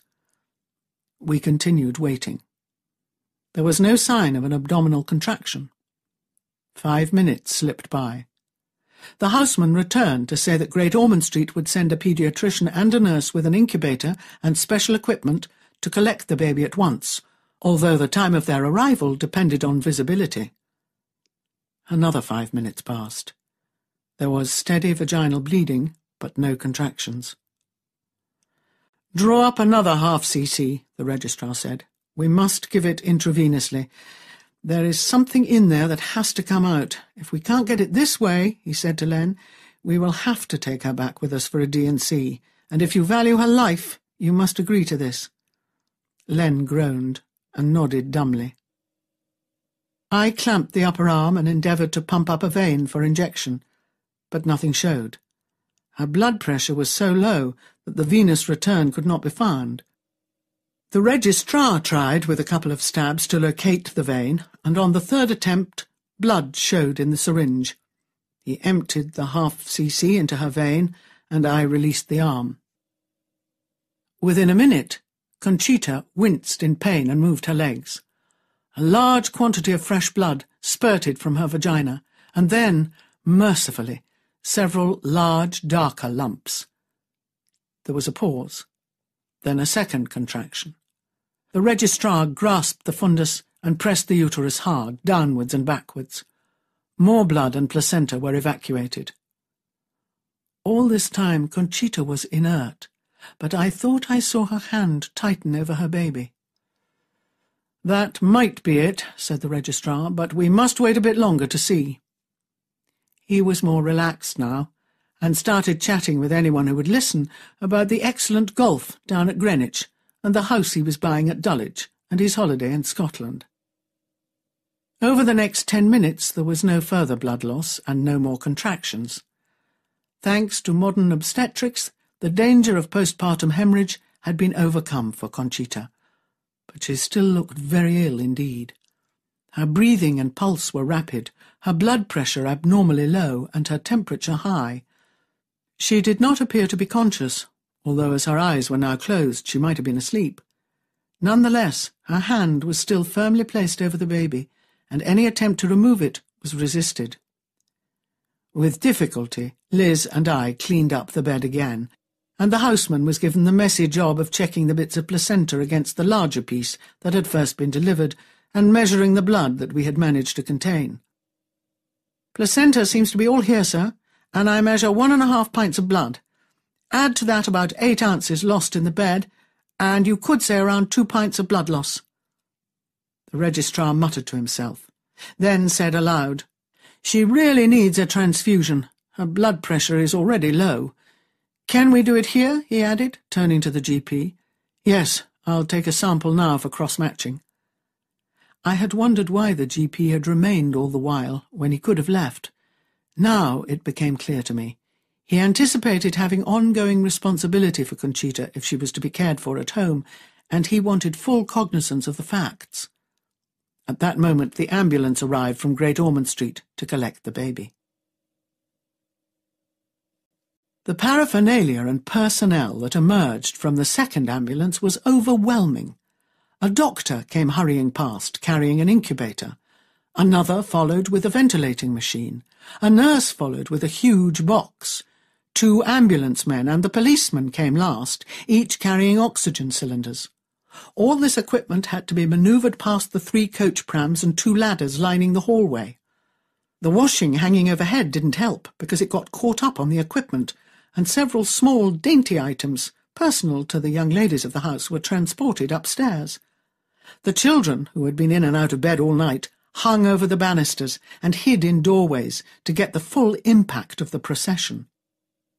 On reaching the bedroom, the medical staff entered, whilst the policeman and the ambulance men were directed down to the kitchen to join their colleagues for tea. Nevertheless, the bedroom, of average size, now contained five doctors, two nurses, a midwife, and Len and Liz. There was equipment everywhere. My delivery instruments still covered the dresser. The obstetrician's was on the chest of drawers. The paediatrician's had to be left on the floor whilst we hastily cleared space.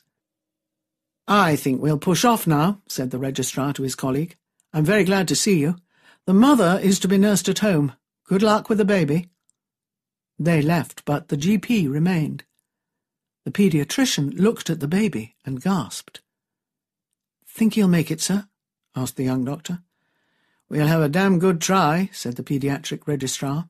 Fix up the oxygen and the suction and heat up the incubator. The team got busy.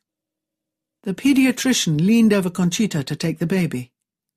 You could not tell whether she was asleep or semi-conscious, but the muscles of her arm tightened and she held the baby fast.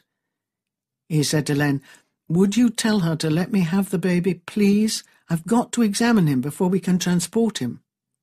Len leaned over his wife and murmured to her, trying to loosen her hand. It tightened, and her other hand came up to cover the first. Liz, love, you tell your mum we've got to have the baby to take to hospital. He shook her gently, trying to waken her. Her eyes flickered and opened a little. Liz bent over her and spoke to her in Spanish. None of us could tell what she said. Conchita opened her eyes more and tried to focus on the little creature lying on her chest. No, she said. Liz spoke to her again, more persuasively and urgently this time. No, said her mother. Liz tried a third time. Morirá, morirá, he will die. The effect on Conchita was dramatic and immediate. She opened her eyes wide, desperately trying to focus on the people around her. She saw the equipment and the white coats. I think her clouded brain took it all in and she struggled to sit up. Liz and Len helped her. She looked wildly round at everyone, thrust the baby down between her breasts and folded her arms over him. No, she said, then repeated louder, No! Mamma, you must, said Liz softly. Si no lo haces morirá. If you don't, he will die. Conchita's face was blank with anguish, but something was going on in her mind. One could almost see her struggling to get her thoughts under her command. Struggling to think, to remember, she held her breasts and the tiny baby fast and glanced down at his head. The sight of it must have been the catalyst that brought it all together for her. Her mind seemed to clear, and a fierce, determined look came into her huge black eyes. She looked round at each of the people in the room, her eyes finally clear and focused, and said with perfect confidence, No, se queda conmigo. He stays with me. No morirá. Then, with more emphasis, No morirá. He will not die. The doctors didn't know what to do. The paediatrician said to Liz, Tell her that she can't look after it. She hasn't got the equipment or the know-how.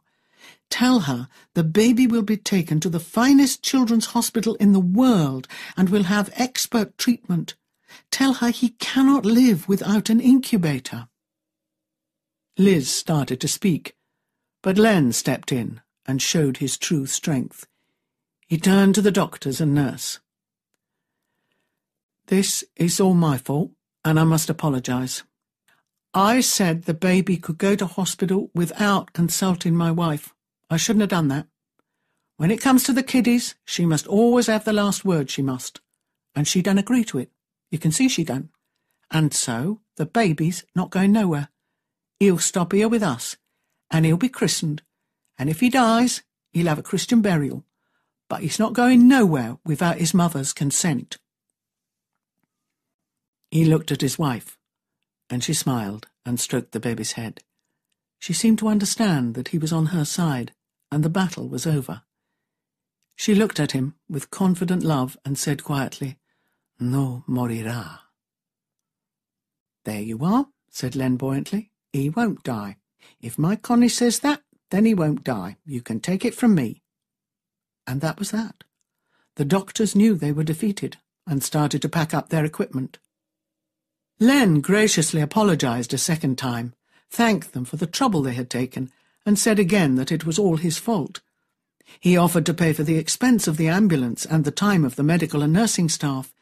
He offered them a cup of tea in the kitchen. They declined. He gave them one of his winning smiles and said, Go on, have a cup. You got a long journey and it'll warm you. He had such an engaging way about him that everyone agreed to accept the hospitality, even though they were cross about the wasted journey. He and Liz helped the team downstairs with all their equipment, and the GP and I were left alone. He had hardly spoken during the past three hours or so, and I liked him for this. We knew that we had a huge responsibility, and that both mother and baby could still die. With the loss of two pints of blood, Conchita's condition was critical. She must have blood, said the GP. I have taken a sample for cross-matching, and as soon as the blood bank can supply it, I will set up an IV. We will need a district nurse to stay with her while it's going in. Can you sisters provide one? I told him I was sure of it. He said, I'm going to start antibiotics at once because she is breathing only into the upper lobes. I would like to listen to her chest, but I doubt if she will let me because of the baby. He was right, she wouldn't. So he drew up an ampoule of penicillin and injected it into the thigh.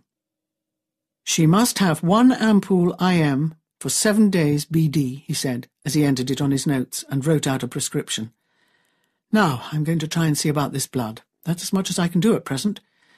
Frankly, nurse, I don't know what to do about the baby. I think I will have to leave it to you and the sisters. They are sure to have more experience than I have. Or me, I said. I have never handled a premature baby before. We looked at each other with shared helplessness, and he left. Bless him, I thought. He hadn't had any sleep for God knows how long. It was about 5 a.m., it was a filthy morning, and now he was leaving, on foot, in thick fog, to try to get the blood sorted out. And no doubt he had a surgery at 9 a.m. and a full day's work after that. I was so tired I could scarcely think. The adrenaline had been pumping all night, and now my body was drained. Conchita was sleeping. The baby could have been alive or dead for all I knew.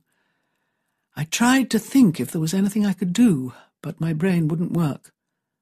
Should I go back to Nonnatus house? How could I get there? The policeman had gone, and I couldn't face the prospect of cycling alone in the fog. Just then Liz came in with a cup of tea. Sit yourself down, lovey, and have a rest, she said. I sat down in the armchair. I remember drinking half a cup of tea, and then the next moment it was daylight. Len was in the room, sitting on the bed, brushing Conchita's hair and murmuring sweet nothings to her. She was smiling at him and the baby. He saw me waken and said, Feel better now, nurse. It's ten o'clock, and it said on the news that the fog will start to lift today. I looked at Conchita, who was sitting up in bed, the baby still between her breasts. She was stroking his little head and cooing to him. She looked pathetically weak but her skin colour and her breathing had improved. Above all, her eyes were still focusing, and she looked collected. The delirium from concussion had quite gone. From then on, she improved rapidly. No doubt the penicillin helped, but alone it could not have effected the astonishing transformation within a few hours from someone close to death, who didn't even know her own husband, to a calm, competent woman who knew exactly what she was doing and why. I have a theory that it was the living baby that cured her, and that the crisis had occurred when she thought they were going to take him away. In that moment, her powerful maternal instincts had kicked in and told her that she was the protector, the provider. She didn't have time to be ill. She couldn't afford to be woolly-minded. His life depended on her. Had the baby died at birth, or had he been taken away to hospital, I think Conchita would have died also. Now Conchita reached for a saucer at the side of her and began to squeeze her nipples, pressing out a few drops of colostrum which fell into the saucer. Then she took a fine glass rod, which was used by one of her daughters for icing cakes.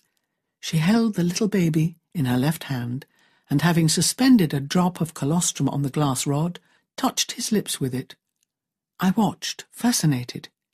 His lips were no bigger than a couple of daisy petals. A tiny tongue came out and licked the fluid. She repeated this about six or eight times, then tucked him back between her breasts. Len said, She's been doing this every half hour since six o'clock. Then they both have a little sleep, and she does it again. She said he won't die, and he won't, you know. She knows how to look after him. I checked that she was not bleeding unduly and left. I had to get back to Nonnatus house to report and to request a district nurse to monitor the blood transfusion when it arrived. The smog was beginning to lift, and one could just about see across the road. It felt as though the world was filling with new life as the foul smog cleared, and I cycled back with a light heart. Conchita didn't lose any more blood. After the transfusion, colour returned to her cheeks and also to Len's. She was weak, but all danger had passed. The baby lay on her breast, day and night, fed in the manner that I have described about every half hour. All the lay staff and sisters from Nonnatus house came to see the two of them. It was such a beautiful and unusual sight. On the fourth day, I weighed the baby in a handkerchief. He was one pound ten ounces. After three weeks, Conchita began to get up for short periods. She had asked Liz to acquire several lengths of the finest unbleached silk. With the help of her skilled eldest daughter, she fixed a kind of sling or firm blouse around her shoulders and breasts, tight underneath but loose above. The baby was carried in this for five months between his mother's breasts, never leaving her. Who had taught her this? I have never, before or since, in any literature, heard of such a way of caring for a premature baby. Was it purely maternal instinct? Possibly today her decision to refuse hospitalization for the baby would have been overruled by court order, the assumption being that only trained staff and advanced technology can adequately care for a premature child. In the 1950s, we were less intrusive into family life, and I am forced to the conclusion that modern medicine does not know it all. Admittedly, Conchita was lucky. The speed of delivery might have caused brain damage to the baby, but this did not occur. Apart from that, the great danger for a premature baby arises from immature vital organs, especially lungs and liver. The baby did indeed become very jaundiced, more than once in the first few months, but each time it passed. It was a miracle, after I had heedlessly left the baby in a kidney dish, that his lungs were not wholly or even partly collapsed from birth. I can take no credit for that. However, the fact is, he breathed. I like to think that by holding him upside down and tapping his fragile back with a finger, I facilitated his first breath. His mother was advised to do the same after each feed, because if fluid enters the trachea, a premature baby cannot cough as a full-term baby would. She was also given a very fine suction tube and shown how to use it. Apart from that, which was very little, the baby received no medical treatment. The constant temperature of his mother's skin kept his body temperature stable. Possibly the constant rise and fall of her breathing helped him over the first critical weeks. I'm sure that her feeding policy, a few drops of breast milk placed on the lips at frequent intervals, was the right one. She even did this all through the night, I was told. Conchita took no precautions about sterilizing her feeding equipment. I doubt if she had ever heard of such a thing. The saucer and the glass rod were simply wiped clean after each use, ready for the next time. The baby survived. Either he is the ultimate survivor, or we put far too much emphasis on technology and techniques, I thought.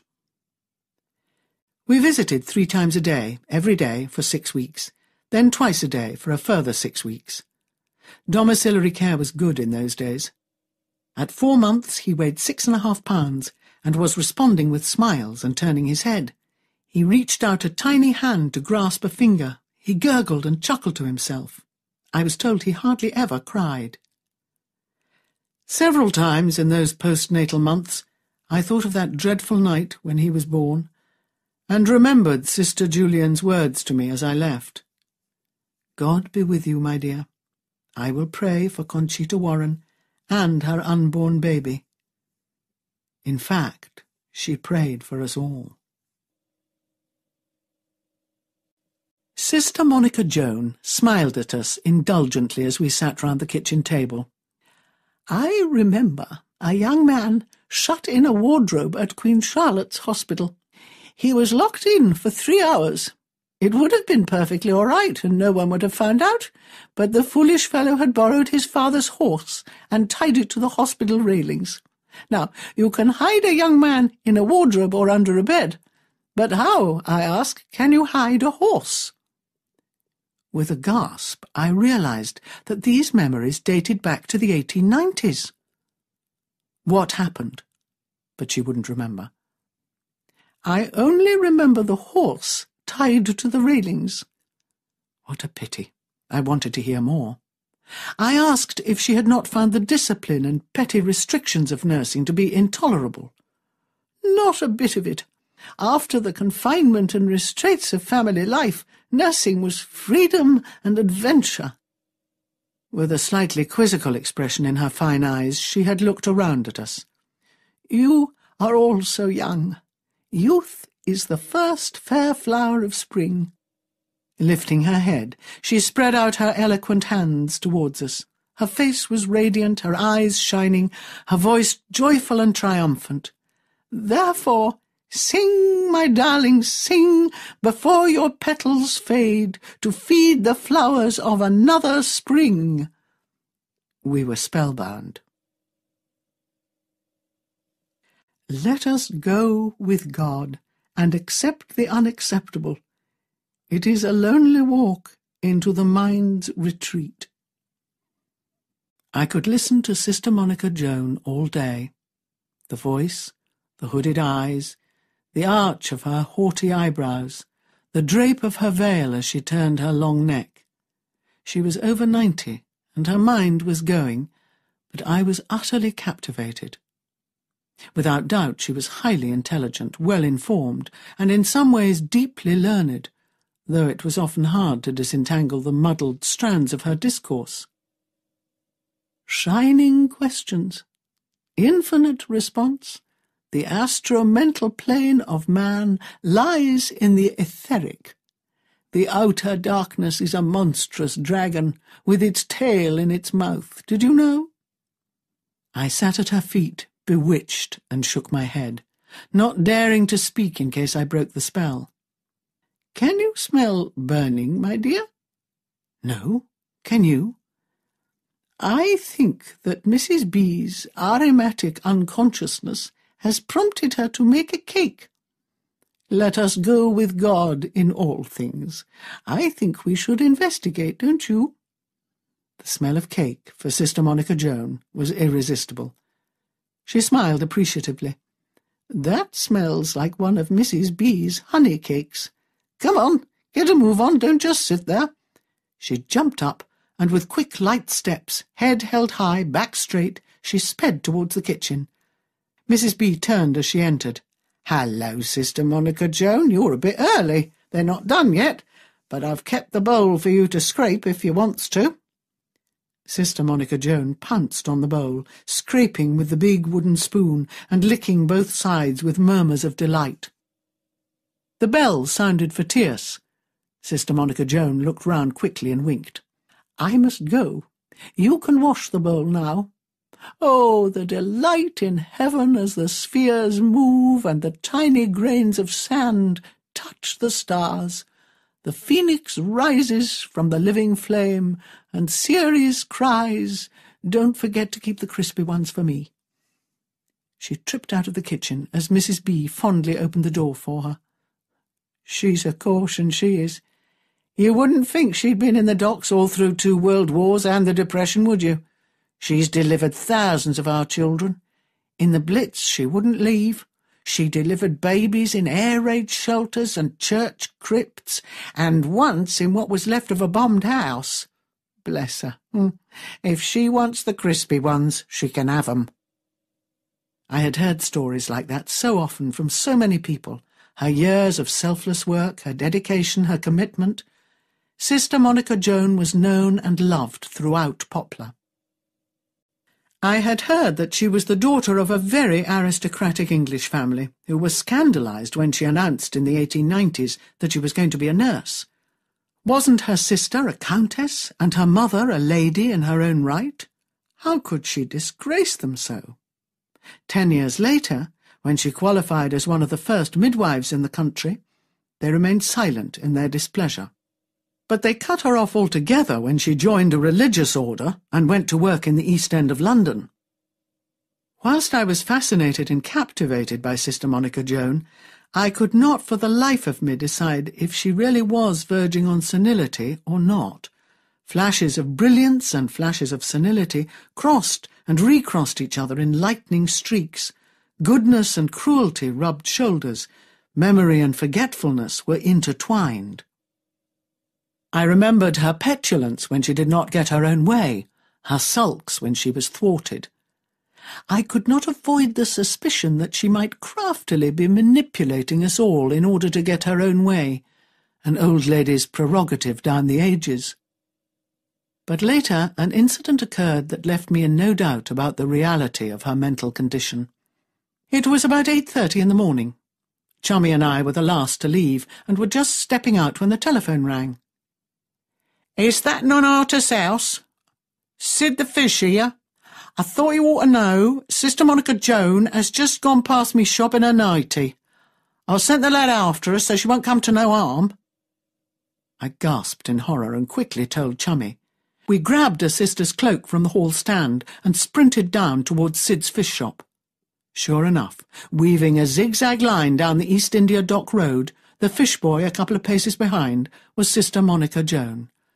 She was wearing only a long white nightie with long sleeves. Her bony shoulders and elbows stuck out under the thin cloth. You could have counted every vertebra in her spine, and her feet and ankles were blue-black with cold and bleeding. The wind blew thin white strands of hair upwards from a head that was nearly bald. Her rheumy red-rimmed eyes were watering. Her nose was bright red, and a dewdrop hung on the tip. My heart gave a lurch, and I realized how much I loved her. We spoke to her. She looked at us as though we were strangers, and tried to push us aside, doggedly, determinedly trudging on. Mind, out of my way! I must get to them. The waters are broken. That brute will kill the baby. He killed the last one, I swear it. I must get there. Out of my way! She took another few steps on bleeding feet. Chummy threw the warm woolen cloak around her shoulders, and I put my cap on her head. The sudden warmth seemed to bring her to her senses. Her eyes focused, and she looked at us in recognition. I said slowly, Sister Monica Joan, it's breakfast time. Mrs. B has made some nice hot porridge for you, with honey in it. It will be getting cold if you don't come now. She looked at me eagerly and said, Porridge? With honey? Oh, lovely! Come along, then. What are you standing there for? Did you say porridge? With honey? She took two steps and cried out in pain. Obviously she had not been aware of her cut and bleeding feet. Thank God for Chummy, her size and strength. She picked Sister Monica Joan up in her arms as though she were a child and carried her all the way back to Nonnatus house. I attended my morning visits as though in a dream. Now and then in life, love catches you unawares, illuminating the dark corners of your mind and filling them with radiance. Once in a while, you are faced with a beauty and a joy that takes your soul all unprepared by assault.